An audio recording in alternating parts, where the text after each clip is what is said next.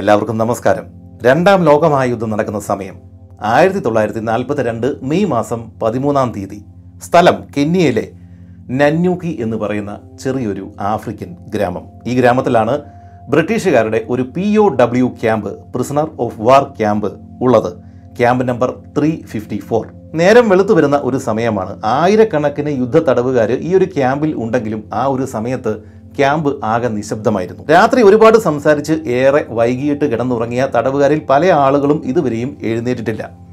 അന്നത്തെ അബസീനിയ ഇന്നത്തെ എത്യോപ്യയിൽ വെച്ചിട്ട് നടന്ന യുദ്ധങ്ങളിൽ ഈ ബ്രിട്ടീഷുകാർ തടവുകാരായിട്ട് പിടിച്ചിട്ടുള്ള ഇറ്റാലിയൻ സൈനികരെ തടവിൽ പാർപ്പിക്കുവാൻ വേണ്ടിയിട്ട് ഉണ്ടാക്കിയിരിക്കുന്ന ക്യാമ്പാണ് പി ഒ ഡബ്ല്യു ക്യാമ്പാണ്. ഈ camp number three fifty four. നമ്മുടെ ഇപ്പോഴത്തെ സങ്കല്പത്തിലുള്ള ഒരു സാധാരണ ജയിൽ കോമ്പൗണ്ടോ ക്യാമ്പോ അല്ല ഈ പി ഒ ഡബ്ല്യു ക്യാമ്പ്.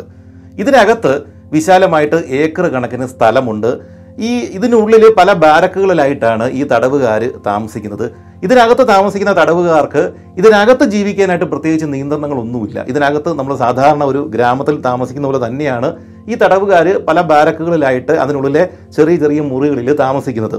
അവർക്ക് പുറത്തു പോകാനായിട്ട് യാതൊരു അനുവാദവുമില്ല. പക്ഷേ ഇതിനകത്ത് സാധാരണ നമ്മൾ വീട്ടിൽ കഴിയുന്നത് പോലെ തന്നെ ഇവർക്ക് കഴിയാനുള്ള എല്ലാ സൗകര്യങ്ങളും ഇതിനകത്ത് ഉണ്ടാവും. അങ്ങനെയുള്ള ഒരു സ്ഥലമാണ് തടവറയാണ് വിശാലമായ കോമ്പൗണ്ടാണ് പി ഒ ഡബ്ല്യു ക്യാമ്പുകൾ. അന്നത്തെ ദിവസം രാവിലെ ഇറ്റാലിയൻ തടവുകാരനായിട്ടുള്ള ഉംബർത്തോ തന്റെ കൂട്ടുകാരൻ ഫിലിസ് ബെനൂസിയെ അത് രാവിലെ തന്നെ വിളിച്ച് ഉണർത്തി.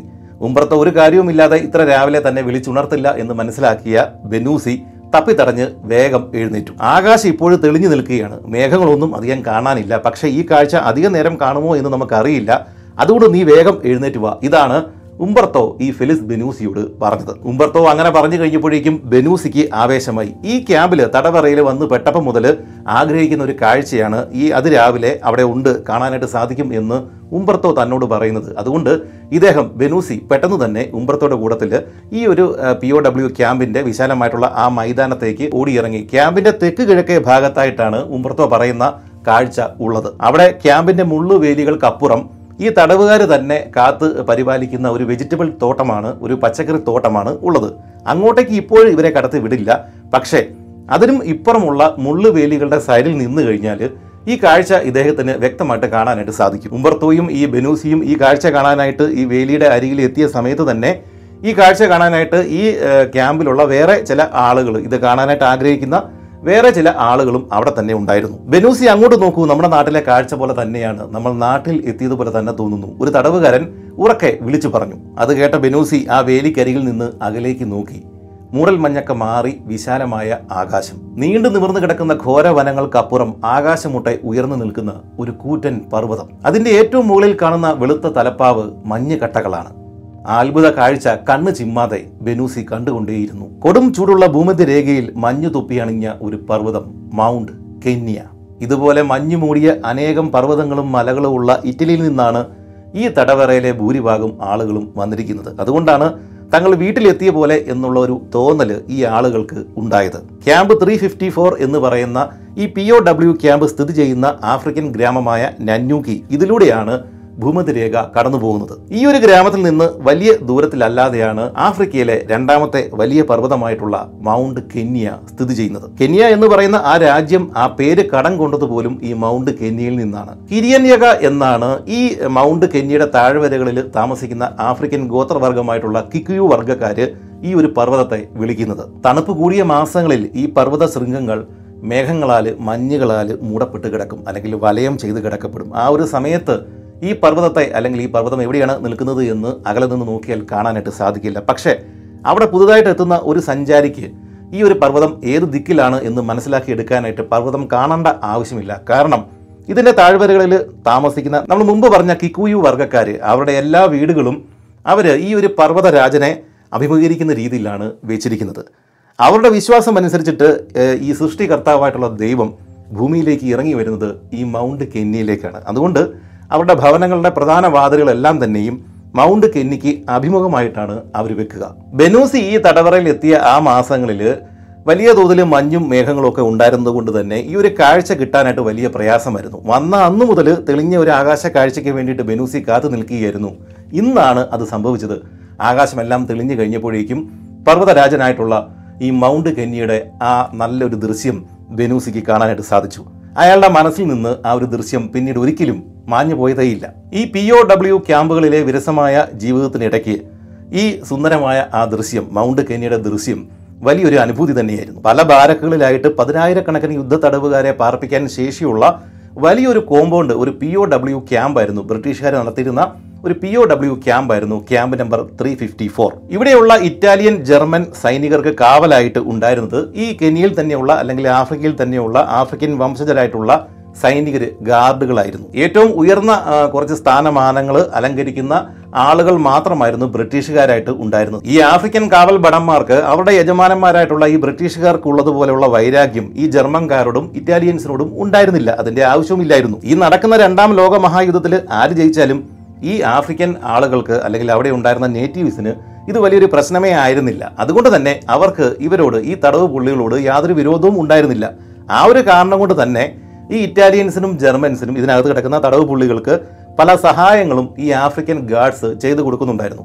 പുറത്ത് ചന്തയിൽ കിട്ടുന്ന പല സാധനങ്ങളും അവർ രഹസ്യമായിട്ട് അകത്തേക്ക് കൊണ്ടുവന്ന് ഇവർക്ക് കൊടുക്കും. ഇവർ ഇവരുടെ കയ്യിലുള്ള കുറച്ച് സാധനങ്ങൾ ഈ ഇതിനകത്ത് കിടക്കുന്ന പി ഒ ഡബ്ല്യു ക്യാമ്പിൽ കിടക്കുന്ന ആളുകൾക്ക് അവരുടെ വസ്തുവകകളെല്ലാം സ്വന്തമായിട്ട് കയ്യിൽ തന്നെ വെക്കാനുള്ള അനുവാദമുണ്ട്.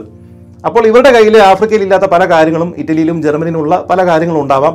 അത് ഇവർക്ക് സമ്മാനമായിട്ട് കൊടുക്കും. പകരം പുറത്തു നിന്ന് ഇവർക്ക് ആവശ്യമുള്ള സാധനങ്ങളൊക്കെ ഈ ഗാർഡ്സ് അകത്തേക്ക് എത്തിച്ചു കൊടുക്കുകയും ചെയ്യും. പക്ഷേ ഇതുപോലെ എന്ത് സൗകര്യങ്ങൾ കിട്ടിയാലും പുറത്തുനിന്ന് എന്ത് സാധനങ്ങൾ ഇവർ കൊണ്ട് കൊടുത്താലും തടവറ എന്നും തടവറ തന്നെയാണ്. എല്ലാ ദിവസവും ഒരേ മുഖങ്ങൾ ഒരേ കാഴ്ച ഒരേ ജോലി. ആർക്കും ബോറടിക്കും.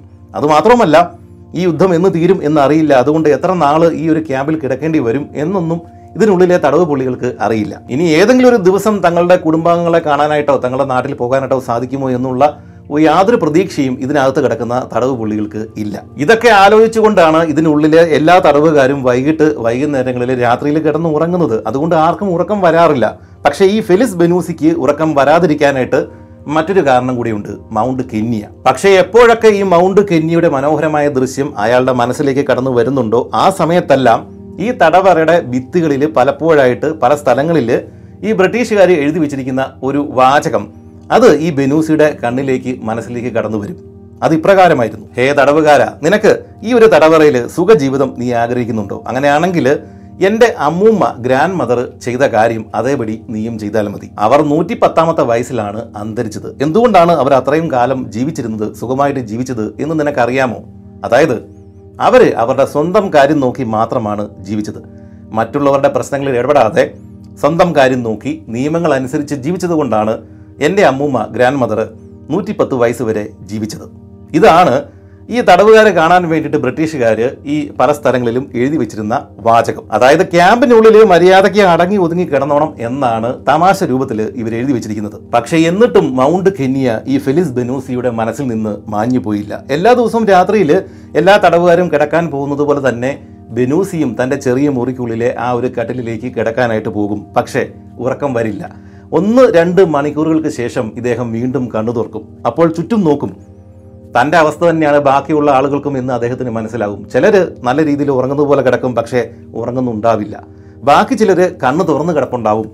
വേറെ ചിലർ എഴുന്നേറ്റ് നിന്ന് പുറത്തേക്കൊക്കെ പോയിട്ട് പുക വലിക്കുന്നുണ്ടാവാം. പല സ്ഥലങ്ങളിൽ വെറുതെ കുത്തിയിരുന്ന് ആലോചിക്കുന്നുണ്ടാവാം. വേറെ ചിലർ ഏതെങ്കിലും ഇരുണ്ട കോണുകളിൽ ചെന്നിരുന്ന് കരയുന്നുണ്ടാവാം. ഇതൊക്കെയാണ് ഈ ഒരു തടവറയിലെ രാത്രി ദൃശ്യങ്ങൾ. എന്നാൽ നേരം പുലർന്നു കഴിയുമ്പോഴേക്കും ഈ ദൃശ്യങ്ങളെല്ലാം അപ്പാടയങ്ങ് മാറും. ആകെ ബഹളമാകും കോലാഹലമാകും. പ്രഭാത ഭക്ഷണം കഴിഞ്ഞാൽ ചില ആളുകൾ അവിടെ ഇവിടെയൊക്കെ കൂടി അങ്ങ് ഇരിക്കും എന്നിട്ട് ഈ യുദ്ധത്തിന്റെ സ്ഥിതിഗതികൾ ചർച്ച ചെയ്യും. ചിലപ്പോൾ ഇവർക്ക് പത്രം കിട്ടാറുണ്ട്. ആ പത്രം ഇവർ വായിക്കും. പത്രങ്ങളും പുസ്തകങ്ങളും ഒക്കെ ഈ പി ഒ ഡബ്ല്യു ക്യാമ്പുകളിൽ ഏറ്റവും വിലപിടിപ്പുള്ള സാധനങ്ങളാണ്. കാരണം എപ്പോഴും ഇതൊന്നും വായിക്കാനായിട്ട് കിട്ടില്ല. കുറച്ച് പത്രങ്ങളും മാഗസിൻസും മാത്രമാണ് ഇവർക്ക് കിട്ടുക. അതിൽ തന്നെ ചിലപ്പോൾ അത് കയ്യിൽ കിട്ടിക്കഴിയുമ്പോഴേക്കും പല പേജുകളും കാണില്ല.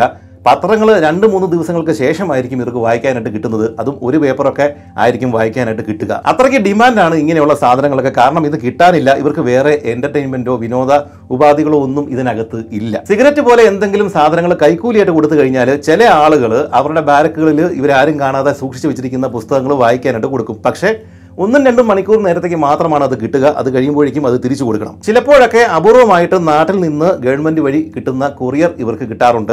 ആ കൊറിയറിൽ ഇവരുടെ കുടുംബാംഗങ്ങൾ അയച്ചിട്ടുള്ള കത്തുകൾ സാധനങ്ങൾ ചില കുറച്ച് സാധനങ്ങളൊക്കെ അനുവദിച്ചിട്ടുള്ള സാധനങ്ങളൊക്കെ ഇവർക്ക് കൊടുക്കും. കത്തുകളും കാണും. എല്ലാവർക്കും അതൊന്നും കിട്ടില്ല. അങ്ങനെ ഏതെങ്കിലും ഒരു കത്ത് കിട്ടിക്കഴിഞ്ഞാൽ അത് വായിക്കാനായിട്ട് അത് ആരുടെ പേരിലാണോ വന്നത്? അയാൾ മാത്രമല്ല ഉണ്ടാവുക. ഈ ക്യാമ്പിലെ സകല ആളുകളും അതിന് ചുറ്റും കൂടിയിരിക്കും. എന്നിട്ട് പരസ്യമായിട്ടാണ് ഇത് വായിക്കുക. ചിലപ്പോൾ ആ കത്ത് മോഷണം പോയെന്നും വരും. എന്താണേലും ഇത്തരം ഈ തമാശകളും ഗോസിപ്പുകളും ഒക്കെയാണ് ഈ ക്യാമ്പിലെ പ്രധാന വിനോദങ്ങൾ. ഇങ്ങനെ മാസങ്ങൾ വേറൊരു കാര്യവും ചെയ്യാതെ ഇതിനകത്ത് ഗോസിപ്പുകളും ഈ പരദൂഷണവും ഈ യുദ്ധ വാർത്തകളും മാത്രം ചർച്ച ചെയ്തുകൊണ്ട് ഇതിനുള്ളിൽ കഴിഞ്ഞു കഴിഞ്ഞാൽ ഈ ബെനൂസി പറയുന്നത് നമ്മൾ വേറൊരു മനുഷ്യനായിട്ട് മാറും നമ്മുടെ സ്വഭാവം എല്ലാം ചേഞ്ച് ചെയ്തു പോകും. സത്യത്തിൽ ഇത്തരം ഭ്രാന്തൻ ചിന്തകളിൽ നിന്ന് മുക്തി നേടുവാൻ വേണ്ടിയിട്ടാണ് ബെനൂസി തന്റെ ചിന്തകളെ മൗണ്ട് കെന്നിയുടെ മുകളിലേക്ക് കയറ്റിവിടുന്നത്. ഇവിടെ ഈ നന്നൂക്കിയിലെ കൊടും ചൂടിൽ ഇരുന്നു കൊണ്ട് അയ്യായിരം മീറ്റർ ഉയരത്തിലുള്ള ആ മഞ്ഞു മലയെക്കുറിച്ച് ഓർക്കുമ്പോൾ തന്നെ വല്ലാത്തൊരു കുളിരാണ് ആദ്യമേ തങ്ങളുടെ ഈ ക്യാമ്പ് ത്രീ ഫിഫ്റ്റി ഫോർ. അതിന്റെ മുൻപിൽ തടവുകാര് നോക്കുന്ന വെജിറ്റബിൾ ഗാർഡൻ പച്ചക്കറി തോട്ടം. അതിനപ്പുറം ചെറിയ ചതുപ്പാണ്. അതിനും അപ്പുറം പ്രധാന വഴി ഒരു റെയിൽവേ പാത. പിന്നെ അങ്ങോട്ട് മുന്നോട്ട് പോയി കഴിഞ്ഞാൽ വിശാലമായ വന സാമ്രാജ്യം അതും കഴിഞ്ഞിട്ടാണ് ഈ മൗണ്ട് കെന്യ സ്ഥിതി ചെയ്യുന്നത്. പിറ്റേ ദിവസവും അത് രാവിലെ തന്നെ എഴുന്നേറ്റ് മൗണ്ട് കെന്യയെ ഒന്ന് കാണാൻ വേണ്ടിയിട്ട് ബെനൂസി നോക്കിയെങ്കിലും ഫലമുണ്ടായില്ല. വീണ്ടും ഈ മേഘങ്ങളും മഞ്ഞും വന്ന് മൂടി നിൽക്കുകയാണ്. അതിനുള്ളിൽ ഈ പർവതരാജൻ മറഞ്ഞിരിക്കുകയാണ്. ബെനൂസിയുടെ മുഖം മ്ലാനമായി. അന്ന് രാത്രി ബെനൂസിക്ക് കിടന്നിട്ട് ഉറക്കം വന്നതേയില്ല. കടം വാങ്ങിയ ഒന്ന് രണ്ട് ബുക്കുകൾ പുസ്തകങ്ങൾ കയ്യിലുണ്ടെങ്കിലും വായിക്കാനായിട്ട് പറ്റിയില്ല. ഇദ്ദേഹത്തിന്റെ കയ്യിൽ സ്വന്തമായിട്ടുണ്ടായിരുന്ന ആ ഒരു ചെറിയ വിളക്കിൽ ഓയിൽ കുറവായിരുന്നു. ബെനൂസിക്ക് എന്ത് ചെയ്യണം എന്നറിയാൻ മേലാതെ ആ കട്ടിലിൽ ഇരുന്ന സമയത്താണ് കുറച്ച് പേര് ഇദ്ദേഹത്തെ മറ്റൊരു മുറിയിലേക്ക് ചെസ്സ് കളിക്കുവാൻ വേണ്ടിയിട്ട് വിളിച്ചത്. ബെനൂസിക്ക് സന്തോഷമായി. ഇദ്ദേഹം അപ്പുറത്തെ ബാരക്കിൽ പോയിട്ട് ഈ ചെസ്സ് കളി നടത്തുന്ന ആ ഒരു കളിച്ചുകൊണ്ടിരിക്കുന്ന സമയത്താണ് വേറെ ഏതോ മുറിയിൽ നിന്ന് മറ്റാരോ തട്ടുകയും മുട്ടുകയും ചെയ്യുന്ന ഒരു ശബ്ദം ഇദ്ദേഹം കേട്ടത്. മറ്റൊന്നുമല്ല ഏതോ തടവുകാരൻ വൈകിട്ട് ഉറക്കമൊന്നും വരുന്നില്ല. അങ്ങനെ ഉറക്കമില്ലാത്ത രാത്രികളിൽ ബോറടിക്കാതിരിക്കാൻ വേണ്ടിയിട്ട് അയാൾ സ്വയം എന്തോ ഒരു പണി കണ്ടുപിടിച്ചിട്ട് വെറുതെ ചെയ്തുകൊണ്ടിരിക്കുന്ന ശബ്ദമാണ് ഈ കേൾക്കുന്നത്. ഇതാണ് ക്യാമ്പിന്റെ അവസ്ഥ. പക്ഷെ ഇത്തരം പണികളിലോ ഇപ്പോൾ കളിച്ചുകൊണ്ടിരിക്കുന്ന ചെസ്സിലോ തനിക്ക് താല്പര്യമില്ല എന്ന് ബെനൂസി അതിവേഗം തിരിച്ചറിഞ്ഞു. തന്റെ മനസ്സ് മുഴുവൻ അങ്ങ് മഞ്ഞു മലകളുടെ മുകളിലാണ്. മൗണ്ട് കെന്നിയുടെ മുകളിലാണ്. അതെ തനിക്ക് അതിൽ മാത്രമാണ് താല്പര്യം. എങ്ങനെയും മൗണ്ട് കെന്നിയുടെ മുകളിൽ എത്തണം അത് കീഴ്പ്പെടുത്തണം. പക്ഷെ തനിക്ക് എങ്ങനെ സാധിക്കും? താനൊരു യുദ്ധ തടവുകാരനാണ് ഈ ഒരു പി ഒ ഡബ്ല്യു ക്യാമ്പിൽ താൻ എത്ര നാൾ കിടക്കേണ്ടി വരും? ജീവനോടെ പുറത്തേക്ക് പോകാൻ പറ്റുമോ? അല്ലെങ്കിൽ ഇവിടെ തന്നെ കിടന്ന് മരിക്കുമോ? ഇതൊന്നും അറിയില്ല. അങ്ങനെയുള്ള ഒരാൾ ഒരു യുദ്ധ തടവുകാരൻ ഇത്തരം ഒരു സ്വപ്നം കാണുന്നതിൽ എന്തർത്ഥമാണ് ഉള്ളത്? ബെനൂസി ആ ഇരുട്ടിലൂടെ പുറത്തേക്ക് ഒന്ന് നോക്കി. കുറച്ച് അകലം മാറിയിട്ട് തങ്ങളുടെ ജീവിതത്തിന്റെ അതിർവരമ്പായിട്ടുള്ള ആ മുള്ളുവേലികൾ മങ്ങിയ നിലാവെളിച്ചത്തിൽ കാണാൻ സാധിക്കുന്നുണ്ട്. അതിനുമപ്പുറം എന്താണുള്ളത്? ആ വെജിറ്റബിൾ തോട്ടത്തിനും അപ്പുറം എന്താണുള്ളത്? എന്തൊക്കെ തരം മൃഗങ്ങളാവാം ആ ഒരു സമയത്ത് അവിടെ അലഞ്ഞു തിരിഞ്ഞ് നടക്കുന്നുണ്ടാവുക? മനുഷ്യൻ ഒരിക്കലും അങ്ങോട്ടേക്ക് കയറാതിരിക്കുവാൻ വേണ്ടിയിട്ട് മൗണ്ട് കെന്നിക്ക് കാവൽ നിൽക്കുകയാണോ ഈ മൃഗങ്ങൾ? ബെനൂസിയുടെ ചിന്തകൾ അങ്ങനെ കാട് കയറിപ്പോയി. കുറച്ച് കഴിഞ്ഞപ്പോഴേക്കും അങ്ങകലെ ആകാശം തെളിഞ്ഞു. ആ ഒരു തെളിഞ്ഞ ആകാശത്തിൽ മൗണ്ട് കെന്നിയുടെ ഗിരിശൃംഗങ്ങൾ ഇദ്ദേഹത്തിന് അവ്യക്തമായിട്ട് കാണാനായിട്ട് സാധിച്ചു. അതിന്റെ മുകളിൽ നിന്നും ആരോ തന്നെ മാടി വിളിക്കുന്നതായി ബെനൂസിക്ക് തോന്നി. ബെനൂസി കസരയിൽ നിന്ന് ചാടി എഴുന്നേറ്റു. കൈകൾ കൂട്ടിത്തിരുമ്മി എന്നിട്ട് മനസ്സിൽ പറഞ്ഞു അതെ എന്നെ ആരോ അങ്ങോട്ടേക്ക് വിളിക്കുന്നുണ്ട്. ഞാൻ അങ്ങോട്ടേക്ക് പോകുക തന്നെ ചെയ്യും. മൗണ്ട് കെന്യ ഞാൻ കീഴടക്കിയിരിക്കും. ഇത് സത്യം. ജോൺ സ്റ്റെയിൻബെക്കിന്റെ ഗ്രേപ്സ് ഓഫ് റാത്ത് എന്ന് പറയുന്ന ഒരു പുസ്തകമുണ്ട്. നിങ്ങളിൽ ചിലർ അത് വായിച്ചിട്ടുണ്ടാവണം. അതൊരു ഫേമസ് ബുക്കാണ്. ആ ബുക്ക് പിറ്റേ ദിവസം വായനക്കിടയിൽ ഇദ്ദേഹത്തിന്റെ കയ്യിൽ കിട്ടുകയും അതിൽ ഒരു പേജിലെ കുറച്ച് വാചകങ്ങൾ ബെനൂസിയുടെ ശ്രദ്ധ പിടിച്ചു പറ്റുകയും ചെയ്തു. അത് ഇപ്രകാരമായിരുന്നു. ഞാൻ തടവറയിൽ കിടന്ന ഒരൊറ്റ ദിവസം പോലും സ്വാതന്ത്ര്യം എന്ന് പറഞ്ഞ വാക്കിനെക്കുറിച്ച് ആ ഒരു അവസ്ഥയെക്കുറിച്ച് ചിന്തിച്ചിട്ട് പോലുമില്ല. അന്നന്നത്തെ ദിവസത്തെ കാര്യങ്ങൾ അത് മാത്രമായിരുന്നു എന്റെ മനസ്സിൽ ഉണ്ടായിരുന്നത്. കൂടി വന്നാൽ അടുത്ത ശനിയാഴ്ച നടക്കുന്ന ഏതെങ്കിലും ഒരു ഫുട്ബോൾ മാച്ച് അതിനെക്കുറിച്ച് മാത്രമാണ് ഞാൻ ചിന്തിച്ചിരുന്നത്. അതിനപ്പുറത്തേക്ക് ഒന്നും ഞാൻ ചിന്തിച്ചിട്ടുണ്ടായിരുന്നില്ല. അതിനുമപ്പുറം ചിന്തിക്കേണ്ട ഒരു ആവശ്യം എനിക്ക് ഉണ്ടായിരുന്നില്ല. ഈ ഒരു ആ ഒരു പാരഗ്രാഫിന്റെ തൊട്ടരികിൽ പെൻസിൽ വെച്ചിട്ട് മറ്റേതോ തടവുകാരൻ ഇതിനു മുമ്പ് ഈ ബുക്ക് വായിച്ച ഒരു തടവുകാരൻ എഴുതി വെച്ചിരിക്കുന്നത് ഇപ്രകാരമാണ് നല്ല ഒന്നാം തരം ഉപദേശം. എന്നാൽ ബെനൂസി മറ്റൊരു രീതിയിലാണ് മറ്റൊരു തലത്തിലാണ് ചിന്തിച്ചത്. ബെനൂസി മനസ്സിൽ പറഞ്ഞു സഹോദര ഈ എഴുതി വെച്ചിരിക്കുന്നത് തെറ്റാണ്. ഒരു കുറ്റകൃത്യം നടത്തിയിട്ട് ജയിലിൽ പോയി കഴിഞ്ഞാൽ അയാൾക്ക് ഇത്ര കൊല്ലത്തേക്ക് ഇത്ര മാസത്തേക്കാണ് തടവ് ശിക്ഷ വിധിക്കുക. അതുകൊണ്ട് തന്നെ അയാൾക്ക് പ്രതീക്ഷയ്ക്ക് വകയുണ്ട്. ഏതെങ്കിലും ഒരു ദിവസം തനിക്ക് പുറത്തേക്ക് ഇറങ്ങാൻ പറ്റും. ഇന്ന ദിവസം ഇറങ്ങാൻ പറ്റും എന്നുള്ള പ്രതീക്ഷയിൽ തന്നെയാണ് ആ തടവുകാരൻ ആ ഒരു തടവറയിൽ കഴിയുന്നത്. എന്നാൽ ഒരു പ്രിസണർ ഓഫ് വാർ ഒരു യുദ്ധ തടവുകാരൻ അയാളുടെ തടവറ എന്ന് പറയുന്നത് എപ്പോൾ തീരും? ആ തടവ് എപ്പോൾ തീരും? എന്താണ് തനിക്ക് സംഭവിക്കുക? ഇവിടെ തന്നെ ഒടുങ്ങുമോ? എന്തെങ്കിലും ഒരു ദിവസം പുറത്തേക്ക് ഇറങ്ങാനായിട്ട് പറ്റുമോ? ഇതൊന്നും അറിയാതെയാണ് ഒരു പി ഒ ഡബ്ല്യു ഒരു പ്രിസണർ ഓഫ് വാർ ഈ തടവറയിൽ കിടക്കുന്നത്. അതുകൊണ്ട് ഇതൊരു നല്ല ഉപദേശം അല്ല. അതിനാൽ ക്യാമ്പിൽ നിന്ന് പുറത്ത് കിടക്കുന്നതിനെക്കുറിച്ച് ചിന്തിക്കാത്ത ഒരൊറ്റ ദിവസം പോലും ഒരു പി ഒ ഡബ്ല്യുവിന് ഉണ്ടാവില്ല അത് ഉറപ്പാണ്. എന്നാൽ ലോകമെമ്പാടുമുള്ള മറ്റ് P O W prisoner of war ക്യാമ്പുകളെക്കാളും അല്ലെങ്കിൽ അതിൽ നിന്നും തികച്ചും വ്യത്യസ്തമാണ് കെനിയയിലെ നന്യൂക്കി എന്ന് പറയുന്ന ഈ ഒരു ചെറിയ ഗ്രാമത്തിൽ അന്ന് ഗ്രാമമാണ് ഇന്ന് ചെറിയ പട്ടണമാണ്. ഈ ഒരു ഗ്രാമത്തിൽ ഉണ്ടായിരുന്ന ഈ camp number three fifty four അന്നത്തെ കാലത്ത് നന്യൂക്കിയിൽ ഉണ്ടായിരുന്ന ഈ camp number three fifty four കൊടുങ്കാടിന് നടുവിലായിരുന്നു. ഇതിനപ്പുറത്തേക്ക് ഇവിടുന്ന് ഒരു ആൾ രക്ഷപ്പെട്ട് പുറത്തേക്ക് പോയി കഴിഞ്ഞാൽ കൊടുങ്കാട്ടിലേക്കാണ് ഇറങ്ങുക. അവിടെ ആനയുണ്ട് സിംഹമുണ്ട് പുലിയുണ്ട് മറ്റ് ഇരപിടിയൻ ജന്തുക്കളുണ്ട് കാട്ടുപോത്തുണ്ട് കാണ്ടാമൃഗമുണ്ട്. ഇതിനെയെല്ലാം അതിജീവിച്ച് വേണം ഒരു ഗ്രാമത്തിലേക്ക് ആ ഒരു തടവ് പുള്ളിക്ക് രക്ഷപ്പെട്ട് പോകാനായിട്ട്. പക്ഷേ ഇവിടെ വേറെയും പ്രശ്നമുണ്ട്. ഈ ഒരു തടവ് പുള്ളി ഒരു ഒരു പി ഒ ഡബ്ല്യു ക്യാമ്പിൽ നിന്ന് യൂറോപ്പിലാണ് രക്ഷപ്പെട്ട് പോകുന്നതെങ്കിൽ ഒരു പക്ഷേ ഈ ഡ്രസ്സൊക്കെ മാറിക്കഴിഞ്ഞാൽ അയാൾക്ക് മറ്റുള്ളവരിൽ നിന്ന് വ്യത്യസ്തനാകാതെ ആ ഒരു സ്ട്രീറ്റിലൂടെയോ അല്ലെങ്കിൽ ഗ്രാമത്തിലൂടെയോ നടന്നു പോയാൽ ആരും ശ്രദ്ധിക്കില്ല. പക്ഷെ ഇവിടെ അങ്ങനെയല്ല. ഈ പുറത്തിറങ്ങി പോകുന്ന ആൾ വെള്ളക്കാരനാണ്. ഇവിടെ കെന്യയിലുള്ള സാധാരണ ഗോത്രവർഗക്കാർക്ക് അറിയാവുന്ന ആളുകൾ ബ്രിട്ടീഷുകാരാണ്. അതിൽ നിന്ന് വ്യത്യസ്തമായിട്ട് ഏതെങ്കിലും ഭാഷ സംസാരിക്കുകയോ അല്ലെങ്കിൽ പെരുമാറുകയോ ഏതെങ്കിലും ഒരു രീതി കാണുകയോ ചെയ്തു കഴിഞ്ഞാൽ ഇവർ ഈ ബ്രിട്ടീഷുകാരെ അറിയിക്കുകയും ഈ പ്രിസണർ ഓഫ് വാർ പിന്നീട് വീണ്ടും തടവിലാകുകയും ചെയ്യും. ഒന്നുകിൽ ഈ ഗ്രാമവാസികളോ അല്ലെങ്കിൽ അവിടെയുള്ള ആളുകളോ പിടികൂടും. ബ്രിട്ടീഷുകാരുടെ കയ്യിൽ വീണ്ടും അകപ്പെടും. അല്ലെങ്കിൽ ഈ മൃഗങ്ങൾ കടിച്ചു കീറും. ഇതൊന്നും അല്ലെങ്കിൽ പട്ടിണി കിടന്ന് ചാവും. അതുകൊണ്ട് ഒരു യൂറോപ്പിലുള്ള പി ഒ ഡബ്ല്യു ക്യാമ്പിൽ നിന്ന് രക്ഷപ്പെടുന്നത് പോലെയല്ല ഈ ഒരു ആഫ്രിക്കയിലുള്ള നന്യൂക്കിയിലെ പി ഒ ഡബ്ല്യു ക്യാമ്പിൽ നിന്ന് രക്ഷപ്പെടുക. അതുകൊണ്ട് ഇവിടെ നിന്ന് ആരും രക്ഷപ്പെട്ടു പോകില്ല എന്നുള്ള ഉറപ്പ് ഇവിടെയുള്ള ഈ നന്നൂക്കി ക്യാമ്പിലെ മുകളിലുള്ള ബ്രിട്ടീഷ് ഉദ്യോഗസ്ഥർക്ക് അറിയാം അതുകൊണ്ട് അത്ര വലിയ സുരക്ഷയൊന്നുമല്ല ഈ ഒരു ക്യാമ്പിന് ഉള്ളത്. അതുകൊണ്ട് തന്നെയാണ് രക്ഷപ്പെടാൻ ഒട്ടേറെ വഴികൾ ഉണ്ടായിട്ട് കൂടിയിട്ട് ഈ ഒരു ക്യാമ്പിൽ നിന്ന് ആരും രക്ഷപ്പെട്ട് പുറത്തേക്ക് പോകാത്തതും. ഇപ്പറഞ്ഞ കാരണങ്ങൾ കൊണ്ട് തന്നെയാണ് ബെനൂസിയും വ്യത്യസ്തമായിട്ട് ചിന്തിച്ചത്. അതായത് ഈ ഒരു തടവറയിൽ നിന്ന് രക്ഷപ്പെട്ടിട്ട് ഈ മൗണ്ട് കെന്യയിലേക്ക് രക്ഷപ്പെട്ട് പോകണം എന്നല്ല ബെന്നൂസി ചിന്തിക്കുന്നത്. മറിച്ച് ഈ ഒരു തടവറയിൽ നിന്ന് കുറച്ച് ദിവസത്തേക്ക് മാറിയിട്ട് രക്ഷപ്പെട്ട് പുറത്തേക്ക് പോയിട്ട് മൗണ്ട് കെന്യ കീഴ്പ്പെടുത്തി അവിടെ ഒരു ഇറ്റാലിയൻ പതാക സ്ഥാപിച്ച ശേഷം തിരികെ ഇങ്ങോട്ട് തന്നെ വരണം എന്നാണ് ബെനൂസി ചിന്തിക്കുന്നത്. ഒറ്റ നോട്ടത്തിൽ ഇതെന്ത് ഭ്രാന്താണ് എന്ന് നിങ്ങൾ കരുതിയേക്കാം. പക്ഷേ വീഡിയോ പൂർണമായിട്ട് കണ്ടു കഴിയുമ്പോഴേക്കും നിങ്ങൾക്ക് കാര്യം മനസ്സിലാകും. നിങ്ങൾ അഭിപ്രായം മാറ്റും. ഒരു തടവറയിൽ കിടന്നു പോലും ഒരാൾക്ക് ക്രിയേറ്റീവായിട്ട് ചിന്തിക്കാം എന്നുള്ളതിന്റെ ഉദാഹരണമാണ് ഈ ഒരു സംഭവം. നാളെ ഒന്നില്ല എന്ന് ചിന്തിക്കുന്ന സമയത്ത് നമ്മുടെ ജീവിതം അവസാനിക്കുകയാണ്. തുടിക്കുന്ന ഹൃദയമുള്ള മനസ്സുള്ള ഒരാൾക്ക് തടവറ ഒരു വിഷയമല്ല എന്നാണ് എന്ന് നമ്മളെ പഠിപ്പിക്കുവാനാണ് ഫിലിസ് ബെനൂസി ശ്രമിക്കുന്നത്. പക്ഷേ അസാധ്യമാണ് എന്ന് തോന്നുന്ന ഈ ഒരു ഉദ്യമത്തിലേക്ക് എത്തിച്ചേരുവാൻ വേണ്ടിയിട്ട് ബെനൂസിക്ക് പല കടമ്പകൾ കടക്കേണ്ടതുണ്ട്. പതിനേഴായിരം അടി ഉയരത്തിലേക്ക് കയറാനായിട്ട് വേണ്ടുന്ന പരിശീലനം അല്ലെങ്കിൽ അതിനു മുമ്പ് ആ സാഹചര്യത്തിലേക്ക് പോകാനുള്ള കുറച്ച് പ്രാക്ടീസ് കാര്യങ്ങൾ ഇതൊന്നും ലഭിക്കാനുള്ള ഒരു സാഹചര്യവും ഈ ഒരു ക്യാമ്പിനുള്ളിൽ ഇല്ല. എല്ലാം രഹസ്യമായിട്ട് വേണം ചെയ്യാനായിട്ട്. ഈ ഒരു പരിശ്രമം തന്നെ കൊണ്ട് ഒറ്റയ്ക്ക് ചെയ്യാനായിട്ട് പറ്റില്ല എന്ന് ബെനൂസിക്ക് നല്ല പോലെ അറിയാം. അതുകൊണ്ട് തന്റെ കൂട്ടത്തിൽ തന്റെ അതേ മനസ്ഥിതിയുള്ള ആരോഗ്യമുള്ള ചിന്താശേഷിയുള്ള ഒരു രണ്ട് പേരെ കൂടി ഇദ്ദേഹത്തിന് ആവശ്യമാണ്. ഇതിനെല്ലാം പുറമെ മലകയറ്റത്തിന് ആവശ്യമായിട്ടുള്ള കയറുകൾ വസ്ത്രങ്ങൾ ജാക്കറ്റുകൾ മുള്ളാണികൾ പിടിപ്പിച്ചിട്ടുള്ള ഈ ഐസിലൂടെ നടന്നു കയറി പോകാൻ വേണ്ടിയിട്ടുള്ള ബൂട്ടുകൾ ഐസ് ആക്സ് ഈ ഇതൊക്കെ വെട്ടിപ്പൊളിച്ച് മുകളിലേക്ക് കയറി പോകാൻ വേണ്ടിയിട്ടുള്ള കോടാലികൾ ഇതെല്ലാം നിർമ്മിക്കണം. രഹസ്യമായിട്ട് ഇതിനുള്ളിൽ നിർമ്മിക്കണം. അല്ലെങ്കിൽ ഈ ആഫ്രിക്കൻ ഗാർഡുകളെ വെച്ചിട്ട് പൈസയോ അല്ലെങ്കിൽ എന്തെങ്കിലും സാധനങ്ങളൊക്കെ കൊടുത്തിട്ട് പുറത്തു നിന്ന് ഇതിനകത്തേക്ക് കൊണ്ടുവരണം. ഇതിന് സമയം ആവശ്യമാണ്.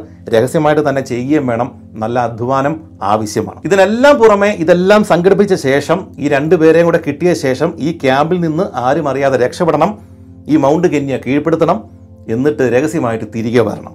ശരിക്കും പറഞ്ഞാൽ ഇത് നടക്കില്ല എന്ന് നമുക്ക് തോന്നും എങ്കിലും ബെനൂസിയുടെ മനസ്സിൽ ആ സമയത്ത് ഇത് നടക്കും എന്നുള്ള പ്രതീക്ഷ തന്നെയായിരുന്നു ഉണ്ടായിരുന്നത്. എന്തായാലും മൗണ്ട് കെന്യ കീഴ്പ്പെടുത്താൻ കയറുവാൻ ബെനൂസി തീരുമാനിച്ചു. ഇനി അതിലേക്ക് ഓരോ സ്റ്റെപ്പുകളാണ് അതിലേക്ക് കയറാൻ വേണ്ടിയിട്ടുള്ള ഓരോ കാര്യങ്ങളാണ് ചെയ്യേണ്ടത്.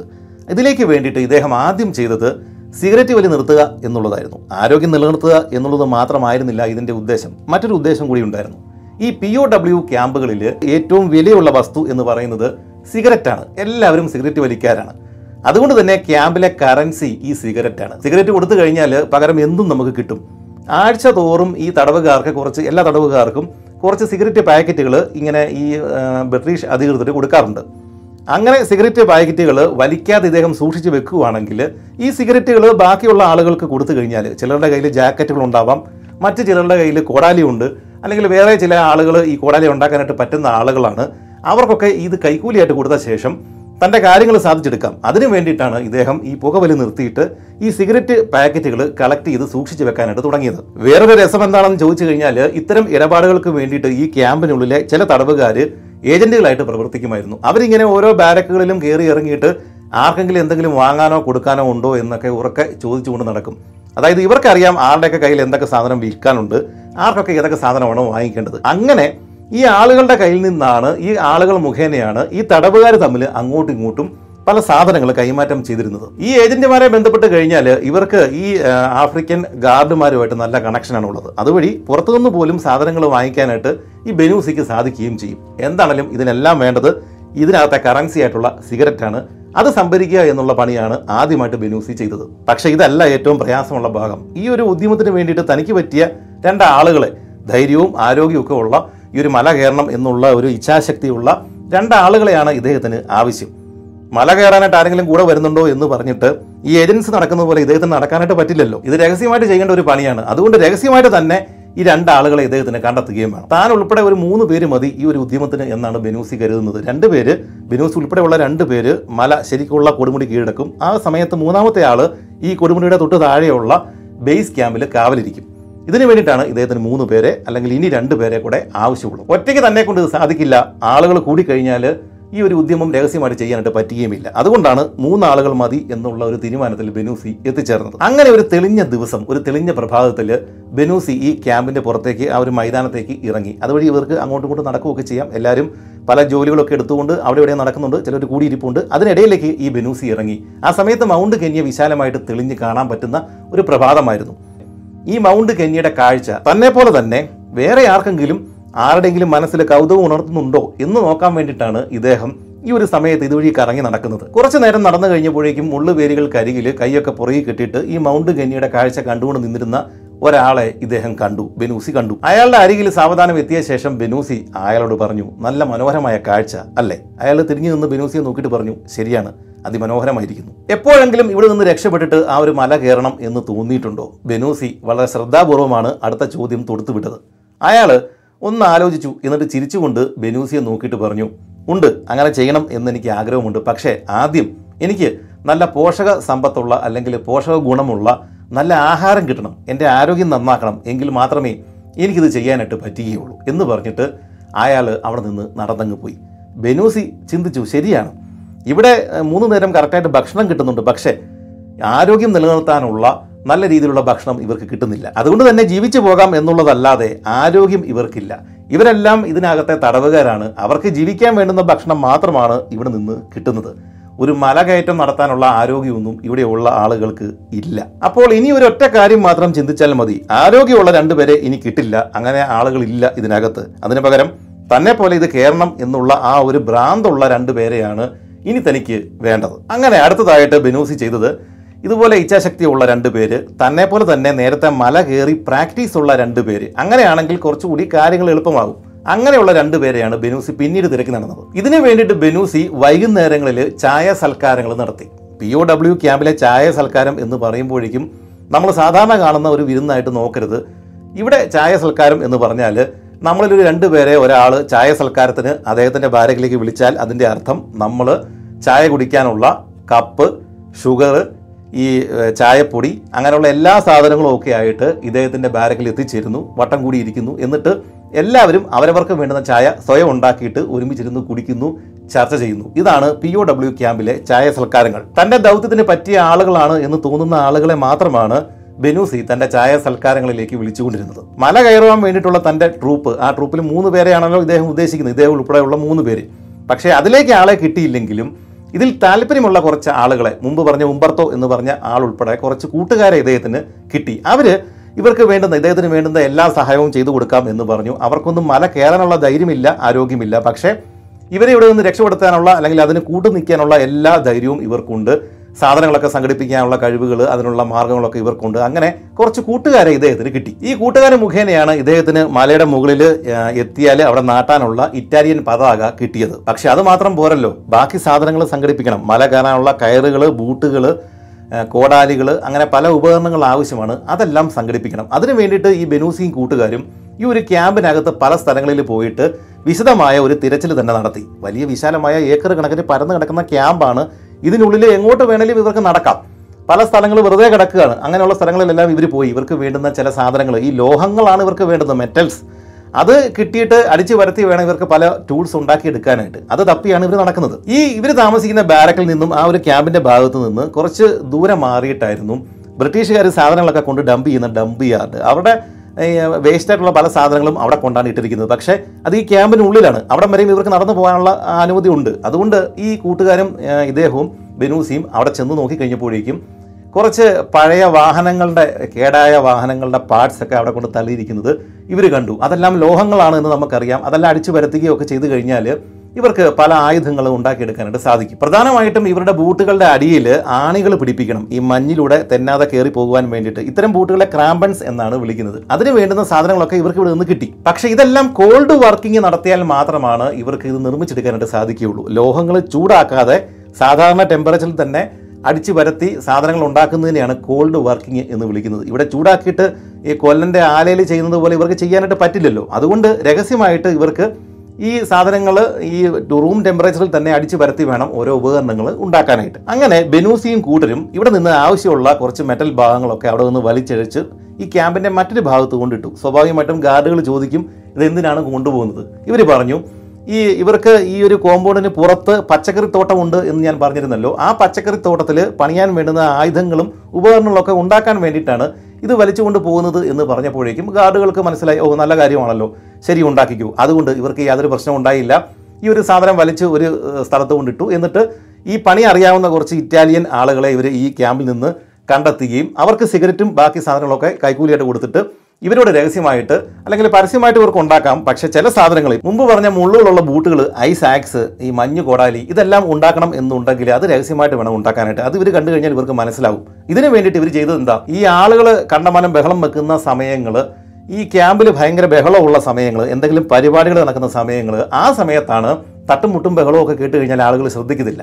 ആ ഒരു സമയം തിരഞ്ഞെടുത്തിട്ട് ആ ഒരു സമയത്താണ് ഇവർ ടൂളുകൾ നിർമ്മിച്ചിരുന്നത്. ഇനി വേണ്ടത് മെറ്റലുകൾ അടിച്ചു പരത്താനുള്ള വലിയ ചുറ്റികകളാണ്. അതായത് ഈ ആയുധങ്ങൾ നിർമ്മിക്കണം എന്നുണ്ടെങ്കിൽ ചുറ്റിക പോലുള്ള വേറെ ആയുധങ്ങൾ ഇവർക്ക് ആവശ്യമാണ്. അത് കിട്ടാനായിട്ട് ഒരൊറ്റ വഴിയേ ഉള്ളൂ. ഈ ക്യാമ്പിലെ പല വർക്കുകൾ ചെയ്യാൻ വേണ്ടിയിട്ട് ഈ- ബ്രിട്ടീഷുകാർ കൊണ്ടവിടെ അപ്പോയിന്റ് ചെയ്തിരിക്കുന്നത് നമ്മുടെ ഇന്ത്യയിൽ നിന്ന് കൊണ്ടുവന്നിരിക്കുന്ന ആളുകളെയാണ്. അവർക്ക് പ്രത്യേക ബാരക്കും കാര്യങ്ങളൊക്കെ ഉണ്ട്. അവരാണ് ഇതിനുള്ളിലെ പല വർക്കുകൾ ചെയ്യുന്നത്. ഈ തടവുകാർക്ക് വേണ്ടിയിട്ടുള്ള പല വർക്കുകളും ഇവർക്ക് വേണ്ടുന്ന സാധനങ്ങളൊക്കെ ഉണ്ടാക്കി കൊടുക്കുന്നതും ഈ ഇന്ത്യൻ പണിക്കാരാണ്. പക്ഷേ അവർക്ക് പ്രത്യേക സ്ഥലമാണ് ഉള്ളത്. ബെനൂസി നോക്കി നിന്നു. ഇവർ ഉച്ചഭക്ഷണത്തിന് പോകുന്ന സമയത്ത് ഇവരുടെ ഈ ബാരക്കിന്റെ ആ കവാടം ഇവരടയ്ക്കാറില്ല അങ്ങനെ ഒരു ദിവസം ഇവർ ഈ ഇന്ത്യൻ പണിക്കാർ ഉച്ചഭക്ഷണത്തിന് പോയ സമയത്ത് ഇദ്ദേഹം ഇവരുടെ ഈ ഒരു മുറിക്കകത്ത് കയറുകയും അതിനകത്ത് ഇവർക്ക് വേണ്ടുന്ന ആവശ്യം സാധനങ്ങളൊക്കെ എടുക്കുകയും അവിടെ നിന്ന് മാറ്റുകയും ചെയ്തു. അങ്ങനെ ഇവർക്ക് വേണ്ടുന്ന ചുറ്റികകളും മറ്റ് ആയുധങ്ങളും കിട്ടുകയും ചെയ്തു. സമയം മുന്നോട്ട് പോയിക്കൊണ്ടിരിക്കുകയാണ്. ജൂലൈ മാസമായി. ഈ സമയത്തെല്ലാം മൗണ്ട് കന്യ ഏതാണ്ട് എല്ലാ ദിവസവും തന്നെ തെളിഞ്ഞ് കാണാനായിട്ട് പറ്റുന്ന ആ ഒരു സാഹചര്യമായിരുന്നു ഉണ്ടായിരുന്നത്. എല്ലാ ദിവസവും അങ്ങോട്ടേക്ക് ഈ ഒരു മുള്ളുവേലിക്ക് ഇപ്പുറം നിന്നുകൊണ്ട് വിനൂസി ഈ കാഴ്ച കണ്ടുകൊണ്ട് നിൽക്കും. നല്ല തെളിഞ്ഞ ദിവസങ്ങളിൽ ഈ മലയെ സൂക്ഷ്മമായിട്ട് ഇദ്ദേഹം പഠിക്കും. കയറാനായിട്ട് എളുപ്പമുള്ള വഴികൾ ഏതൊക്കെയാണ് എന്നുള്ളത് മനസ്സിൽ ഇങ്ങനെ ഓർത്ത് വെക്കും. ഇതിന്റെ ഭൂപ്രകൃതി എങ്ങനെയാണ്? അങ്ങനെയുള്ളതെല്ലാം സൂക്ഷിച്ച് ഇവിടെ നിന്ന് നോക്കിക്കൊണ്ടേയിരിക്കും. അത്യാവശ്യം കാഴ്ചകളെല്ലാം ഇവിടെ നിന്ന് ബെനൂസിക്ക് കാണാനായിട്ട് സാധിക്കുന്നുണ്ട്. ഇദ്ദേഹം ആലോചിച്ചു എങ്ങനെയെങ്കിലും തങ്ങൾ ഇതിന്റെ മുകളിൽ ചെന്ന് പറ്റിക്കഴിഞ്ഞാൽ കുടി സ്ഥാപിച്ചിട്ട് മാത്രം കാര്യമൊന്നുമില്ല. അത് ഒന്നോ രണ്ടോ മൂന്നോ ദിവസങ്ങൾക്കുള്ളിൽ കാറ്റത്തോ മഞ്ഞത്തോ മഴയത്തോ ഒക്കെ നശിച്ചു പോകും. തങ്ങൾ കയറിയതിന് ഒരു തെളിവുകൾ ഉണ്ടാവില്ല. അതുകൊണ്ട് തങ്ങളുടെ ഈ മദ്യക്കുപ്പികൾക്കകത്ത് എന്തെങ്കിലും എഴുതി വെച്ചിട്ട് ഈ കുപ്പി സീൽ ചെയ്ത ശേഷം ഈ മലയുടെ മുകളിൽ ഉപേക്ഷിക്കാം. അങ്ങനെയാണെങ്കിൽ മാത്രമേ തങ്ങൾ അവിടെ ചെന്നിട്ടുണ്ട് എന്നുള്ള വിവരം പിന്നീട് വർഷങ്ങൾ കഴിഞ്ഞാലും ആളുകൾക്ക് മനസ്സിലാകുകയുള്ളൂ. ഇതേ സമയം ഈ ക്യാമ്പിന്റെ സ്റ്റോറിൽ നിന്ന് തനിക്ക് വേണ്ടി അലോട്ട് ചെയ്തിരുന്ന ഡ്രൈ ഫ്രൂട്ട്സ് പിന്നെ ടിൻ ഫുഡുകൾ ഇങ്ങനെയുള്ള സാധനങ്ങളൊക്കെ ആവശ്യമുള്ളത് മാത്രം കഴിക്കുകയും ബാക്കിയുള്ളത് ലിമിറ്റഡ് ആയിട്ട് മാത്രം ഭക്ഷണം കഴിച്ച ശേഷം ഇദ്ദേഹം അത് സൂക്ഷിച്ചു വെക്കുകയും ചെയ്തു. ഈ പോകുന്ന വഴിയിൽ ടിൻ ഫുഡും ഡ്രൈഡ് ഫ്രൂട്ട്സും ഒക്കെയാണ് കൂടുതലും ആവശ്യം. പിന്നെ ഇദ്ദേഹത്തിന്റെ മനസ്സിൽ മറ്റൊരു ഐഡിയ ആണ് ഉണ്ടായിരുന്നത്. ഇങ്ങനെ വെള്ളം ഇവിടുന്ന് അവിടം വരെയും ചുമന്നുകൊണ്ട് പോവുക എന്ന് പറയുന്നത് വലിയ ബുദ്ധിമുട്ടുള്ള കാര്യമാണ്. വെള്ളത്തിന്റെ വെയിറ്റ് തന്നെ ഉണ്ടാവും ഈ ചുമക്കുന്ന സാധനങ്ങളുടെ വെയിറ്റിനേക്കാൾ കൂടുതൽ. അത് ഒഴിവാക്കാനും ഈ വഴി കണ്ടെത്തുവാനും വേണ്ടിയിട്ട് ബിനൂസിയുടെ മനസ്സിലുണ്ടായിരുന്നത് മറ്റൊരു ഐഡിയയാണ് ഇദ്ദേഹം ഇവിടെ നിന്ന് നോക്കി കഴിഞ്ഞപ്പോഴേക്കും ഇദ്ദേഹത്തിന് ഒരു കാര്യം മനസ്സിലായി. ഈ ക്യാമ്പിൽ നിന്ന് വളരെയധികം ദൂരെ അല്ലാതെ നന്നൂക്കി എന്ന് പറഞ്ഞ പേരിൽ തന്നെ ഒരു ചെറിയ അരുവി ഒഴുകുന്നുണ്ട്. ഈ അരുവി ഉറപ്പായിട്ടും ഈ മൗണ്ട് കെന്നിയുടെ മുകളിൽ നിന്നാവണം വരുന്നത് ഉത്ഭവിക്കുന്നത്. അങ്ങനെയാണെങ്കിൽ ഈ നന്നൂക്കി അരുവിയുടെ തീരം ചേർന്ന് നടന്നു കഴിഞ്ഞാൽ കറക്റ്റായിട്ട് തങ്ങൾക്ക് ഈ ഒരു മലയുടെ മുകൾ ഭാഗത്ത് അല്ലെങ്കിൽ ആ ഒരു ഏരിയയിൽ എത്തിച്ചേരാണ്ട് സാധിക്കും. അത് മാത്രവുമല്ല ഈ അരുവിയുടെ ഓരം പറ്റി നടന്നു കഴിഞ്ഞാൽ വെള്ളം ചുമക്കേണ്ട ആവശ്യമില്ല അരുവിയിൽ വെള്ളം ഉണ്ടല്ലോ ഇതാണ് ബെനൂസിയുടെ പ്ലാൻ മഴ നിൽക്കുന്ന സമയം അതായത് സെപ്റ്റംബർ മാസം ആ മാസത്തിന് ശേഷം മല കയറാം എന്നാണ് ബെനൂസി കരുതുന്നത്. ഏതാണ്ട് രണ്ടാഴ്ചകൾ കൊണ്ട് ഈ മല കയറി ഇറങ്ങി തിരിച്ചു വരാം എന്ന് തന്നെയാണ് ബെനൂസിയുടെ വിചാരം. കാര്യങ്ങൾ ഇങ്ങനെയൊക്കെ ആണെങ്കിലും ഈ നന്നൂക്കി അരുവിയുടെ തീരത്തോടെ ചേർന്ന് പോകണം എന്നുള്ള തീരുമാനമൊക്കെ എടുത്തിട്ടുണ്ടായിരുന്നുവെങ്കിലും ഈ ബെനൂസിക്ക് ശരിക്കും ഏത് വഴിയാണ് ഈ ഒരു മൗണ്ട് കെന്നിയുടെ മുകളിൽ എത്തിച്ചേരാൻ സാധിക്കുക എളുപ്പവഴി ഏതാണ് എന്നുള്ള കാര്യത്തിലൊന്നും യാതൊരു ഉറപ്പോ തീർച്ചയോ ഒന്നും ഉണ്ടായിരുന്നില്ല. അങ്ങനെ ഇരിക്കുകയാണ് ഇദ്ദേഹത്തിന് വായിക്കാനായിട്ട് ഒരു പുസ്തകം കിട്ടിയത്. ഫാദർ കക്നലോടെ ദി അക്കിക്കുയു എന്ന് പറഞ്ഞ പേരുള്ള ഒരു പുസ്തകമാണ്. ഈ മൗണ്ട് കെന്നിയുടെ താഴ്വരകളിൽ ജീവിക്കുന്ന കിക്കുയു ഗോത്രക്കാരെ കുറിച്ചിട്ട് ഇവിടെ ഉണ്ടായിരുന്ന ഒരു ക്രിസ്ത്യൻ പുരോഹിതൻ ഈ കക്നലോ എന്ന് പറയുന്ന പുരോഹിതൻ എഴുതിയ ഒരു ഡീറ്റെയിൽ ആയിട്ടുള്ള ഒരു പുസ്തകമാണ്. ആ ബുക്കിൽ മൗണ്ട് കെന്യയുടെ നല്ലൊരു ഭൂപടം ഉണ്ടായിരുന്നു എന്ന് മാത്രവുമല്ല ഇദ്ദേഹത്തിന് ബെനൂസിക്ക് ആവശ്യമായിട്ടുള്ള ഒട്ടേറെ വിവരങ്ങളും ആ ഒരു പുസ്തകത്തിൽ ഉണ്ടായിരുന്നു. ആ വിവരങ്ങൾ ഈ പറയുന്നതൊക്കെയാണ് പർവതത്തിന്റെ അടിവാരത്തിലേക്ക് ഈ നന്നൂക്കിൽ നിന്ന് ഏതാണ്ട് മുപ്പത് മുപ്പത്തിരണ്ട് കിലോമീറ്റർ ദൂരം കാണും. നമ്മൾ മുമ്പ് പറഞ്ഞതാണ് ഈ ഒരു ക്യാമ്പ് ഫ്രണ്ടിൽ ഒരു വെജിറ്റബിൾ തോട്ടം അതിനുശേഷം ഒരു വഴി പിന്നെ ഒരു റെയിൽവേ പാത അതിനുശേഷം വനം. ആ വനം കഴിഞ്ഞ ശേഷമാണ് ശരിക്കുള്ള കയറ്റം ആരംഭിക്കുന്നത്. അവിടം വരെയുള്ള ദൂരമാണ് ഈ പറയുന്ന മുപ്പത് മുപ്പത്തിരണ്ട് കിലോമീറ്റർ ദൂരം. അത്രയും ദൂരം സഞ്ചരിച്ച് കഴിയുമ്പോഴേക്കും ഏതാണ്ട് മൂവായിരത്തി മുന്നൂറ്റി അമ്പത് മീറ്റർ ഉയരത്തിൽ ഇവർ എത്തിയിട്ടുണ്ടാവണം. ഏതാണ്ട് അയ്യായിരത്തി ഇരുന്നൂറ് മീറ്റർ ആണല്ലോ ഇതിന്റെ ഉയരം. മൂവായിരത്തി മുന്നൂറ്റമ്പത് മീറ്റർ വരെയും ഈ ഒരു മുപ്പത്തിരണ്ട് കിലോമീറ്റർ കൊണ്ട് ഇവർ കയറി ചെന്നിട്ടുണ്ടാവും. ആ ബുക്കിൽ മൗണ്ട് കെന്നിക്ക് രണ്ട് കൊടുമുടികൾ രണ്ട് പീക്കുകൾ ഉള്ളതായിട്ടാണ് പറയുന്നത്. അയ്യായിരത്തി ഒരുന്നൂറ്റി തൊണ്ണൂറ്റി ഒൻപത് മീറ്റർ ഉയരമുള്ള ബാറ്റിയൻ എന്ന് പറയുന്നതാണ് ഏറ്റവും ഉയരമുള്ള പീക്ക്. പിന്നെ വേറൊരു പീക്കിന്റെ കാര്യം പറയുന്നത് അതിനേക്കാൾ ഉയരക്കുറവുള്ള ലെനേന എന്ന് പറയുന്ന ഒരു പീക്കാണ്. നാലായിരത്തി തൊള്ളായിരത്തി എൺപത്തി അഞ്ച് മീറ്ററാണ് ഈ ലെനേന എന്ന് പറയുന്ന രണ്ടാമത്തെ പീക്കിന്റെ ഉയരം. ശരിക്കും പറഞ്ഞാൽ മൗണ്ട് കെന്നിയയ്ക്ക് ഒട്ടേറെ പീക്കുകളുണ്ട്. അന്നത്തെ കാലത്ത് പ്രശസ്തമായിട്ടുള്ള രണ്ട് പീക്കുകളുടെ പേരാണ് ഈ പുസ്തകത്തിൽ ഫാദർ കഗ്നലോ എഴുതിയിരിക്കുന്നത്. ഏറ്റവും ഉയരമുള്ളത് അത് ഇപ്പോഴും ഏറ്റവും ഉയരമുള്ള ആ ഒരു കൊടുമുടി എന്ന് പറയുന്നത് ബാറ്റിയൻ എന്ന് പറഞ്ഞ കൊടുമുടിയാണ്. പിന്നെ ഈ ലെനേന എന്ന് പറയുന്ന ഒരു പീക്കും. ഇങ്ങനെ രണ്ട് പീക്കുകളുടെ കാര്യമാണ് ഇദ്ദേഹം പറഞ്ഞിരിക്കുന്നത്. ഇതിൽ ഇവരുടെ ഈ നന്നൂക്കി ക്യാമ്പിൽ നിന്ന് നോക്കുമ്പോൾ ഇവർ കാണുന്നത് ഏറ്റവും ഉയരമുള്ള ഈ ബാറ്റിയൻ എന്ന് പറഞ്ഞ കൊടുമുടി തന്നെയാണ്. ഈ ലെനേന ഇതിന്റെ പുറകിലാണ്. ബാറ്റിയന്റെ പുറകിൽ ഒളിച്ചിരിക്കുന്ന ഒരു കൊടുമുടിയാണ് ലെനേന. അതുകൊണ്ട് ഇവിടെ നിന്ന് നോക്കിക്കഴിഞ്ഞാൽ ലെനേന കാണാനായിട്ട് സാധിക്കില്ല. ബുക്കിൽ ഈ ഒരു കൊടുമുടിയിലേക്ക് ഒരൊറ്റ വഴി മാത്രമാണ് പറഞ്ഞിരിക്കുന്നത്. അത് കിഴക്ക് ഭാഗത്തു നിന്നാണ്. പക്ഷേ ഇവരുടെ ക്യാമ്പ് ഇരിക്കുന്നത് പടിഞ്ഞാറ് ഭാഗത്താണ്. അതായത് ഇവരുടെ നേരെ ഓപ്പോസിറ്റ് വശത്തൂടെ മല കയറുന്ന റൂട്ടാണ് ഈ ഒരു ബുക്കിൽ ഫാദർ കഗ്നലോ എഴുതി വെച്ചിരിക്കുന്നത്. അത് മാത്രമല്ല ഇദ്ദേഹം മറ്റൊരു കാര്യം കൂടെ പറയുന്നുണ്ട്. ആയിരത്തി തൊള്ളായിരത്തി മുപ്പത്തി കുറച്ച് ക്രിസ്ത്യൻ പുരോഹിതര് ഈ ഒരു മല കയറിയതായിട്ട് ഇദ്ദേഹം പറയുന്നുണ്ട്. ഈ മലയുടെ മുകളിൽ അവരൊരു കുരിശ് നാട്ടിയിട്ടുണ്ട്. ആ കുരിശ് ഇപ്പോഴും കാണാൻ സാധ്യതയുണ്ട് അതിന്റെ ഭാഗങ്ങൾ എന്നൊക്കെ ഈ പുസ്തകത്തിൽ എഴുതിയിട്ടുണ്ട്. പക്ഷേ ഇവർ കുരിശ് സ്ഥാപിച്ചിരിക്കുന്നത് ഏറ്റവും ഉയരമുള്ള ബാറ്റിയൻ കൊടുമുടിയിലല്ല മറിച്ച് ഇതിന്റെ പുറയിലുള്ള ലെലേനയിലാണ്. അതിന്റെ കാരണം ഈ ബുക്കിൽ എഴുതിയിട്ടില്ല. പക്ഷേ ഇദ്ദേഹത്തിന് ബെനൂസിക്ക് കാര്യം മനസ്സിലായി. ബാറ്റിയൻ കയറാനായിട്ട് വളരെ പ്രയാസമുള്ള വലിയൊരു കൊടുമുടിയാണ്. അതുകൊണ്ടാവണം ഈ പുരോഹിതര് തൊട്ടപ്പുറയുള്ള ലെനയുടെ മുകളിൽ പോയിട്ട് ഈ ഒരു കുരിശ് കൊണ്ട് സ്ഥാപിച്ചത്. ബാറ്റിയൻ കയറാനായിട്ട് പ്രയാസമുള്ള ഒരു കൊടുമുടി തന്നെയാണ് എന്ന് ഈ ബുക്കിൽ കൊടുത്തിരിക്കുന്ന കുറച്ച് ഫോട്ടോകളിൽ നിന്ന് ഇദ്ദേഹത്തിന് മനസ്സിലായി. കാരണം കുത്തനെയുള്ള ചെരിവുള്ള ഒരു വലിയ കരിമ്പാറ ഉയർന്നു നിൽക്കുന്നത് പോലെയാണ് ഈ ബാറ്റിയൻ നിൽക്കുന്നത്. അതിന്റെ മുകളിൽ ഐസ് ക്യാപ്പ് ഉണ്ട്. എന്നാൽ ഈ ലെനേനയുടെ ചെരുവുകൾ കുറച്ച് ചെരിഞ്ഞതാണ്. അതുകൊണ്ട് ആളുകൾക്ക് കയറാനായിട്ട് വലിയ പ്രയാസം ഇല്ല. പക്ഷേ ഒരു കാര്യം ഓർക്കുക ഈ കഗ്നലോ എന്ന് പറയുന്ന പുരോഹിതന്റെ ബുക്കിലുള്ള ഫോട്ടോകളും വിവരണങ്ങളും എല്ലാം ഈ ബാറ്റിയൻ കിഴക്ക് ഭാഗത്ത് നിന്ന് കയറുന്നതിന്റെ വിവരണങ്ങളാണ്. ഈ പടിഞ്ഞാറ് ഭാഗത്തെ ഫോട്ടോ ഇല്ല. അതുകൊണ്ട് തന്നെ ഈ ബെനൂസി വിചാരിക്കുന്നത് ഈ ഭാഗത്ത് ഒരു പക്ഷേ അപ്പുറത്തെ വശത്ത് നിന്ന് കാര്യങ്ങൾ വിഭിന്നമാകാം. ബാറ്റിൻ കയറാനായിട്ട് കുറച്ച് എളുപ്പം ഉണ്ടാകാനുള്ള സാധ്യതയുണ്ട്. ഇതൊക്കെയാണ് ഇദ്ദേഹം കരുതിയിരിക്കുന്നത്. എന്താണെങ്കിലും ബാറ്റിൻ തന്നെ ട്രൈ ചെയ്യണം. ഇത് പറ്റിയില്ലെങ്കിൽ ലെനേന കയറിയിട്ട് തിരിച്ചു വരാം. ഈ ബെനൂസി ഇപ്പോൾ കരുതുന്നത് ഇങ്ങനെയാണ്. ഇതുകൂടാതെ ബെനൂസി നേരത്തെ കരുതിയതുപോലെ തന്നെ ഈ മൗണ്ട് കെനിയിൽ നിന്നാണ് കെനിയയിലെ ഒട്ടുമിക്ക നദികളും പുഴകളും അരുവികളും ഒക്കെ ഉത്ഭവിക്കുന്നത്. ഈ ഒരു മാപ്പിൽ ഫാദർ കഗ്നലയുടെ മാപ്പിൽ ഈ നന്യൂക്കി എന്ന് പറഞ്ഞ അരുവിയുടെ കാര്യവും പറയുന്നുണ്ട്. പക്ഷേ ഇത് ഈ മലയുടെ ഏത് ഭാഗത്തു നിന്നാണ് ഉത്ഭവിക്കുന്നത് എന്നുള്ള കാര്യം ഈ മാപ്പിൽ നോട്ട് ചെയ്തിട്ടില്ല. എങ്കിലും നന്നൂക്കി ഫോളോ ചെയ്തു പോകാൻ തന്നെയാണ് ബെനൂസി തീരുമാനിച്ചിരിക്കുന്നത്. ഏപ്രിൽ മുതൽ സെപ്റ്റംബർ വരെയാണ് മൗണ്ട് കെന്നിയുടെ താഴ്വരകളിൽ മൗണ്ട് കെന്നിയിലൊക്കെ മഴക്കാലം. എന്നാൽ ഡിസംബർ വരെയും ഒറ്റപ്പെട്ട മഴ ഉണ്ടാകാനുള്ള സാധ്യതയുണ്ട്. അതുകൊണ്ട് തന്നെയാണ് മുമ്പ് പറഞ്ഞ ആയിരത്തി തൊള്ളായിരത്തി മുപ്പത്തി മൂന്നിൽ കയറിയ പുരോഹിതന്മാർ അവർ ജനുവരിയിലാണ് ഈ ഒരു മല കയറിയിരിക്കുന്നത്. അതിന്റെ കാരണം ഇപ്പോൾ ഇദ്ദേഹത്തിന് മനസ്സിലായി ജനുവരിയിൽ മഴയില്ല. അതുകൊണ്ട് തന്നെ ആ പുരോഹിതർ ചെയ്ത പണി തന്നെ ചെയ്യാനായിട്ടാണ് ബെനൂസ് തീരുമാനിച്ചിരിക്കുന്നത്. ജനുവരിയിൽ കയറാം. അതിന് ഇനിയും ആറുമാസം സമയമുണ്ട്. ആ ഒരു സമയത്തിനകത്ത് ഇവർക്ക് വേണ്ടുന്ന സാധനങ്ങളെല്ലാം ഇത് ഇവർക്ക് ഒപ്പിച്ചെടുക്കാനായിട്ട് സാധിക്കുകയും ചെയ്യും. ഇത്രയും കാര്യങ്ങളാണ് ഈ ഫാദർ കഗ്നലോ എഴുതിയ ഈ ഒരു ബുക്കിൽ നിന്ന് ഇദ്ദേഹത്തിന് ലഭിച്ചത്. നമുക്കറിയാം ഇത്തരം വിവരങ്ങൾ ഇദ്ദേഹത്തിന് വളരെയധികം പ്രയോജനം ചെയ്തിട്ടുണ്ടാവണം. എന്താണെങ്കിലും ഇതൊക്കെ വായിക്കുകയും പഠിക്കുകയും ചെയ്യുന്ന സമയത്ത് ഈ ഒരു ബുക്കിൽ മറ്റൊരാൾ കൂടി താല്പര്യം കാണിക്കുന്നത് മെനൂസി ശ്രദ്ധിച്ചു. ഇദ്ദേഹം ഈ ബുക്കിൽ നിന്ന് മാപ്പൊക്കെ പകർത്തിയെടുക്കുന്ന സമയത്ത് ഈ ബുക്ക് തിരിച്ചു കൊടുക്കേണ്ടതാണല്ലോ. അപ്പം ഇതിൽ നിന്ന് വേണ്ടുന്ന വിവരങ്ങളൊക്കെ എഴുതിയെടുക്കുകയും മാപ്പൊക്കെ നോക്കി വരയ്ക്കുകയും ചെയ്യുകയാണ്. അതൊക്കെ നോക്കിക്കൊണ്ട് മറ്റൊരാൾ അവിടെ നിൽപ്പുണ്ട്. അദ്ദേഹം വളരെ കാര്യമായിട്ട് തന്നെ ഈ ബുക്കിലുള്ള വിവരങ്ങളെ കുറിച്ചിട്ട് ബെന്യൂസിയോട് സംസാരിക്കുന്നുമുണ്ട്. അദ്ദേഹത്തിന്റെ പേര് ജോവന്നി എന്നായിരുന്നു. അദ്ദേഹം ഒരു ഇറ്റാലിയൻ ഡോക്ടറാണ് കുറച്ച് സംസാരിച്ച് കഴിഞ്ഞപ്പോഴേക്കും ബെനൂസിക്ക് ഒരു കാര്യം മനസ്സിലായി. തന്റെ സംഘത്തിലെ രണ്ടാമത്തെ ആളെ ഇനി തപ്പി നടക്കേണ്ട ആവശ്യമില്ല. അത് ഈ ഡോക്ടർ ജോവാനി തന്നെയാണ്. ഈ ബെനൂസിയും പിന്നെ ഡോക്ടറും കൂടെ കൂടിയിട്ട് ഈ യാത്രയ്ക്ക് ആവശ്യമായിട്ടുള്ള ബാക്കി സാധനങ്ങൾ സംഭരിക്കുന്ന തിരക്കിലായിരുന്നു. ഈ ഒരു സമയത്താണ് ഈ ക്യാമ്പിൽ മീറ്റും ബാക്കി ടിൻ ഫുഡും ഒക്കെ സപ്ലൈ ചെയ്യുന്ന കമ്പനി മാറിയിട്ട് പുതിയൊരു കമ്പനി വന്നത്. ആ കമ്പനിയുടെ ടിൻ ഫുഡിന്റെ ആ ഒരു കവറിൽ ഈ മൗണ്ട് കെന്നിയുടെ ചിത്രം പ്രിന്റ് ചെയ്ത് വെച്ചിട്ടുണ്ടായിരുന്നു. ആ ചിത്രം കണ്ടു കഴിഞ്ഞപ്പോഴേക്കും ഈ ബെനൂസിക്കും ഡോക്ടർ ജോമനിക്കും വളരെയധികം താല്പര്യമായി. കാരണം ഫാദർ കഗ്നലോടെ പുസ്തകത്തിലുള്ള ആ ഒരു മാപ്പിലെ ഫോട്ടോ അല്ല ഈ ഒരു ടിൻ ഫുഡിന്റെ പുറത്ത് ഉണ്ടായിരുന്ന പ്രിന്റ് ചെയ്തിരിക്കുന്ന ആ മൗണ്ട് കെന്നിയുടെ ഫോട്ടോ. രണ്ടും രണ്ടാണ്. ഈ രണ്ട് ഫോട്ടോകളും അങ്ങോട്ടും ഇങ്ങോട്ടും നോക്കി പഠിച്ചതിൽ നിന്നും ഇവർക്ക് ഒരു കാര്യം മനസ്സിലായി. ഈ ടിൻ ഫുഡിന്റെ പുറത്ത് പ്രിന്റ് ചെയ്തിരിക്കുന്ന ആ ഫോട്ടോ ശരിക്കും പറഞ്ഞാൽ മറ്റൊരു ദിക്കിൽ നിന്നുള്ള ഒരു ഫോട്ടോയാണ്. മറ്റത് ഫാദർ കഗ്നലോടെ പുസ്തകത്തിലുള്ളത് കിഴക്ക് ഭാഗത്തു നിന്നാണ്. അങ്ങനെയാണെങ്കിൽ ഇത് പടിഞ്ഞാറ് ഭാഗത്തെ കാഴ്ചയാണ്. അങ്ങനെയാണെങ്കിൽ ഇവർ പോകുന്ന ആ ഭാഗത്തെ ഏതാണ്ട് കാഴ്ചയാണ് ശരിക്കും പറഞ്ഞാൽ ഈ ടിൻ ഫുഡിന്റെ പുറത്തെ ആ കാനിന്റെ പുറത്ത് പ്രിന്റ് ചെയ്ത് വെച്ചിരിക്കുന്നത്. ഇത് ഇവർക്ക് വളരെയധികം പ്രയോജനം ചെയ്യും. പക്ഷേ ഒരു കാര്യത്തിൽ ഇവർക്ക് നിരാശ വന്നു. കാരണം ഫാദർ കക്നലോടെ ചിത്രത്തിലുണ്ടായിരുന്ന ആ കിഴക്കാൻ തൂക്കായിട്ടുള്ള ചെരുവുകൾ തന്നെയാണ് പടിഞ്ഞാറ് ഭാഗത്തു നിന്നുള്ള ഈ ഒരു ടിൻ ഫുഡിലെ ചിത്രത്തിലും ഉള്ളത്. ഈ ബാറ്റിയൻ മലയുടെ വശങ്ങൾ വളരെയധികം കുത്തനെ കിഴക്കാൻ തൂക്കായിട്ടാണ് കിടക്കുന്നത് എല്ലാ വശങ്ങളിലും എന്ന് ഇവർക്ക് മനസ്സിലായി. കയറാനായിട്ട് പ്രയാസമുണ്ട്. പക്ഷേ ഇവർ ഇവരുടെ പദ്ധതി ഒന്നും ഉപേക്ഷിച്ചില്ല കയറുക തന്നെ. ഈ സമയത്ത് ഫെലിസ് ബെനൂസിയുടെ പല്ലിനെ കുറച്ച് കേടുപാടുകളൊക്കെ ഉണ്ടായിരുന്നു.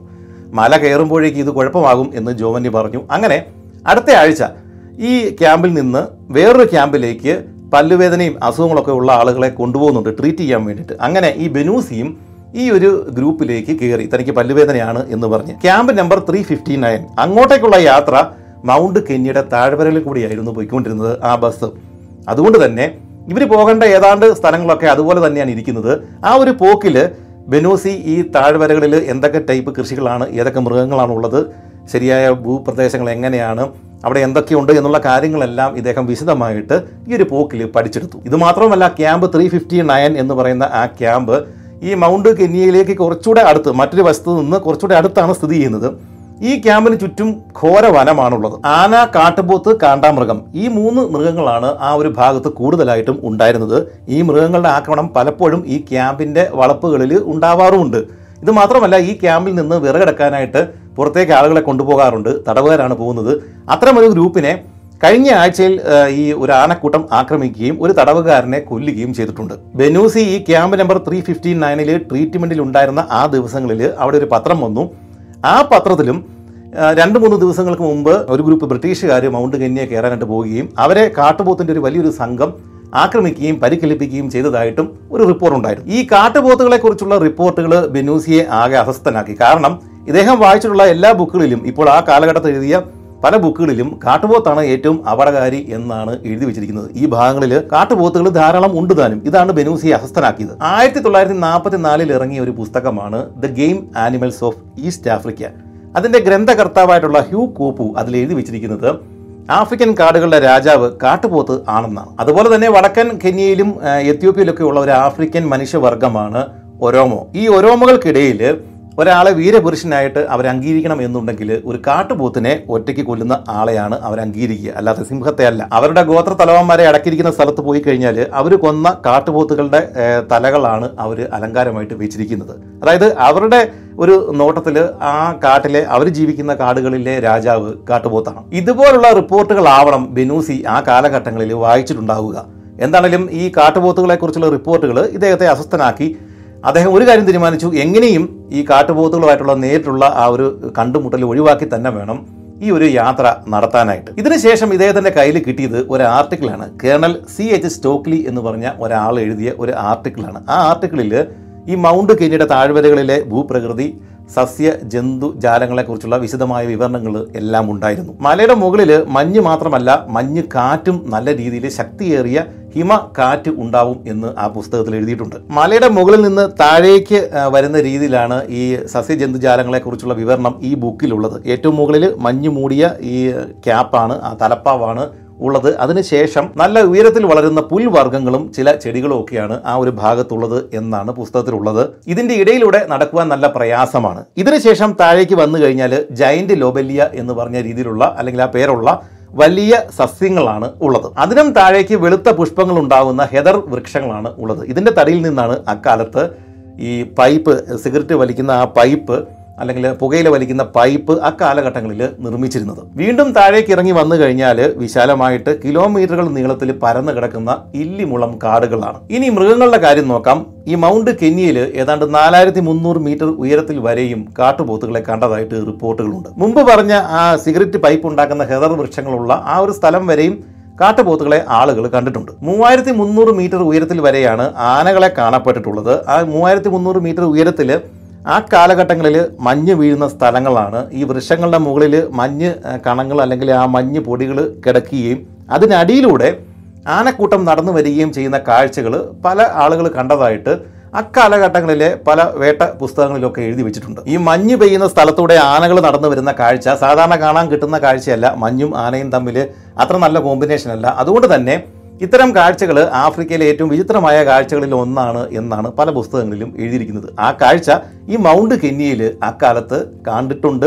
പല ആളുകളും റിപ്പോർട്ട് ചെയ്തിട്ടുണ്ട്. ചുരുക്കം പറഞ്ഞാൽ ആകെ അയ്യായിരത്തി ഇരുന്നൂറ് മീറ്റർ ഉയരം. അതിൽ അവസാനത്തെ ആയിരം മീറ്റർ ഉയരത്തിൽ മാത്രമാണ് അപകടകാരികളായിട്ടുള്ള മൃഗങ്ങൾ ഇല്ലാത്തത്. മല കയറുന്നത് പോലെ തന്നെ അപകടം പിടിച്ച ഒരു പണിയാണ് ഈ കാട്ടിലൂടെ സഞ്ചരിച്ച് ഈ ഒരു ഉയരത്തിൽ എത്തിച്ചേരുക എന്നുള്ളത്. ഇതിനിടെ തങ്ങൾ ഇങ്ങനെ ഒരുമിച്ച് കൂടിയിട്ട് എന്തെങ്കിലുമൊക്കെ പ്ലാൻ ചെയ്യുകയാണ് എന്ന് മറ്റു തടവുകാർക്കും ഈ ഗാർഡുകൾക്കും ഒന്നും മനസ്സിലാകാതിരിക്കാൻ വേണ്ടിയിട്ട് ഇവർ കൂടിക്കാണുന്ന ആ ഒരു അവസരങ്ങളുടെ എണ്ണം ഇവർ ഗണ്യമായിട്ട് അങ്ങ് കുറച്ചു. ബെനൂസിയും ഡോക്ടർ ജോവനിയും പിന്നെ മറ്റു കുറച്ച് ഉമ്പർത്ത പോലുള്ള കുറച്ച് സുഹൃത്തുക്കൾ ഇവർ സ്ഥിരമായിട്ട് കാണുന്ന ആ പരിപാടിയാണ് നിർത്തിയത്. വല്ലപ്പോഴും കാണുകയാണെ തന്നെ അധിക നേരം ഒന്നും സംസാരിക്കില്ല. കാര്യങ്ങൾ പറഞ്ഞ് പെട്ടെന്ന് തന്നെ അവർ അങ്ങോട്ടും ഇങ്ങോട്ടും മാറുകയും ചെയ്യും. പക്ഷേ ഈ ഒരു സമയത്ത് തന്നെ ഈ ഫുഡ് പാക്കറ്റുകളുടെ സംഭരണം ബാക്കിയുള്ള ആയുധങ്ങളുടെ നിർമ്മാണം ഇതെല്ലാം നടക്കുന്നുമുണ്ട് ഈ ഡോക്ടർ ജോവനി ഒരു കാര്യം ചെയ്തു. ഇദ്ദേഹം ഒരു ആഫ്രിക്കൻ ഗാർഡിനെ സ്വാധീനിച്ച് അയാൾക്ക് എന്തൊക്കെയോ സിഗരറ്റോ കാര്യങ്ങളൊക്കെ കൊടുത്ത ശേഷം പുറത്തുനിന്ന് ഈ മലകയറ്റത്തിന് ആവശ്യം ആയിട്ട് വരുന്ന മരുന്നുകൾ ഇദ്ദേഹം സംഘടിപ്പിച്ചു. അങ്ങനെ ഡിസംബർ വന്നെത്തി. ഈ തടവറയിൽ ഇവരുടെ രണ്ടാമത്തെ ക്രിസ്മസ് ആണ്. ആ സമയത്തൊക്കെ മൗണ്ട് കന്യ നല്ല രീതിയിൽ തന്നെ തെളിഞ്ഞ് കാണാനായിട്ട് ഇവർക്ക് സാധിക്കുന്നുണ്ടായിരുന്നു. അതിന്റെ മുകളിൽ നിന്ന് ചിലപ്പോഴൊക്കെ ഒരു തണുത്ത കാറ്റ് അവിടെ നിന്ന് ഇവരുടെ ഈ ക്യാമ്പിലേക്ക് ഒഴുകിയെത്തും. ആ സമയത്തൊക്കെ ജോവന്നിക്കും ഈ ബെനൂസിക്കും ഒക്കെ കുളിരാണ്. എങ്ങനെയും അവിടെ ചെല്ലണം. എന്നുള്ള ഒരു ആവേശം ഈ ഒരു തണുത്ത കാറ്റ് ഈ ക്യാമ്പിലേക്ക് വരുമ്പോൾ ഇവരുടെ മനസ്സിലുണ്ടാവും. ഇനി അധികം സമയമില്ല. ആയിരത്തി തൊള്ളായിരത്തി മുപ്പത്തി മൂന്നിൽ ആ പുരോഗതിയിൽ കയറിയത് ജനുവരി മാസത്തിലാണ്. അവർ വിജയകരമായിട്ട് കയറി ഇറങ്ങിയതാണ്. അതുകൊണ്ട് ആ മാസം കറക്റ്റാണ് ജനുവരി ആയിട്ടുണ്ട്. ഇനി അധികം സമയം ഇവർക്കില്ല. ജനുവരി ഇരുപത്തിനാലാം തീയതി ഈ ക്യാമ്പിൽ നിന്ന് രക്ഷപ്പെടണം. അതായത് ജനുവരി ഇരുപത്തിനാലിനാണ് യാത്ര തുടങ്ങേണ്ടത് എന്നാണ് ബെനൂസിയും ജോവനിയും തീരുമാനിച്ചിരിക്കുന്നത്. പക്ഷേ ന്യൂ ഇയർ ഡേ കഴിഞ്ഞിട്ട് അടുത്ത മാസമായി ജനുവരിയായി. ഇതുവരെയും ഈ സംഘത്തിൽ വേണ്ടുന്ന മൂന്നാമത്തെ ആളെ ബേസ് ക്യാമ്പിൽ തങ്ങേണ്ട ആളെ ഇതുവരെയും കിട്ടിയിട്ടില്ല. ജോമന്നിയും ഈ ബിനൂസിയുമാണ് മല കയറാൻ തന്നെ. അതായത് ഏറ്റവും അവസാനത്തെ ഒരു ആ ഭാഗം കയറാനായിട്ട് തീരുമാനിച്ചിരിക്കുന്നത്. പക്ഷേ അവിടെ ഒരു ബേസ് ക്യാമ്പ് നിർമ്മിക്കണം. ഇവിടെ നിന്ന് ചുമന്നുകൊണ്ട് പോകുന്ന സാധനങ്ങൾ അവിടെ വെച്ചിട്ട് ആവശ്യമുള്ള സാധനങ്ങൾ മാത്രം എടുത്തിട്ടാണ് ഏറ്റവും കുത്തനെയുള്ള കയറ്റം കയറേണ്ടത്. ആ ക്യാമ്പിൽ കാവലിരിക്കാൻ വേണ്ടിയിട്ട് അവിടം വരെയും എത്താൻ ശേഷിയുള്ള ഒരാളെ മൂന്നാമത്തെ ആളെ കിട്ടേണ്ടതാണ് ഇതുവരെയും കിട്ടിയിട്ടില്ല. സമയം മുന്നോട്ട് പോയിക്കൊണ്ടിരിക്കുകയാണ്. നിശ്ചയിച്ചിരിക്കുന്ന ആ ഒരു ദിവസം ജനുവരി ഇരുപത്തിനാല് ഇനി ഏഴ് ദിവസങ്ങൾ കൂടി ബാക്കിയുള്ളൂ. ആളെ കിട്ടിയിട്ടില്ല. ഇനി ആരും വേണ്ട എന്നുള്ള ഒരു തീരുമാനത്തിൽ ഇവർ എത്തിയ ദിവസമാണ്. ഇവരുടെ ഗ്രൂപ്പിലുണ്ടായിരുന്ന പല സുഹൃത്തുക്കളുണ്ട്. അതിലൊരു സുഹൃത്ത് അയാൾക്ക് മറ്റൊരു സുഹൃത്തുണ്ട്. അയാൾ ഈ കൂട്ടത്തിൽ വരാൻ തയ്യാറാണ് എന്ന് അറിയിച്ചിട്ടുണ്ട് എന്ന് ഇവരോട് പറഞ്ഞത്. എൻസോ എന്നായിരുന്നു അയാളുടെ പേര്. മുപ്പത്തിയഞ്ച് വയസ്സ് മാത്രം പ്രായമുണ്ടായിരുന്ന എൻസോ പക്ഷേ തുടർച്ചയായിട്ട് പുകവലിക്കുന്ന ഒരാളാണ്. ഇദ്ദേഹം ജീവിതത്തിൽ ഒരിക്കലും ഒരു മല പോലും കയറിയിട്ടില്ല പക്ഷേ എന്നിട്ടും ഇദ്ദേഹത്തെ കൂടെ കൂട്ടാനായിട്ടാണ് ഈ മൂന്നാമനായിട്ട് കൂടെ കൂട്ടാനായിട്ടാണ് ഈ ജോവനിയും ബെനൂസിയും തീരുമാനിച്ചത്. കാരണം മറ്റൊന്നുമല്ല എൻസോയ്ക്ക് പല കുറവുകളുണ്ട് മല കയറിയിട്ടില്ല ബഹുവലിക്കാനാണ് പക്ഷേ ഉറച്ച തീരുമാനമെടുക്കാൻ ശേഷിയുള്ള ധൈര്യമുള്ള ഒരു മനസ്സുണ്ട്. അതാണ് ഇവർക്ക് വേണ്ടത്. അങ്ങനെ ഈ സംഘത്തിലെ മൂന്നാമൻ എത്തി എൻസോ. അങ്ങനെ ജനുവരി ഇരുപത്തി മൂന്ന് ശനിയാഴ്ചയായി. നാളെയാണ് ആ ദിവസം. നമ്മൾ മുമ്പ് പറഞ്ഞിരുന്നതാണല്ലോ ഇവരുടെ ഒരു ക്യാമ്പ് മുള്ളുവേലി അതിനും അപ്പുറം ഇവർ തന്നെ നോക്കുന്ന ചില തടവുകാർ പരിപാലിക്കുന്ന വലിയ വിശാലമായിട്ടുള്ള പച്ചക്കറി തോട്ടം. അതിനും അപ്പുറമാണ് കാടും ബാക്കിയുള്ള സ്ഥലങ്ങളും ഒക്കെ. ഈ എല്ലാ സെക്ഷനുകളിലും കാവൽ ഭടന്മാർ ഉണ്ട്. ഇവരുടെ ക്യാമ്പ് പച്ചക്കറിത്തോട്ടം ഇതിനിടയ്ക്ക് ഒരു ഗേറ്റ് ഉണ്ട് ആ ഗേറ്റ് എപ്പോഴും ലോക്ക്ഡ് ആണ്. അതിനപ്പുറത്തേക്ക് ഈ പച്ചക്കറി തോട്ടത്തിൽ പണിയെടുക്കാനായിട്ട് ഉള്ള ചില തടവുകാർ അവരെ മാത്രമേ അകത്തേക്ക് കയറ്റി വിടുകയുള്ളൂ. ഇന്ന തടവുകാരൻ അകത്തേക്ക് കയറണം എന്നൊന്നും നിർബന്ധമില്ല. എന്റെ ഒരു പാസ് ഉണ്ടെങ്കിൽ അത് മറ്റൊരാൾക്ക് വേണമെങ്കിൽ നാളെ എനിക്ക് കൊടുക്കാം. ആ പാസ്സുമായിട്ട് അയാൾക്ക് കയറി പണിയെടുക്കാം. അങ്ങനെ കുറച്ച് പാസ്സുകൾ മാത്രമേ ഇതിനകത്തുള്ളൂ. ആര് കയറുന്നു ഇറങ്ങുന്നു എന്നുള്ളത് പ്രശ്നമില്ല. പാസ് ഉള്ളവരെ മാത്രമേ അകത്തേക്ക് കയറ്റി വിടുകയുള്ളൂ. ഇവർ എത്ര ശ്രമിച്ചിട്ടും ഒരു പാസ് മാത്രമാണ് ഇവരുടെ സുഹൃത്തിന്റെ കയ്യിലുള്ള ഒരു പാസ് മാത്രമാണ് ഇവർക്ക് കിട്ടിയത്. അത് വെച്ചിട്ട് ഈ മൂന്ന് പേർക്കും അപ്പുറത്തേക്ക് കടക്കാനായിട്ട് പറ്റില്ല.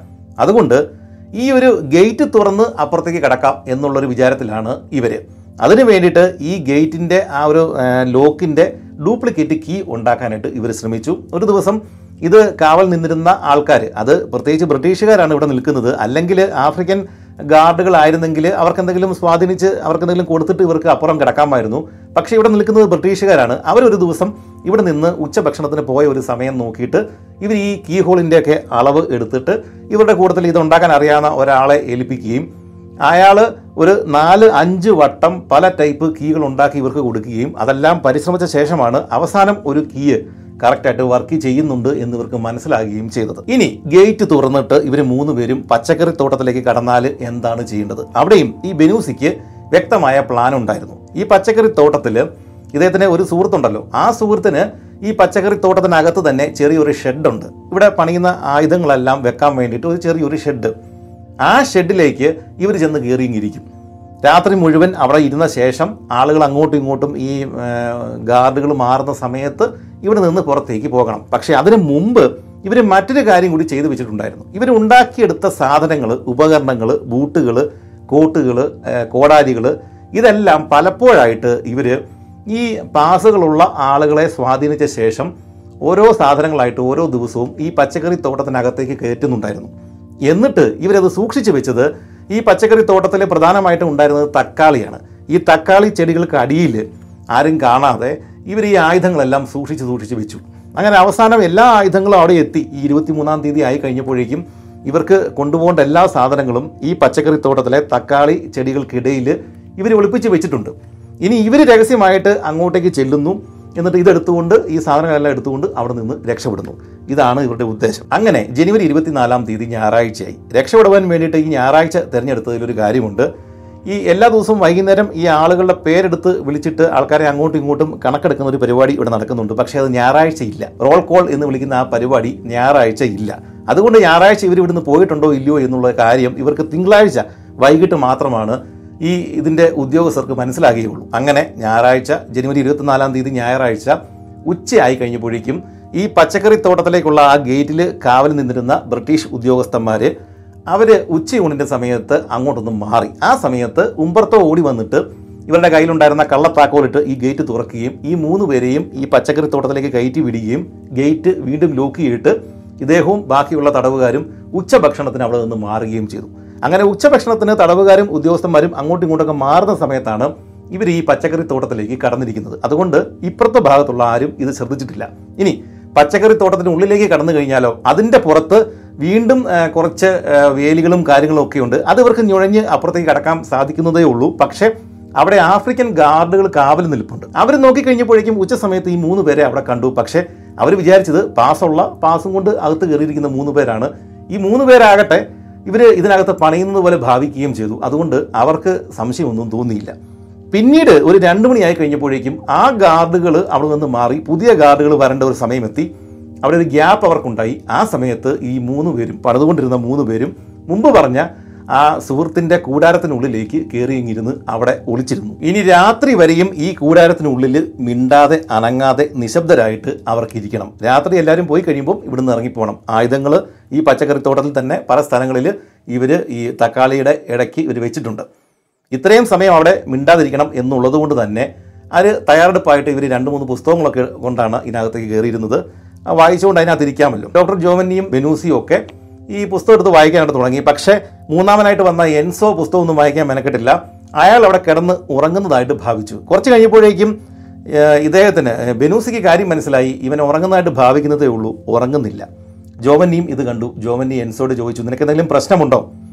കുറേ ഏറെ ചോദ്യങ്ങൾ ചെയ്ത ശേഷമാണ് എൻസോ ഒരു കാര്യം സമ്മതിച്ചത്. പ്രശ്നമുണ്ട്. രണ്ട് മൂന്ന് ദിവസമായിട്ട് തനിക്ക് നല്ല പനിയുണ്ട്. ഉടൻ തന്നെ ഡോക്ടർ തെർമോമീറ്റർ എടുത്തിട്ട് ഇവന്റെ പനി നോക്കി ശരിയാണ് ഈ എൻസോയ്ക്ക് നല്ല രീതിയിൽ പനിയുണ്ട്.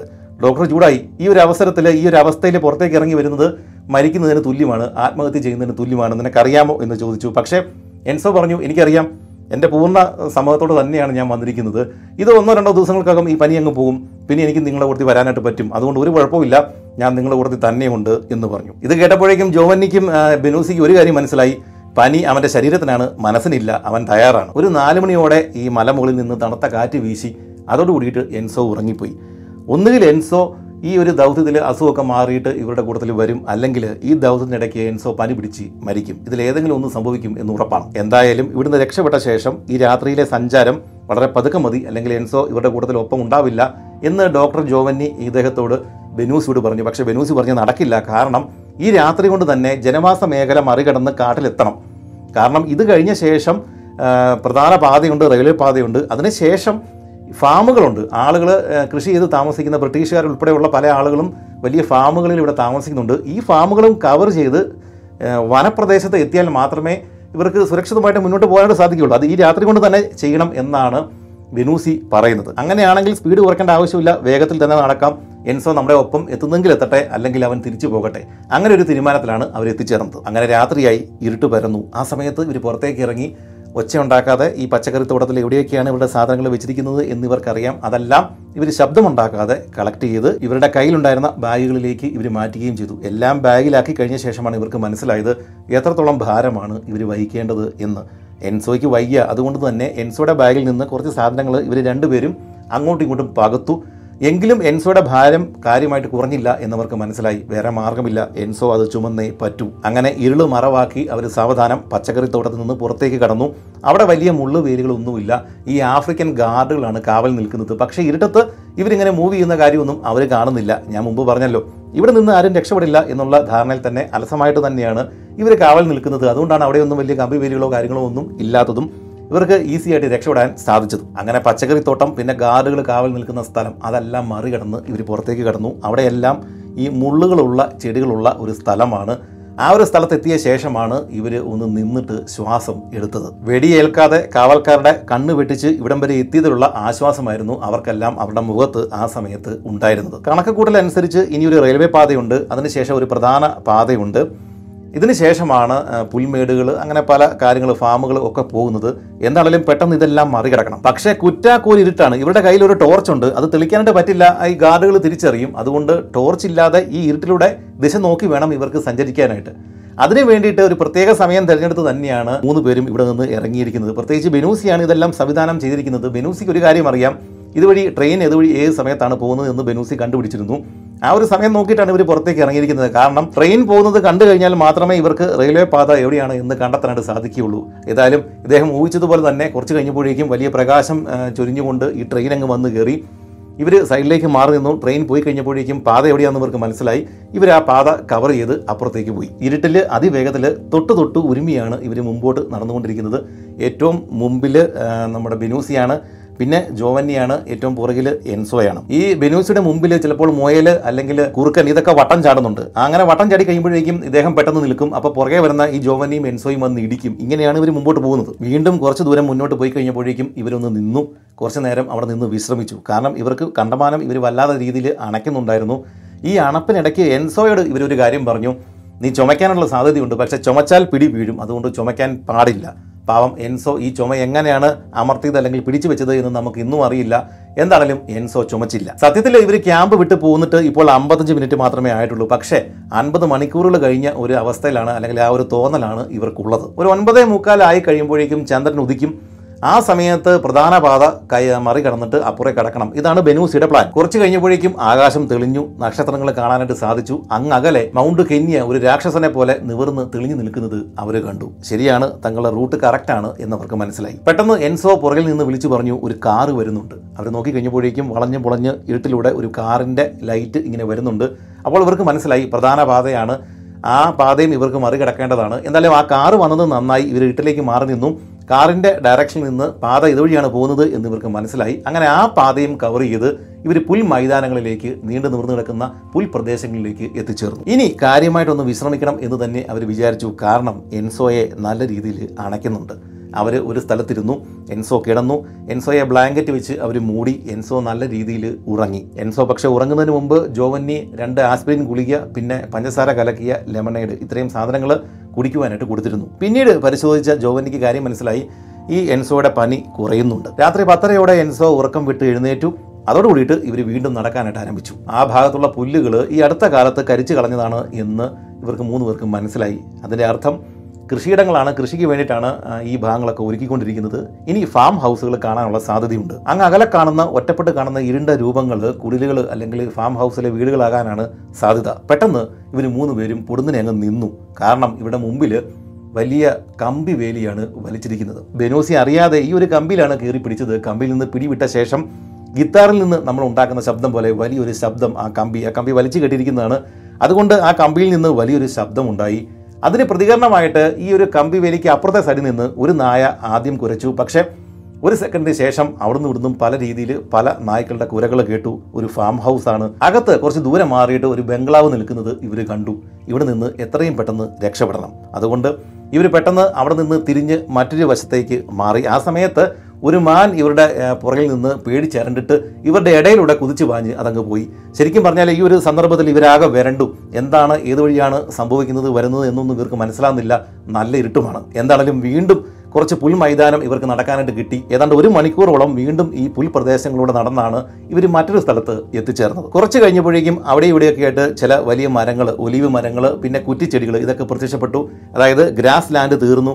ഇനി പതുക്കെ പതുക്കെ കാട് ആരംഭിക്കുകയാണ്. ഒരു പത്ത് നാൽപ്പത് കിലോമീറ്റർ ദൂരം ഇവർക്ക് ഇങ്ങനെ നടന്നു കഴിഞ്ഞാൽ ഈ കാട് കവർ ചെയ്യാനായിട്ട് പറ്റുകയുള്ളൂ. അതായത് കഴിഞ്ഞ നാല് മണിക്കൂറുകൾ കൊണ്ട് മനുഷ്യ ഭീഷണിയുള്ള സ്ഥലങ്ങൾ ഇവർ ഒരു വിധത്തിൽ കവർ ചെയ്ത് കഴിഞ്ഞു. ഇനി പ്രകൃതിയുടെയും മൃഗങ്ങളുടെയും ഭീഷണി മാത്രമാണ് ഇവരുടെ മുന്നിലുള്ളത്. പക്ഷേ എങ്കിലും ഒന്നോ രണ്ടോ ഫാമുകൾ കൂടി ഈ ഒരു വഴിയിൽ കണ്ടേക്കാം എന്നവർക്ക് മനസ്സിലായി. എന്താണേലും ഇനി ഒന്നുകൂടി വിശ്രമിക്കാം എന്ന് വിചാരിച്ചിട്ട് അവരവിടെ ഇരുന്നിരുന്നു. പക്ഷേ ഇങ്ങനെ ഇരിക്കാനല്ല അവർ പ്ലാൻ ചെയ്തിരുന്നത്. രാത്രി മുഴുവൻ നടക്കണം ഈ ഭാഗങ്ങളെല്ലാം കവർ ചെയ്യണം എന്നാണ് വിചാരിച്ചിരുന്നത്. പക്ഷേ എൻസോയുടെ അവസ്ഥ വളരെ മോശമാണ്. അതുകൊണ്ടാണ് ഇവിടെ വീണ്ടും ഒന്ന് വിശ്രമിക്കാം എന്നവർ കരുതിയത്. ഇനി നേരം വെളുക്കുന്നതിന് മുമ്പ് തന്നെ ഇവിടെ നിന്ന് യാത്ര തുടങ്ങണം. ആദ്യമേ നന്നൂക്കി അരുവി കണ്ടെത്തണം. അതിന്റെ തീരത്തോട് വേണം ഇവർക്ക് മുന്നോട്ട് പോകാനായിട്ട്. എൻസോയും ജോവന്നിയും ആദ്യം ഉറങ്ങാൻ തീരുമാനിച്ചു. ആ സമയത്ത് ബെനൂസി കാവലിരിക്കുക. ഇങ്ങനെ ഊഴമിട്ട് കാവലിരുന്നും ഉറങ്ങിയുമാണ് ഇനിയുള്ള രാത്രികളിൽ ഇവർ മുന്നോട്ട് പോകാനായിട്ട് തീരുമാനിച്ചിരിക്കുന്നത്. മൂന്ന് മണിക്ക് ബെനൂസി ജോവന്നിയെ വിളിച്ചുണർത്തി ഇനി ജോവന്നിയാണ് കാവലിരിക്കേണ്ടത്. അങ്ങനെ ഇവരുടെ ആ ഊഴമിട്ടുള്ള ആ കാവലിരിപ്പും ഉറക്കവും കാര്യമായിട്ട് തന്നെ നടന്നു. കാരണം ഇവർക്ക് മൂന്ന് പേർക്കും നല്ല ക്ഷീണം ഉണ്ടായിരുന്നു. വീണ്ടും വെളുപ്പിനെ ഒരു അഞ്ച് മണിക്ക് മുമ്പ് ഇവരെല്ലാവരും എഴുന്നേറ്റു.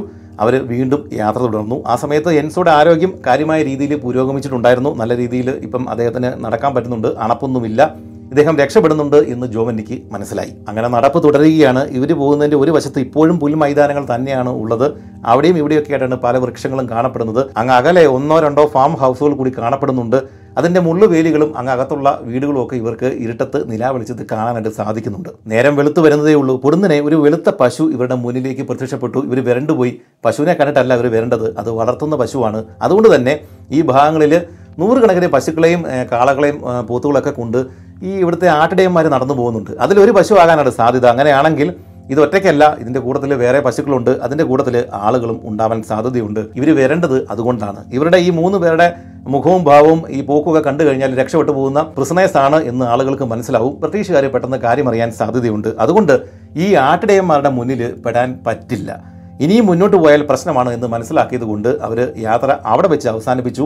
ഇന്നിനി പകൽ സഞ്ചരിക്കേണ്ട എന്നുള്ള തീരുമാനത്തിൽ അവർ എത്തിച്ചേരുകയും പറ്റിയ ഒരു സ്ഥലത്ത് അവർ താവളം അല്ലെങ്കിൽ തമ്പടിക്കുകയും ചെയ്തു. വീണ്ടും ബെനൂസി തന്നെയാണ് കാവൽ ഇരുന്നത്. ആ സമയത്ത് ബെനൂസി ക്യാമ്പിൽ ഈ സമയത്ത് എന്താവും സംഭവിച്ചിട്ടുണ്ടാവുക എന്ന് ആലോചിച്ചു. നേരം വെളുത്ത് വരികയാണ്. ആ സമയത്ത് ഇവർ പോരുന്നതിന് മുമ്പ് തന്നെ ഇവർ ഒരു ലെറ്റർ അവിടുത്തെ ആ ഒരു ക്യാമ്പിന്റെ മേലുദ്യോഗസ്ഥന് എഴുതി വെച്ചിട്ടുണ്ടായിരുന്നു. ഞങ്ങൾ കുറച്ച് ദിവസത്തേക്ക് ഇവിടെ നിന്ന് പോവുകയാണ്. വീണ്ടും തിരിച്ചു വരും എന്നൊക്കെയാണ് ആ ലെറ്ററിൽ ഉണ്ടായിരുന്നത്. മൗണ്ട് കന്യ കയറുവാൻ വേണ്ടിയിട്ടാണ് പോകുന്നത് എന്നുള്ള കാര്യമൊന്നും അതിൽ എഴുതിയിട്ടില്ല. കുറച്ച് ദിവസങ്ങൾ ഞങ്ങൾ കാണില്ല. വീണ്ടും തിരിച്ചു വരും എന്ന് എഴുതിയിട്ടാണ് പോകുന്നത്. അങ്ങനെ എഴുതാനുള്ള കാരണം ഇവരങ്ങനെ എഴുതിയില്ലെങ്കിൽ ഇവരെവിടെ പോയി ഇവരുടെ കാര്യങ്ങളൊക്കെ അറിയാൻ വേണ്ടിയിട്ട് ബാക്കിയുള്ള തടവുകാരെ ഈ ബ്രിട്ടീഷുകാർ പീഡിപ്പിക്കും. അതുകൊണ്ടാണ് അത് ഒഴിവാക്കാനാണ് ഈ ലെറ്റർ ഇവർ സ്വന്തം കൈപ്പടകളിൽ എഴുതിയിട്ട് ഇങ്ങോട്ട് പോകുന്നത്. അന്ന് ഉച്ചയ്ക്ക് മുമ്പ് ഒരു വലിയൊരു മരത്തിന്റെ മുകളിൽ കയറിയിട്ട് ബെനൂസി ചുറ്റും ഒന്ന് നോക്കി വിശാലമായ ഈ കെനിയൻ സമതലങ്ങളാണ് കാണുന്നത്. വലിയ വനമാണ്. അതിനും അപ്പുറം ഈ മൗണ്ട് കെനിയ ഇങ്ങനെ ഉയർന്നു നിൽപ്പുണ്ട്. ഇതാണ് അദ്ദേഹം കണ്ട കാഴ്ച. എങ്ങോട്ടാണ് പോകുന്നത്? ഏതുവഴിയാണ് മൗണ്ട് കെനിയിലേക്ക് പോകുന്നത് എന്നൊന്നും ഇവർക്കറിയില്ല. മൗണ്ട് കെന്നിയിലേക്ക് പോകുന്ന ഒരൊറ്റ സാധനമേ ഉള്ളൂ. അത് ഈ നന്നൂക്കി അരുവിയാണ്. ഇനി അത് കണ്ടെത്തണം. അന്ന് ഒരു മണിയോടെ ഇവർ ആദ്യമായിട്ട് ഉച്ചഭക്ഷണം കഴിച്ചു. ഇവർ അവിടെ തന്നെ ഇരിക്കുകയാണ്. പകൽ ഈ ആട്ടിടയന്മാരെ പേടിച്ചിട്ട് യാത്ര ചെയ്യേണ്ട എന്നുള്ള തീരുമാനത്തിൽ അവിടെ തന്നെ ഇരിക്കുകയാണ്. എന്നാണേലും ആദ്യത്തെ ഉച്ചഭക്ഷണമാണ്. അത് ഇവർ രണ്ട് മുട്ട കഴിച്ചു. പിന്നെ കുറച്ച് ബീഫ് കഴിച്ചു. രണ്ട് ബിസ്ക്കറ്റ് ഇത്രയും സാധനങ്ങളാണ് അവർ ഭക്ഷിച്ചത്. ഈ യാത്രയിലെ ആദ്യത്തെ ഒന്ന് രണ്ട് ദിവസങ്ങൾ കഴിക്കാൻ വേണ്ടിയിട്ട് നാൽപ്പത് പുഴുങ്ങിയ മുട്ട ഇവർ ഇവരുടെ കയ്യിൽ വെച്ചിട്ടുണ്ടായിരുന്നു. അതിൽ രണ്ടെണ്ണം രണ്ടെണ്ണം വെച്ചിട്ടാണ് ഇപ്പോൾ ഇവർ കഴിച്ചിരിക്കുന്നത്. നന്നൂക്കി അരുവി ഇതുവരെയും കണ്ടെത്തിയിട്ടില്ല. അതുകൊണ്ട് ഇവരുടെ കയ്യിലുള്ള വെള്ളം വളരെയധികം സൂക്ഷിച്ചാണ് ഇവർ ഉപയോഗിക്കുന്നത്. നദി കണ്ടെത്തി കഴിഞ്ഞാൽ പിന്നെ ഇവർക്ക് വെള്ളത്തിന്റെ ആവശ്യം ഇല്ല. ഇതുകൂടാതെ റെയിൻകോട്ട് ഷീറ്റ് സ്ലീപ്പിംഗ് ബാഗ് പിന്നെ വെള്ളം തിളപ്പിക്കാനുള്ള ആൽക്കഹോൾ ബേർണർ അങ്ങനെ പല കാര്യങ്ങൾ പിന്നെ കുറച്ച് മദ്യം ഇങ്ങനെ ഇവർക്ക് ആവശ്യം വേണ്ടുന്ന എല്ലാ സാധനങ്ങളും ഇവരുടെ കൈവശം ഇപ്പോഴുണ്ട്. ഇത് കൂടാതെ മലയുടെ മുകളിൽ ചെന്ന് കഴിഞ്ഞാൽ വഴി കണ്ടുപിടിക്കാനുള്ള ആ മാർക്കിംഗ് നടത്താൻ വേണ്ടിയിട്ട് ചുവന്ന അടയാളത്തിൽ മാർക്ക് ചെയ്തിരിക്കുന്ന കുറച്ച് മാർക്കേഴ്സ്. ഇതെല്ലാം ഇവർ തടവറയിൽ ഉണ്ടായിരുന്ന സമയത്ത് രഹസ്യമായിട്ട് ഉണ്ടാക്കിയെടുത്തതാണ്. ഇവർ മലയിലേക്ക് കയറി പോകുമ്പോഴേക്കും ഈ മാർക്കേഴ്സ് വെച്ച് വെച്ചാണ് പോവുക. അല്ലെങ്കിൽ തിരിച്ചിറങ്ങി വരേണ്ടതാണ് വഴി തെറ്റിപ്പോവും. അങ്ങനെ എല്ലാ കാര്യങ്ങളും ചെയ്തിട്ടാണ് ഇവർ മുന്നോട്ട് പോയിക്കൊണ്ടിരിക്കുന്നത്. ഇതെല്ലാം കൂടാതെ ഒരു ടോർച്ച് നാല് ബാറ്ററി പിന്നെ ഒരു ബൈനാക്കുലർ ഇത്രയും സാധനങ്ങളും ഇവർ കരുതിയിട്ടുണ്ട്. ഈ പോകുന്ന വഴിയുടെ ഏകദേശ ധാരണ കിട്ടാൻ വേണ്ടിയിട്ട് നമ്മൾ മുമ്പ് പറഞ്ഞ ആ ഫാദറിന്റെ ബുക്കിലെ ഭൂപടം അത് പകർത്തിയെടുത്തത് പിന്നെ ആ ടിൻ ഫുഡിന്റെ ക്യാനിന്റെ പുറത്തെ ആ ഒരു ഭാഗം അത് അടർത്തിയെടുത്ത് കൈവച്ചിട്ടുണ്ട് ഇതെല്ലാം നോക്കി വേണം ഇവർക്ക് ദിശ കണ്ടുപിടിച്ച് ഈ ഒരു മലയിലേക്ക് തന്നെ കറക്റ്റായിട്ട് ചെല്ലാനായിട്ട്. അങ്ങനെ അന്നത്തെ പകൽ അവരവിടെ കഴിച്ചു കൂട്ടി അന്ന് വൈകിട്ട് ഏഴര മണി ആയതോടെ പൂർണമായിട്ടും ഇരുട്ട് പരന്നു. അതിനുശേഷം അവർ വീണ്ടും യാത്ര ആരംഭിച്ചു. മുന്നോട്ട് പോകും തോറും കാടിന്റെ കട്ടി കൂടി കൂടി വരുന്നുണ്ട്. അത് മാത്രമല്ല ഭൂമിയുടെ ചെരിവും കൂടി വരുന്നുണ്ട്. അതായത് കയറ്റം സാവധാനം ആരംഭിക്കുകയാണ്. അത്രയ്ക്ക് അത്യാവശ്യമില്ലാത്ത സന്ദർഭങ്ങളിൽ ഒഴിച്ച് ടോർച്ച് ഉപയോഗിക്കില്ല എന്ന് അവർ നേരത്തെ തന്നെ തീരുമാനമെടുത്തിട്ടുണ്ടായിരുന്നു. അതുമാത്രവുമല്ല മനുഷ്യൻ താമസിക്കുന്ന ഈ ഫാം ഹൗസുകൾ അങ്ങനെയുള്ള ഭാഗങ്ങൾ തീർന്നു കഴിഞ്ഞാൽ തന്നെ രാത്രിയിലുള്ള യാത്ര ഒഴിവാക്കണം എന്ന് തന്നെയാണ് ഇവർ തീരുമാനിച്ചിരിക്കുന്നത്. രാത്രിയിൽ ഇരപിടിയൻ ജീവികളുടെ മുന്നിൽ പെട്ടുപോകാനുള്ള സാധ്യതയുണ്ട്. അത് മാത്രവുമല്ല ട്രീ ഹൈറാക്സ് പോലുള്ള ജീവികളുടെ ശബ്ദങ്ങൾ രാത്രിയിൽ കാവലിരിക്കുന്ന ആളുകളെ കുറച്ചൊന്നുമല്ല ഭയപ്പെടുത്തുന്നത്. ഇവറ്റകളുടെ ശബ്ദം കേട്ട് കഴിഞ്ഞാൽ ഇരുട്ടിൽ വരുന്നത് പുലിയാണോ പന്നിയാണോ കാണ്ടാമൃഗമാണോ കാട്ടുപോത്താണോ എന്നൊന്നും നമുക്ക് തിരിച്ചറിയാൻ സാധിക്കില്ല. അത്ര ഭീകരമായ ശബ്ദമാണ് ഈ ചെറു ജീവികൾ ഉണ്ടാക്കുന്നത്. ഈ ട്രീ ഹൈറാക്സുകൾ കണ്ടാൽ ഒരു പന്നിയെലിയെ പോലെ ഇരിക്കും. പക്ഷേ നമ്മുടെ ആനയുടെ അടുത്ത ബന്ധുക്കളാണ് ട്രീ ഹൈറാക്സുകൾ അന്ന് രാത്രി കുറേയേറെ ദൂരം നടന്നു കഴിഞ്ഞപ്പോഴേക്കും ഇവർ വാട്ടർ ബക്കുകളുടെ കൂട്ടങ്ങളെ കണ്ടു തുടങ്ങി.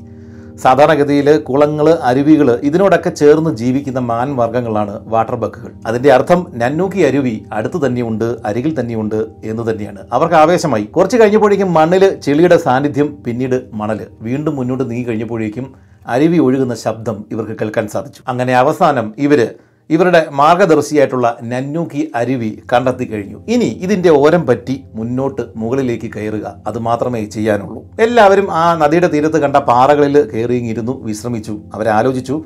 ഈ ഭൂപ്രകൃതി വെച്ചിട്ടും ഈ ടിന്നിന്റെ കാനിലെ ഫോട്ടോ വെച്ചിട്ടും നക്ഷത്രങ്ങൾ നോക്കിയൊക്കെ കറക്റ്റായിട്ട് തങ്ങൾ അവസാനം ഈ നന്നൂക്കി പുഴ വരെയും വെടി കൊള്ളാതെ എത്തിച്ചേർന്നു. അതൊരു വലിയ വിജയം തന്നെയാണ്. എല്ലാവരും അങ്ങോട്ടും ഇങ്ങോട്ടും നോക്കി ചിരിക്കുകയും വർത്തമാനം പറയുകയും ചെയ്തു. ശേഷം അനേകം വാട്ടർ ബോട്ടിലുകളിൽ ഇവർ ദേഹം മുഴുവൻ വെച്ചിട്ടുണ്ടായിരുന്ന ആ ജലം മുഴുവൻ ഇവർ ഒഴുക്കിക്കളഞ്ഞു. ഇനി അത്രയും ഭാരം കുറച്ച് വഹിച്ചാൽ മതി. ഈ പുഴയുടെ തീരത്തൂടെയാണ് ഇനി പോകുന്നത്. ഇനി എപ്പോഴെങ്കിലും ഈ പുഴയിൽ നിന്ന് മാറേണ്ട ആവശ്യം വന്നാൽ മാത്രം ഈ വാട്ടർ ബോട്ടിലുകൾ റീഫില്ല് ചെയ്താൽ മാത്രം മതി. നദിയിലെ ജലത്തിൽ അവർ മുഖം കഴുകി ശേഷം ആവോളം ജലം കുടിച്ചു. പുതിയൊരു മനുഷ്യനായതുപോലെയാണ് അവർക്കെല്ലാവർക്കും തോന്നിയത്. നല്ല ഉന്മേഷം. നല്ല ആവേശം. ബെനൂസി ചിന്തിച്ചു കനത്ത വേനലാണ്. പക്ഷേ ഈ നന്നൂക്കി പുഴ നല്ല രീതിയിൽ അരുവിയാണ് ചെറിയൊരു അരുവിയാണ്. അത് നല്ല രീതിയിൽ വെള്ളം നിറഞ്ഞ് ഒഴുകുന്നുണ്ട്. എന്താണ് അതിന്റെ അർത്ഥം? അതിന്റെ അർത്ഥം മറ്റൊന്നുമല്ല. നന്നൂക്കി ഉത്ഭവിക്കുന്നത് അങ്ങ് ദൂരെ കാണുന്ന മൗണ്ട് കെന്നിയയുടെ ആ ഹിമാനികളിൽ നിന്നാണ്. അത് ഉരുകിയിട്ടുള്ള ജലമാണ് ഈ വേനൽക്കാലത്തും ഇവിടെ ഈ നന്നൂക്കി പുഴയിൽ എത്തിച്ചേരുന്നത്. തങ്ങൾ ശരിയായ പാതയിലാണ് ശരിയായ ദിശയിൽ തന്നെയാണ്. പക്ഷേ നദിയുടെ ഓരം പറ്റി ഒരു പുഴയുടെ അരുവിയുടെ ഓരം പറ്റി നടക്കുക എന്നുള്ളത് അത്ര എളുപ്പമുള്ള പണിയല്ല എന്ന് നിമിഷങ്ങൾക്കുള്ളിൽ അവർക്ക് മനസ്സിലായി. തീരങ്ങൾ മുഴുവൻ ചെളി മണൽ അല്ലെങ്കിൽ വഴുവഴുത്ത പാറകൾ ഈ പാറകളിലൂടെ ശ്രദ്ധിച്ച് താഴെ വീഴാതെ അങ്ങോട്ടും ഇങ്ങോട്ടും ചാടി വേണം ഇതിന്റെ തീരത്തുകൂടി ഇവർക്ക് നടക്കാനായിട്ട്. കൂടാതെ ഈ നന്നൂക്കി അരുവി എസ് പോലെ വളഞ്ഞും തിരിഞ്ഞും ഒക്കെയാണ് ഒഴുകുന്നത്. ഇതിനെ തന്നെ ഫോളോ ചെയ്ത് കഴിഞ്ഞാൽ ഇവർ കൂടുതൽ ദൂരം ആയാസപ്പെട്ട് സഞ്ചരിക്കേണ്ടി വരും. ഇടയ്ക്ക് ഇവർക്ക് വേണമെങ്കിൽ ഈ ക്രോസ് കട്ട് ചെയ്ത് ഈ നദിയുടെ അപ്പുറത്തെ വളവിൽ എത്തിച്ചേരാവുന്നതേ ഉള്ളൂ. പക്ഷേ ആ സമയത്ത് കാട്ടിലൂടെ ഇവർക്ക് സഞ്ചരിക്കേണ്ടി വരും. അത് അപകടമാണ്. ഇവർ ഇടയ്ക്ക് അതൊന്ന് ട്രൈ ചെയ്തു. പക്ഷേ ഇവർക്ക് മനസ്സിലായി അതും സാധ്യമല്ല. കാരണം ഇടതൂർന്ന അടിക്കാടുള്ള ഒരു വനമാണ്. അത് വെട്ടിത്തെളിച്ച് മുന്നേറുന്ന സമയമുണ്ടെങ്കിൽ ഈ പാറ വഴി ചാടി ഈ പുഴയുടെ തീരത്തൂടെ തന്നെ അങ്ങോട്ടും ഇങ്ങോട്ടും ചാടി നടക്കുന്നതാണ് എളുപ്പം എന്ന് ഇവർക്ക് മനസ്സിലായി. പക്ഷെ ഒരു കാര്യം ഉറപ്പാണ്. യുക്തി അനുസരിച്ചിട്ട് പുഴയുടെ തീരത്തൂടെയോ അല്ലെങ്കിൽ ഷോക്കട്ട് ചാടി ഈ കാട്ടിലൂടെയോ സഞ്ചരിക്കണം എന്നുണ്ടെങ്കിൽ ഇത് പകൽ സമയത്ത് മാത്രമേ ഇവർക്ക് പറ്റുകയുള്ളൂ. കാരണം അടുത്തത് വളവാണോ എങ്ങോട്ടാണ് ഈ നദി പോകുന്നത് എന്നൊന്നും ഇവർക്ക് രാത്രിയിൽ കാണാൻ പറ്റുന്നില്ല. അതുകൊണ്ട് കൂടുതൽ ദൂരം സഞ്ചരിക്കേണ്ടി വരും. അങ്ങനെ അവസാനം ഈ രാത്രിയിൽ വെറുതെ ഇങ്ങനെ യാത്ര ചെയ്തുകൊണ്ട് ഒരു കാര്യവുമില്ല എന്നിവർക്ക് മനസ്സിലായി. രണ്ട് മണിയോടെ ഇവർ യാത്ര അവസാനിപ്പിച്ചിട്ട് ഒരു സ്ഥലത്ത് വിശ്രമിച്ചു. രാത്രിയിലെ ചുറ്റിനും പല മൃഗങ്ങളുടെ ശബ്ദങ്ങൾ ഇവർക്ക് ഈ നദിയുടെ തീരത്ത് നിന്ന് അകത്തുള്ള കാട്ടിൽ നിന്നും ഒക്കെ കേൾക്കുന്നുണ്ട്. അതൊക്കെ ഏതൊക്കെ മൃഗങ്ങളാണ് എന്നൊക്കെ തിരിച്ചറിയാനായിട്ട് കാവലിരുന്ന ആളുകൾ ഒരു ശ്രമമൊക്കെ നടത്തി ചിലതൊക്കെ ഏതൊക്കെയാണ് എന്നവർക്ക് മനസ്സിലായി. എന്നാൽ ചില മൃഗങ്ങൾ അതെന്താണ് എന്നൊന്നും ഇവർക്ക് മനസ്സിലായതേയില്ല. ഇവരുടെ ഭാഗ്യത്തിന് ഇവർ ഈ നദിയിൽ തന്നെയുള്ള നടുക്കുള്ള ഒരു പാറയുടെ മുകളിലാണ് കിടന്ന് ഉറങ്ങുന്നത്. അതുകൊണ്ട് വേറെ മൃഗങ്ങളുടെ ആക്രമണങ്ങളൊന്നും ഇവർക്ക് ആ രാത്രിയിൽ ഏൽക്കേണ്ടി വന്നില്ല. രാവിലെ ആറു മണിക്ക് തന്നെ ആ സമയത്ത് ഊഴമിട്ട് കാവലിരുന്ന ബെനൂസി ബാക്കി രണ്ടുപേരെയും വിളിച്ചുണർത്തി ഒരു ചെറിയൊരു കോഫി കുടിച്ചു പിന്നെ രണ്ട് ബിസ്ക്കറ്റ്. ഇത്രയുമായിരുന്നു അവരുടെ പ്രഭാത ഭക്ഷണം. നേരം പൂർണമായിട്ടും വെളുത്ത ശേഷമാണ് ഇവർ യാത്ര തുടർന്നത്. നല്ല പ്രകാശമൊക്കെ പരന്ന ശേഷമാണ് ഇവർ മുന്നോട്ട് നീങ്ങിയത്. അരുവിയുടെ ഈ ഒരു ഭാഗങ്ങളിലെല്ലാം പല സ്ഥലങ്ങളിലും ഈ നാട്ടുകാരുടെ കന്നുകാലികൾ വന്നു പോകുന്ന പാടുകളും കാര്യങ്ങളും ഒക്കെ ഇവർ കണ്ടു. നാട്ടുകാർ നടക്കുന്ന ഊടുവഴികൾ കാട്ടുപാതകളൊക്കെ ഇവർ കാണുന്നുണ്ടായിരുന്നു. പക്ഷേ ഒരു രണ്ട് മണിക്കൂർ ഇവർ മുന്നോട്ട് പോയി കഴിഞ്ഞപ്പോഴേക്കും ഈ നാട്ടുകാരുടെ കാട്ടുപാതകളും ഈ ഈ കന്നുകാലികളുടെയൊക്കെ ആ പാടുകളും ഒക്കെ അപ്രത്യക്ഷമായി. പൂർണമായിട്ടും മനുഷ്യനോ അല്ലെങ്കിൽ കന്നുകാലികളോ വന്ന് കയറാത്ത കാട്ടിലേക്കാണ് ആ ഒരു ഭാഗത്താണ് ഇപ്പോൾ ഇവരുള്ളത്. ശരിക്കും പറഞ്ഞാൽ അപ്പോഴാണ് അവരുടെ മുഖത്ത് ഒരു ആശ്വാസത്തിന്റെ ചിരി ഉണർന്നത്. കാരണം ഇനി ആരും ഇവരെ പിടികൂടാനായിട്ട് വരില്ല. ഇവർ തികച്ചും സ്വതന്ത്രമായ ഒരു സ്ഥലത്താണ് ഇപ്പോഴുള്ളത്. ഒരൊറ്റ മനുഷ്യനില്ല ആർക്കും അവരിവിടെയാണ് എന്നുള്ളത് അറിയില്ല. ഇത് ബെനൂസി പറഞ്ഞു കഴിഞ്ഞപ്പോഴേക്കും ബാക്കി രണ്ടുപേരും ഒരു നിമിഷം ബെനൂസിയെ നോക്കി. അതിനുശേഷം മൂന്ന് പേരും ഉച്ചത്തിൽ അലറി ചിരിച്ചു. ഇങ്ങനെ ഒരു തടസ്സങ്ങളോ കെട്ടുപാടുകളോ ഒന്നുമില്ലാതെ ഇവർക്ക് ഇത്ര സ്വതന്ത്രമായിട്ട് ചിരിക്കാനായിട്ട് വർഷങ്ങളായിട്ട് സാധിച്ചിട്ടുണ്ടായിരുന്നില്ല. ഈ ചിരിക്കിടയിൽ എൻസോ ഇവരോട് ചോദിച്ചു ഇനി എനിക്ക് ചുമയ്ക്കാമല്ലോ? അല്ലേ? ശേഷം സ്വാതന്ത്ര്യം കിട്ടിയതൊന്ന് ആഘോഷിക്കണം എന്ന് തോന്നി. ഇവരൊരു സ്ഥലത്തിരുന്നുകൊണ്ട് വീണ്ടും ഒരു കോഫി ഉണ്ടാക്കിയിട്ട് ഇവർ മൂന്ന് പേരും കൂടെ കുടിക്കുകയും വർത്തമാനം പറയുകയും ഉച്ചത്തിൽ ചിരിക്കുകയും ചെയ്തു. ഇനി അങ്ങോട്ട് മനുഷ്യനെ ഭയക്കേണ്ട മൃഗങ്ങളെയും പ്രകൃതിയെയും മാത്രം ഭയപ്പെട്ടാൽ മതി. എന്താണേലും വീണ്ടും ഒന്ന് രണ്ട് മണിക്കൂറിൽ കൂടി കടന്നുപോയി. കുറച്ച് കഴിഞ്ഞപ്പോഴേക്കും ചെറിയൊരു മഴ പെയ്തു. അതിനുശേഷം പ്രകൃതി അപ്പാടെ അങ്ങ് മാറി. തൊട്ടരികിലൂടെ നന്നൂക്കി അരുവി ഒഴുകുന്ന ശബ്ദം. കിളികളുടെ കളകളാരവം. അതുമാത്രവുമല്ല ഇരുവശങ്ങളിൽ നിന്നും ആ കാട്ടിൽ നിന്നും ഉള്ളിൽ നിന്നും ഉയരുന്ന വന്യമൃഗങ്ങളുടെ ശബ്ദം. എല്ലാം കൂടെ കൂടിയിട്ട് ഇവർ വല്ലാത്തൊരു മായാ ലോകത്തിൽ അകപ്പെട്ടതുപോലെ അവർക്ക് തോന്നി. പാറകളിൽ നിന്ന് പാറകളിലേക്ക് ചാടി ചാടിയാണ് ഇവർ സഞ്ചരിക്കുന്നത്. ഈ സമയത്ത് നദിയുടെ ഇരുവശങ്ങളിലും പുഷ്പിച്ചു നിൽക്കുന്ന അനേകം സസ്യങ്ങളുണ്ടായിരുന്നു. പുറകിലത്തെ ആ കാടിന്റെ ഇരുണ്ട പശ്ചാത്തലത്തിൽ ഈ സസ്യങ്ങളുടെ പുഷ്പങ്ങൾക്ക് മറ്റൊരു സൗന്ദര്യം ഉള്ളതായിട്ട് ഇവർക്ക് തോന്നി. ചില സ്ഥലങ്ങളിൽ അരുവി ചെറിയ ചെറിയ കുളങ്ങൾ സൃഷ്ടിക്കുന്നുണ്ടായിരുന്നു. ഈ കുളങ്ങളിൽ ഇവർ പെട്ടെന്ന് അങ്ങോട്ടേക്ക് വന്ന് കയറി കഴിയുമ്പോഴേക്കും കുളങ്ങളിൽ നീന്തി തുടിച്ചുകൊണ്ടിരുന്ന ആഫ്രിക്കൻ താറാവുകൾ ഇവർ ഇവരെ കണ്ടു കഴിയുമ്പോഴേക്കും പെട്ടെന്ന് പറന്നലച്ച് അല്ലെങ്കിൽ നാല് വശത്തേക്കും ചിതറി മാറുന്നതും പറന്നു പോകുന്നതും ഒക്കെ ഇവർ കണ്ടു. ഓരോ വളവുകളിലും ഇതുപോലെ പല രീതിയിലുള്ള പുതിയ പുതിയ കാഴ്ചകളാണ് ഇവരെ കാത്തിരുന്നത്. തിരികെ ക്യാമ്പിൽ ചെന്ന് കഴിയുമ്പോഴേക്കും ഇരുപത്തിയെട്ട് ദിവസത്തെ ഏകാന്തവാസം. ഇത് മാത്രമാണ്. ഇത്രയും മനോഹരമായ കാഴ്ചകളെല്ലാം കണ്ടിട്ട് നമ്മൾ തിരികെ ചെല്ലുമ്പോൾ നമുക്ക് ചിലവാകുന്ന ഏക സാധനം. ചിരിച്ചുകൊണ്ട് ജോവന്നി മറ്റുള്ള ആളുകളോട് പറഞ്ഞു അത് അമ്പത്താറായാലും നഷ്ടമില്ല എന്നാണ് എൻസോ പറഞ്ഞത്. തനിക്കൊരു പത്ത് വയസ്സ് കുറഞ്ഞതായിട്ടാണ് ബെനോസിക്ക് തോന്നിയത്. ചുരുക്കത്തിൽ ഈ മൂന്ന് പേരും അവരുടേതായ രീതിയിൽ ആസ്വദിച്ചാണ് ഈ ഒരു യാത്ര മുന്നോട്ട് പോയിക്കൊണ്ടിരിക്കുന്നത്. പെട്ടെന്ന് അരുവിയിലേക്ക് ചാഞ്ഞു കിടന്നിരുന്ന വലിയൊരു മരത്തിന്റെ ശിഖരങ്ങൾ അങ്ങോട്ടും ഇങ്ങോട്ടും ആരോ ആട്ടി വിട്ടതുപോലെ കിടന്ന് ആടാനായിട്ട് തുടങ്ങി. നോക്കൂ കൊളോബസ് മങ്കികൾ എൻസോ ഉറക്കെ വിളിച്ചു പറഞ്ഞു. ഈ കുരങ്ങുകൾ അങ്ങോട്ടും ഇങ്ങോട്ടും ചാടിക്കളിക്കുന്നത് കണ്ട് ഇവർ കുറേ നേരം അവിടെ നിന്നു. വീണ്ടും കുറച്ചുകൂടി മുന്നോട്ട് നീങ്ങിക്കഴിഞ്ഞപ്പോഴേക്കും നദിയുടെ ഇരുവശങ്ങളിലും മുളങ്കാടുകൾ പ്രത്യക്ഷപ്പെട്ടു തുടങ്ങി. ഈ മുളങ്കാടുകൾക്കിടയിലുള്ള വഴികൾ മനുഷ്യൻ നടന്നുണ്ടായതല്ല. കൂറ്റൻ മൃഗങ്ങൾ അങ്ങോട്ടും ഇങ്ങോട്ടും സ്ഥിരമായിട്ട് വെള്ളം കുടിക്കാനായിട്ട് വന്നു പോകുന്ന ആനത്താരകളോ അല്ലെങ്കിൽ കാട്ടുമൃഗങ്ങളുടെ വഴികളോ ആണ് അത്. ഈ അരുവിക്ക് സമാന്തരമായിട്ടാണ് ഇത്തരം പല വഴികളും പോയിക്കൊണ്ടിരിക്കുന്നത്. അവിടെ കാണുന്ന കാഷ്ടങ്ങൾ പിണ്ടങ്ങളൊക്കെ ആനയുടെയോ കാണ്ടാമൃഗത്തിന്റെയോ കാട്ടുപൂത്തിന്റെയോ ഒക്കെ ആവാം. അതൊന്നും അന്വേഷിക്കാനായിട്ട് അവർ നിന്നില്ല. അവർ ശാന്തമായിട്ട് തന്നെ ഈ ഒരു നദിയുടെ തീരങ്ങൾ വഴി അല്ലെങ്കിൽ നദിയിലൂടെ തന്നെ ഈ പാറകളിലൂടെ അങ്ങോട്ടും ഇങ്ങോട്ടും ചാടി മണലിൽ കൂടെ നടന്ന് അങ്ങനെ ഇവർ സാവധാനം വീണ്ടും മുന്നോട്ട് നടന്നു. എന്നാൽ പതിനൊന്ന് മണിയോടെ പ്രകൃതി പെട്ടെന്ന് അങ്ങ് നിശ്ചലമായി. അതുവരെ ഉണ്ടായിരുന്ന പല ശബ്ദങ്ങളും ഇല്ലാതായി. ആകെ ഒരു മൂകത. കാറ്റ് പോലും പെട്ടെന്നങ്ങ് നിലച്ചു. അതോടുകൂടി അവരുടെ ആവേശവും പെട്ടെന്നങ്ങ് അണഞ്ഞു. എല്ലാവരിലും അകാരണമായിട്ടുള്ള ഒരു ദുഃഖം നിഴലിച്ചു. ഈ നദിയുടെ ഓരം പറ്റിയിട്ട് കാട്ടുമൃഗങ്ങളുടെ വഴി ഉണ്ടായിട്ട് കൂടി അതുവഴി സഞ്ചരിക്കാനുള്ള ധൈര്യം അവർക്കുണ്ടായില്ല. മുന്നിലെ പാറകളിൽ രക്തം ചിതറിക്കിടക്കുന്നത് കണ്ട് അവരൊന്ന് ഞെട്ടി. ഏതോ ഒരു മൃഗം തന്റെ ഇരയെയും കടിച്ചെടുത്തുകൊണ്ട് ഈ ഒരു വഴി പാറകളിലൂടെ ചാടി ചാടി പോയിട്ടുണ്ട്. അത് ആനയോ കാണ്ടാമൃഗമോ കാട്ടുപോത്തോ അല്ല എന്നവർക്ക് മനസ്സിലായി. വിരണ്ടുപോയ അവർ അതിവേഗം ഒരു വലിയൊരു പാറയുടെ മുകളിലേക്ക് ചാടിക്കേറി ഇരുന്നിട്ട് അങ്ങോട്ടും ഇങ്ങോട്ടും തിരിഞ്ഞ് പുറം തിരിഞ്ഞ് ഇരുന്നു. സാധാരണഗതിയിൽ കാട്ടുപോത്തുകൾ ഇങ്ങനെയുള്ള ആക്രമണങ്ങൾ ഒക്കെ വരുന്ന സമയത്ത് ഇങ്ങനെ ത്രികോണാകൃതിയിലോ അല്ലെങ്കിൽ വൃത്താകൃതിയിലോ പുറം തിരിഞ്ഞ് നിന്ന് ഈ ശത്രുക്കളെ എതിർക്കുന്ന പതിവുണ്ട്. ആ ഒരു രീതിയിലാണ് ഇവർ അങ്ങോട്ടും ഇങ്ങോട്ടും പുറംതിരിഞ്ഞ് ഈ ഒരു പാറയുടെ മുകളിൽ ഇരുന്നത്. അതുകൊണ്ട് നാല് വശവും ഇവർക്ക് കറക്റ്റായിട്ട് കാണാനായിട്ട് സാധിക്കും. എത്ര നേരം അവിടെ അങ്ങനെ ഇരുന്നു എന്നവർക്ക് അറിയില്ല. കുറേ നേരം കഴിഞ്ഞിട്ടും യാതൊരു അനക്കവും കാണാത്തത് കൊണ്ട് അവർ പെട്ടെന്ന് ആ പാറയുടെ മുകളിൽ നിന്ന് താഴേക്ക് ചാടി ഇറങ്ങിയിട്ട് അവിടെ നിന്ന് വീണ്ടും മുന്നോട്ട് ഓടി അല്ലെങ്കിൽ അതിവേഗത്തിൽ അവർ നടന്നകന്നു. വീണ്ടും രണ്ട് മൂന്ന് വളവുകൾ കഴിഞ്ഞ ശേഷം ഇവരാകെ ക്ഷീണിതരായി. അന്നത്തെ ദിവസം ഇനി യാത്ര ചെയ്യേണ്ട എന്നവർ തീരുമാനിച്ചു. അപ്പോൾ ശരിക്കും പറഞ്ഞാൽ ഉച്ച കഴിഞ്ഞിട്ട് ഒരു മണിയായിട്ടേ ഉണ്ടായിരുന്നുള്ളൂ. എങ്കിലും ഇനി യാത്ര ചെയ്യുന്നത് നല്ലതല്ല എന്നവർക്ക് മനസ്സിലായി. കാരണം ഇവർക്ക് ഒരു ടെന്റ് അടിക്കേണ്ടതാണ്. ഇത് കൂടാതെ ഇവർക്ക് വലിയ ആഴി ഉണ്ടാക്കി സൂക്ഷിക്കേണ്ടതാണ്. കാരണം ഇത് വനമാണ് ഇരപിടിയൻ മൃഗങ്ങൾ ഉണ്ടാവാം. രാത്രി മുഴുവൻ അത് കെടാതെ സൂക്ഷിക്കുകയും വേണം. നല്ല രീതിയിൽ വിറക് സംഭരിക്കണം. ഇങ്ങനെയുള്ള പണികളെല്ലാം കിടക്കുകയാണ്. കൂടാതെ ഈ ഒരു ആഴി ഒരു പതിനാല് മണിക്കൂറെങ്കിലും ഇവർ കത്തിച്ച് നിർത്തുകയും വേണ്ടതാണ്. എന്താണെങ്കിലും ഇത്രയും പണികൾ ബാക്കി ഉള്ളതുകൊണ്ട് തന്നെ ഇവർ ഈ ഒരു മണിയായപ്പോഴേക്കും അവിടെ നല്ലൊരു സ്ഥലം കണ്ടെത്തിയിട്ട് അവിടെ ടെന്റ് അടിക്കാൻ വേണ്ടിയിട്ട് ഇവർ തീരുമാനമെടുത്തു. ചുറ്റിനും മൃഗങ്ങളുടെ അലർച്ച അവരുടെ സാന്നിധ്യം ഇതെല്ലാം കണ്ടതോടെ ഇവർക്ക് തങ്ങളൊരു മൃഗശാലയ്ക്കകത്ത് കിടക്കുന്നത് പോലെയാണ് അനുഭവപ്പെട്ടത്. എന്താണേലും കുറച്ച് കഴിഞ്ഞപ്പോഴേക്കും ഇവർ പണികളൊക്കെ തീർത്തു. അതിനുശേഷം പുഴയിലൊന്ന് കാര്യമായിട്ടൊന്ന് മുങ്ങിക്കുളിച്ചു. അതിനുശേഷം മുമ്പ് പറഞ്ഞതുപോലെ വലിയൊരു ആഴി ഉണ്ടാക്കി. ആ ആഴി ബാക്കി സ്ഥലങ്ങളിലേക്ക് പടരാതിരിക്കാൻ വേണ്ടിയിട്ട് ഇവർ ചുറ്റും കല്ലുകളൊക്കെ പാകി. അതിനുശേഷം അത്താഴം കഴിച്ചു. ഇനി ഊഴമിട്ട് കാവലിരിക്കുകയാണ് വേണ്ടത്. ഇവർ നോക്കിക്കഴിഞ്ഞപ്പോഴേക്കും ഈ ലോകത്താകെ ജീവനുള്ള ഒരു വസ്തു തങ്ങൾ ഈ കൊളുത്തി വെച്ചിരിക്കുന്ന ആഴിയാണ് എന്ന് തോന്നിപ്പോയി. കാരണം ഇരുട്ടത്ത് ഇവർക്ക് മറ്റൊന്നും കാണാനായിട്ട് പറ്റുന്നില്ല. എന്നാൽ അതിന്റെ പുറകിൽ നിന്ന് പല ടൈപ്പ് ശബ്ദങ്ങൾ ഉയരുന്നുണ്ട്.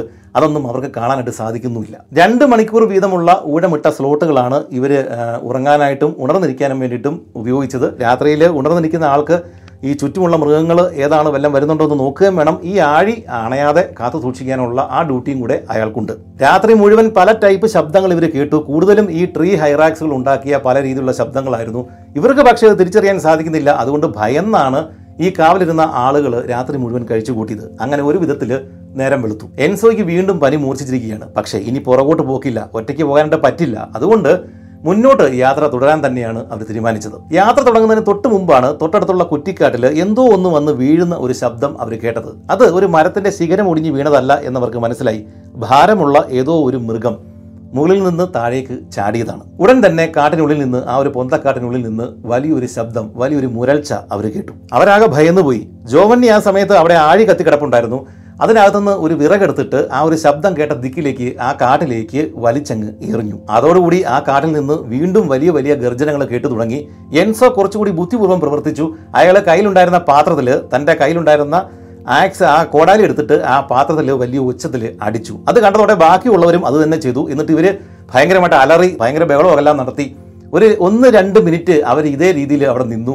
എന്താണേലും ആ കാട്ടിലുണ്ടായിരുന്ന മൃഗത്തിന് ഇതൊന്നും ഇഷ്ടപ്പെട്ടില്ല. അവൻ ഒന്നുകൂടി അലറി പെട്ടെന്ന് അവിടെ നിന്ന് സ്ഥലം വിട്ടു. സത്യത്തിൽ അതിനുള്ളിൽ ഏത് മൃഗമായിരുന്നു ഉണ്ടായിരുന്നു എന്നുള്ളത് ഇവർക്ക് മനസ്സിലായതേ ഇല്ല. അത് പുലി തന്നെ ആവാനാണ് സാധ്യത എന്നാണ് ബനൂസി അഭിപ്രായപ്പെടുന്നത്. എന്താണേലും അവരവിടെ നിന്നില്ല. അതിവേഗം അവിടെ നിന്ന് സ്ഥലം വിട്ടു. അന്നത്തെ ദിവസം മുന്നോട്ടുള്ള യാത്രയിൽ ഒരുപാട് മൃഗങ്ങളുള്ള സ്ഥലം വഴിയാണ് തങ്ങൾ യാത്ര ചെയ്യുന്നത് എന്ന് അവർക്ക് മനസ്സിലായി. കാരണം ആനപ്പിണ്ടങ്ങൾ ഈ കാട്ടുപോത്തിന്റെ അവശിഷ്ടങ്ങൾ അങ്ങനെ പല സാധനങ്ങൾ ഈ അരുവിയുടെ പല സ്ഥലങ്ങളിലും കിടക്കുകയാണ്. ഒരുപാട് കാട്ടുവഴികൾ ഈ മൃഗങ്ങൾ സഞ്ചരിക്കുന്ന വഴികൾ ഈ അരുവിയുടെ തീരങ്ങളിൽ നിന്ന് അകത്തേക്ക് കയറി പോകുന്നുണ്ട്. ഇത് മാത്രമല്ല പലപ്പോഴും വെള്ളം കുടിച്ചുകൊണ്ട് നിൽക്കുന്ന ആനക്കൂട്ടങ്ങളെയും കാട്ടുപോത്തുകളെയും കാണ്ടാമൃഗങ്ങളെയും ഇവർ കണ്ടു.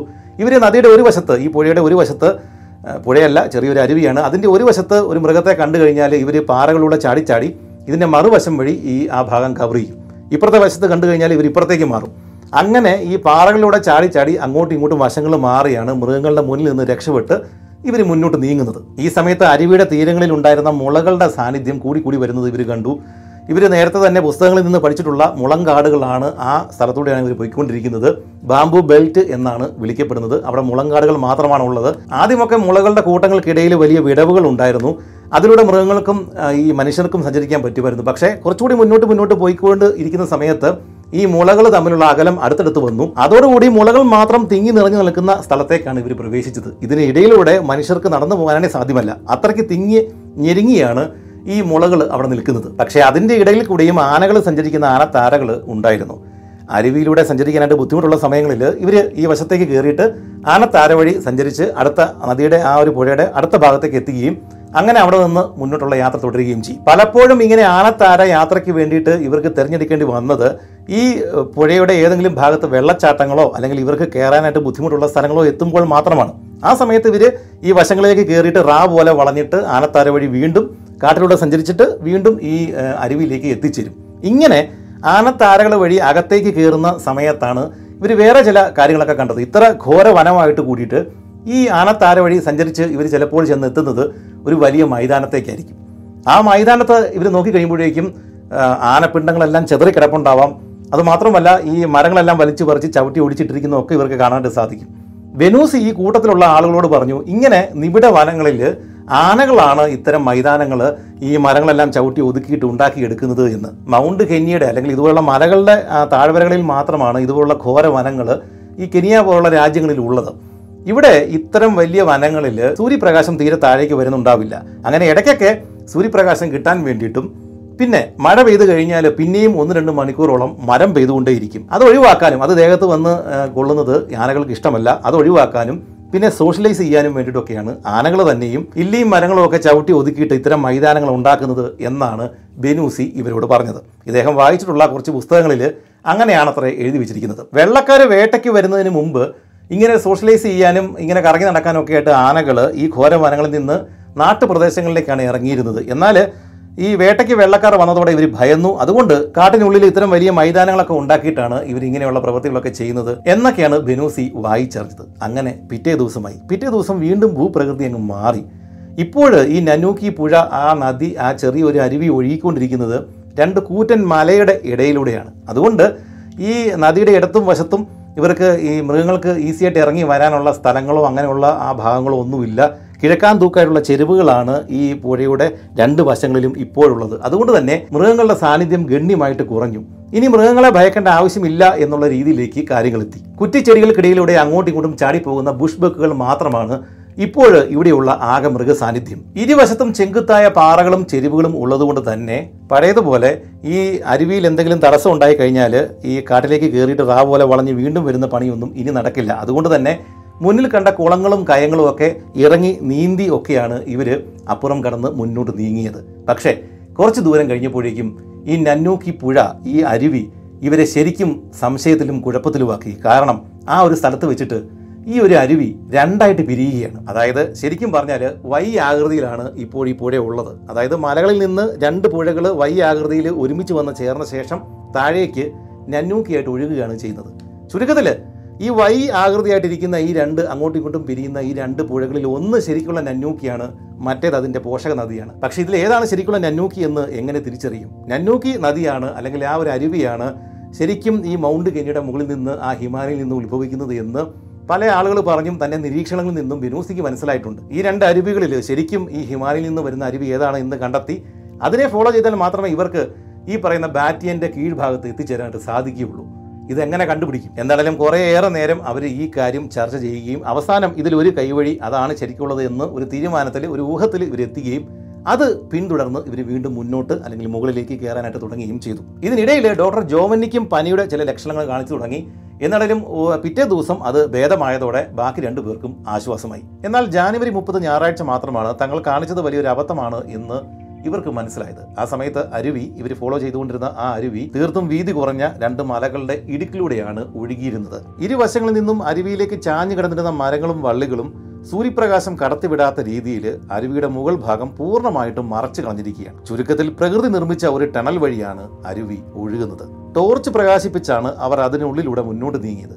കുറേയേറെ നേരത്തിന് ശേഷം അവർ ആ തുരങ്കത്തിൽ നിന്നും പുറത്തേക്ക് വന്നു. പക്ഷേ ആ കാഴ്ച കണ്ട് അവർ ഞെട്ടിപ്പോയി. ഒരു ചെറു തടാകമാണ് ഇപ്പോൾ അവരുടെ മുന്നിൽ പ്രത്യക്ഷപ്പെട്ടിരിക്കുന്നത്. തടാകത്തിന് ചുറ്റും മലകൾ തീർത്ത ചെങ്കുത്തായ ഭിത്തികൾ. ഇവിടെ നിന്നാണ് ആ അരുവി ഉത്ഭവിക്കുന്നത്. ചുരുക്കത്തിൽ ആ വഴി അവസാനിച്ചു. അവരുടെ അനുമാനം തെറ്റായിരുന്നു. ശരിക്കുള്ള നന്നൂക്കി ഇതല്ല രണ്ടാമത്തെ അരുവിയായിരുന്നു. ഇവരുടെ മുന്നിൽ ഇനി രണ്ട് വഴികളാണ് ഉള്ളത്. ഒന്നുകിൽ ഇതേ അരുവിയുടെ തീരം പറ്റിയിട്ട് വീണ്ടും തിരിച്ചു നടക്കുക. എന്നിട്ട് ആ അരുവികൾ രണ്ടായിട്ട് പിരിയുന്ന സ്ഥലത്ത് എത്തിയ ശേഷം രണ്ടാമത്തെ വഴിയിലൂടെ ആ അരുവിയിലൂടെ മുന്നോട്ട് നീങ്ങുക. അത് വളരെയധികം സമയമെടുക്കുന്ന ഒരു ഒരു പരിപാടിയാണ്. പക്ഷേ അടുത്ത വഴിയാണ് എളുപ്പം. മുമ്പ് പറഞ്ഞല്ലോ വൈ ആകൃതിയിലാണ് ഈ അരുവികൾ രണ്ടും രണ്ടായിട്ട് പിരിഞ്ഞത്. ഇവർ ഒരു അരുവിയുടെ തീരത്താണ്. ഇനി മറ്റേ അരുവിയുടെ തീരത്തേക്ക് പോകണമെന്നുണ്ടെങ്കിൽ ഒരു ത്രികോണം പോലെയായി ത്രികോണത്തിന്റെ മൂന്നാമത്തെ വശം അതായത് ആ ഷോർട്ട് കട്ട് എടുത്തിട്ട് ഇവർക്ക് വീണ്ടും കുറച്ച് ദൂരം നടന്നു കഴിഞ്ഞാൽ ഈ രണ്ടാമത്തെ അരുവി ശരിക്കുള്ള നന്നൂക്കി കണ്ടുപിടിക്കാനായിട്ട് സാധിക്കും. പക്ഷേ കാട്ടിനുള്ളിലൂടെ വേണം ഇവർക്ക് സഞ്ചരിക്കാനായിട്ട്. അവിടെ വെള്ളം ഉണ്ടാവാൻ യാതൊരു സാധ്യതയുമില്ല. വേറെ എന്തെങ്കിലും അപകടമൊക്കെ ഉണ്ടാകാനുള്ള സാധ്യത ഉണ്ട് താനും. അതുകൊണ്ട് തന്നെ അവരെന്ത് ചെയ്തു? ഈ പറഞ്ഞ രണ്ടാമത്തെ വഴി സെലക്ട് ചെയ്യാൻ തന്നെയാണ് അവർ തീരുമാനിച്ചിരിക്കുന്നത്. അവർ ഇനി കാട്ടിലേക്ക് കയറുന്നത് കൊണ്ട് തന്നെ ഈ പുഴയിൽ നിന്ന് ഇവരുടെ വാട്ടർ ബോട്ടിലുകളിലേക്ക് വെള്ളം നിറച്ചു. ഇനി കുറച്ച് ദൂരം കാട്ടിനുള്ളിലൂടെ സഞ്ചരിച്ച് വേണം ഇവർക്ക് രണ്ടാമത്തെ അരുവി ശരിക്കുള്ള നന്നൂക്കിയിലേക്ക് ചെന്നെത്തുവാനായിട്ട്. അടിക്കാടുകൾ നിറഞ്ഞ ഒരു വനത്തിലൂടെയാണ് ഇവർ മുന്നോട്ട് നീങ്ങുന്നത്. പോകുന്ന വഴി ഒരു കാണ്ടാമൃഗത്തെയും അതിന്റെ കുട്ടികളെയും ഇവർ കണ്ടെങ്കിലും ഇവർ കൗശലപൂർവം അതിനെ ഒഴിവാക്കിയിട്ടാണ് മുന്നോട്ട് നീങ്ങിയത്. മഴയ്ക്കുള്ള ഒരു സാധ്യത മുന്നിൽ കണ്ടതിനാൽ ഇവർ നേരത്തെ തന്നെ ടെന്റ് അടിച്ചു. പിന്നീട് രണ്ട് മൂന്ന് മണിക്കൂർ നേരത്തേക്ക് ശക്തമായ കാറ്റും മഴയും ഉണ്ടായി. അത്രയും നേരം ഒന്നും ഉരിയാടാനാവാതെ അല്ലെങ്കിൽ ഒന്നും ചെയ്യാനാവാതെ ഈ ടെന്റിനുള്ളിൽ അവർ നനഞ്ഞ് കുതിർന്ന് ഇരിക്കുകയായിരുന്നു. ടെന്റെല്ലാം ചോർന്നൊലിച്ചു. അത്രയ്ക്ക് ശക്തിയേറിയ കാറ്റും മഴയുമാണ് ആ ഒരു രണ്ട് മണിക്കൂർ നേരത്തേക്ക് ഉണ്ടായത്. മഴ ശമിച്ചു കഴിഞ്ഞപ്പോഴേക്കും അവരാകെ നനഞ്ഞു കുതിർന്നിട്ടുണ്ടായിരുന്നു. ഒരു മലയുടെ ചെരുവിലായിരുന്നു ആ സമയത്ത് ഇവർ ടെന്റ് അടിച്ചിട്ടുണ്ടായിരുന്നത്. മഴ തോർന്ന് മാനം തെളിഞ്ഞു കഴിഞ്ഞപ്പോഴേക്കും താഴെ ഈ മലയുടെ ചെരുവിൽ താഴെ വിശാലമായ താഴ്വര തെളിഞ്ഞു വന്നു. ഇവരുടെ കയ്യിലുണ്ടായിരുന്ന മാപ്പ് പിന്നെ ഇവരുടെ ബുദ്ധി ഒക്കെ ഉപയോഗിച്ചിട്ട് ഇവർ പഠിച്ച ശേഷം ഇവർക്ക് മനസ്സിലായി താഴെ കാണുന്നത് തങ്ങൾ കയറി വന്ന അതേ സ്ഥലമാണ് അതേ താഴ്വരയാണ്. അങ്ങകലെ പൊട്ടുപോലെ കാണുന്നത് ആ നന്നൂക്കി എന്ന് പറഞ്ഞ ക്യാമ്പ് തന്നെ ആവാനാണ് സാധ്യത. സന്തോഷം കൊണ്ട് അവർ തുള്ളിച്ചാടി അവിടെ കിടന്ന് ബഹളമൊക്കെ വെച്ചു. പക്ഷേ കുറച്ച് കഴിഞ്ഞപ്പോഴേക്കാണ് അവർക്ക് മനസ്സിലായത് ഇവിടെ കിടന്ന് ബഹളം വെച്ചിട്ടൊന്നും ഒരു കാര്യവുമില്ല. അത്രയും ഉയരത്തിൽ അത്രയും അകലെയാണ് അവരിപ്പോൾ ഉള്ളത്. പക്ഷേ ഇതിന് ഒരു മാർഗം അല്ലെങ്കിൽ ഈ ഒരു സന്ദർഭം മുന്നിൽ കണ്ട ബെനൂസി മറ്റൊരു രസകരമായ പദ്ധതി പ്ലാൻ ചെയ്തിട്ടുണ്ടായിരുന്നു. അതായത് അവിടെ നിന്ന് ക്യാമ്പിൽ നിന്ന് ഇങ്ങോട്ടേക്ക് പോരുന്നതിന് മുമ്പ് അവിടെ ഉണ്ടായിരുന്ന കൂട്ടുകാരോട് പറഞ്ഞിരുന്നു തങ്ങളിങ്ങനെ നല്ലൊരു ഹൈറ്റിൽ എത്തിയിട്ട് ഈ ഒരു സ്ഥലം കണ്ടെത്തിയാൽ ഞങ്ങൾക്ക് കാണാനായിട്ട് സാധിക്കുന്നുണ്ടെങ്കിൽ ഞങ്ങൾ ഏതെങ്കിലും ഒരു ദിവസം വൈകിട്ട് ഞങ്ങളൊരു ആറ് മണി ഏഴ് മണി എട്ട് മണി ഒമ്പത് മണി വരെയുള്ള സമയങ്ങളിൽ ഞങ്ങൾ വലിയ ആഴി ഉണ്ടാക്കും. നിങ്ങൾ എല്ലാ ദിവസവും വൈകുന്നേരം ഈ ഒരു ഭാഗത്തേക്ക് ഈ ബാറ്റിൻ മല ഇരിക്കുന്ന മൗണ്ട് കെന്യയുടെ ഭാഗത്തേക്ക് നോക്കണം. ഞങ്ങൾ ഏത് ഉയരം വരെയും ചെന്ന് എത്തിയിട്ടുണ്ട് എന്ന് നിങ്ങൾക്കപ്പോൾ മനസ്സിലാവും. ശരിയാണ്. ഈ സമയങ്ങളിലെല്ലാം രാത്രി വൈകുന്നേരങ്ങളിൽ ഉമ്പർത്തോയും ആ ബാക്കിയുള്ള കൂട്ടുകാരും ഈ ഒരു സ്ഥലത്തേക്ക് മൗണ്ട് കെന്യ നിൽക്കുന്ന സ്ഥലത്തേക്ക് നോക്കുമായിരുന്നു ഇവരുടെ ഈ ആഴി കാണാനായിട്ട്. എന്താണേലും ഇന്ന് ഈ താഴ്വര കണ്ടെത്തിയ സ്ഥിതിക്ക് രാത്രി തന്നെ ഈ ഒരു വലിയ ആഴി കൂട്ടണം എന്നവർ തീരുമാനിച്ചു. ഏഴ് മണിക്കും ഒൻപത് മണിക്കും ഇടയ്ക്ക് ഇവർ വലിയ ആഴി ഉണ്ടാക്കി അത് വലിയ ഉയരത്തിലേക്ക് ആ ആഴി പോവുകയും ചെയ്തു. ഇവരുടെ കയ്യിലുണ്ടായിരുന്ന ആൽക്കഹോളും കാര്യങ്ങളൊക്കെ വെച്ചിട്ടാണ് ഇവർ കത്തിച്ചത്. അത്യാവശ്യം ഉണങ്ങിയ വിറകുകളും കാര്യങ്ങളും വലിയ കാടായിരുന്നതുകൊണ്ട് മഴ ഏൽക്കാത്ത ഉണങ്ങിയ പല വിറകുകൾ ഇവർക്ക് കിട്ടി. അതെല്ലാം വെച്ചിട്ട് ഒരു വിധത്തിൽ ഇവർ അന്ന് രാത്രി തന്നെ വലിയൊരു ആഴി ഉണ്ടാക്കുകയും ചെയ്തു. പക്ഷെ നമുക്കിപ്പോഴും അറിയില്ല ഈ അങ്ങ് ഉണ്ടായിരുന്ന ആ ക്യാമ്പിലുണ്ടായിരുന്ന ഉമ്പർത്തയും കൂട്ടുകാരും ഇവരുടെ ഈ ആഴി അന്ന് കണ്ടിരുന്നു എന്ന്. അന്ന് രാത്രി അതികഠിനമായ തണുപ്പുണ്ടായിരുന്നു. പിറ്റേ ദിവസം രാവിലെ തന്നെ അവർ യാത്ര തുടർന്നു. ആ സമയത്ത് പ്രകൃതി വീണ്ടും വീണ്ടും മാറിക്കൊണ്ടിരിക്കുന്നത് അവർ കണ്ടു.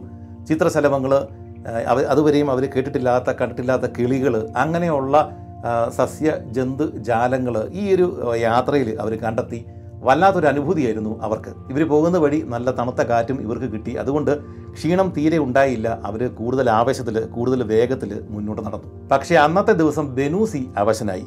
ഇതിനു മുമ്പ് എൻസോയ്ക്കും പിന്നെ ജോമനിക്കും ഉണ്ടായ അതേ പ്രശ്നം. പനി തന്നെ ഈ ബെനൂസിക്കും പിടിപെട്ടു. ഇനി തന്റെ ഊഴമാണ് എന്ന് ബെനൂസിക്ക് മനസ്സിലായി. പക്ഷേ അന്നത്തെ ദിവസം രാത്രി ഇവർ ഉറങ്ങി അതിനുശേഷം മരുന്നൊക്കെ കഴിച്ചിട്ട് ഉറങ്ങി പിറ്റേ ദിവസം രാവിലെ എഴുന്നേറ്റ ബെനൂസിക്ക് പിന്നീട് പ്രശ്നമൊന്നും ഉണ്ടായില്ല. അദ്ദേഹത്തിന്റെ അസുഖം ഒറ്റ രാത്രി കൊണ്ട് ഭേദമാകുകയും ചെയ്തു. സത്യത്തിലെ ആൾട്ടിറ്റ്യൂഡ് സിൻഡ്രം അല്ലെങ്കിൽ മൗണ്ടൻ സിക്നസ് എന്നറിയപ്പെടുന്ന ആ ഒരു അവസ്ഥയിലാണ് ബെനൂസി ഉണ്ടായിരുന്നത്.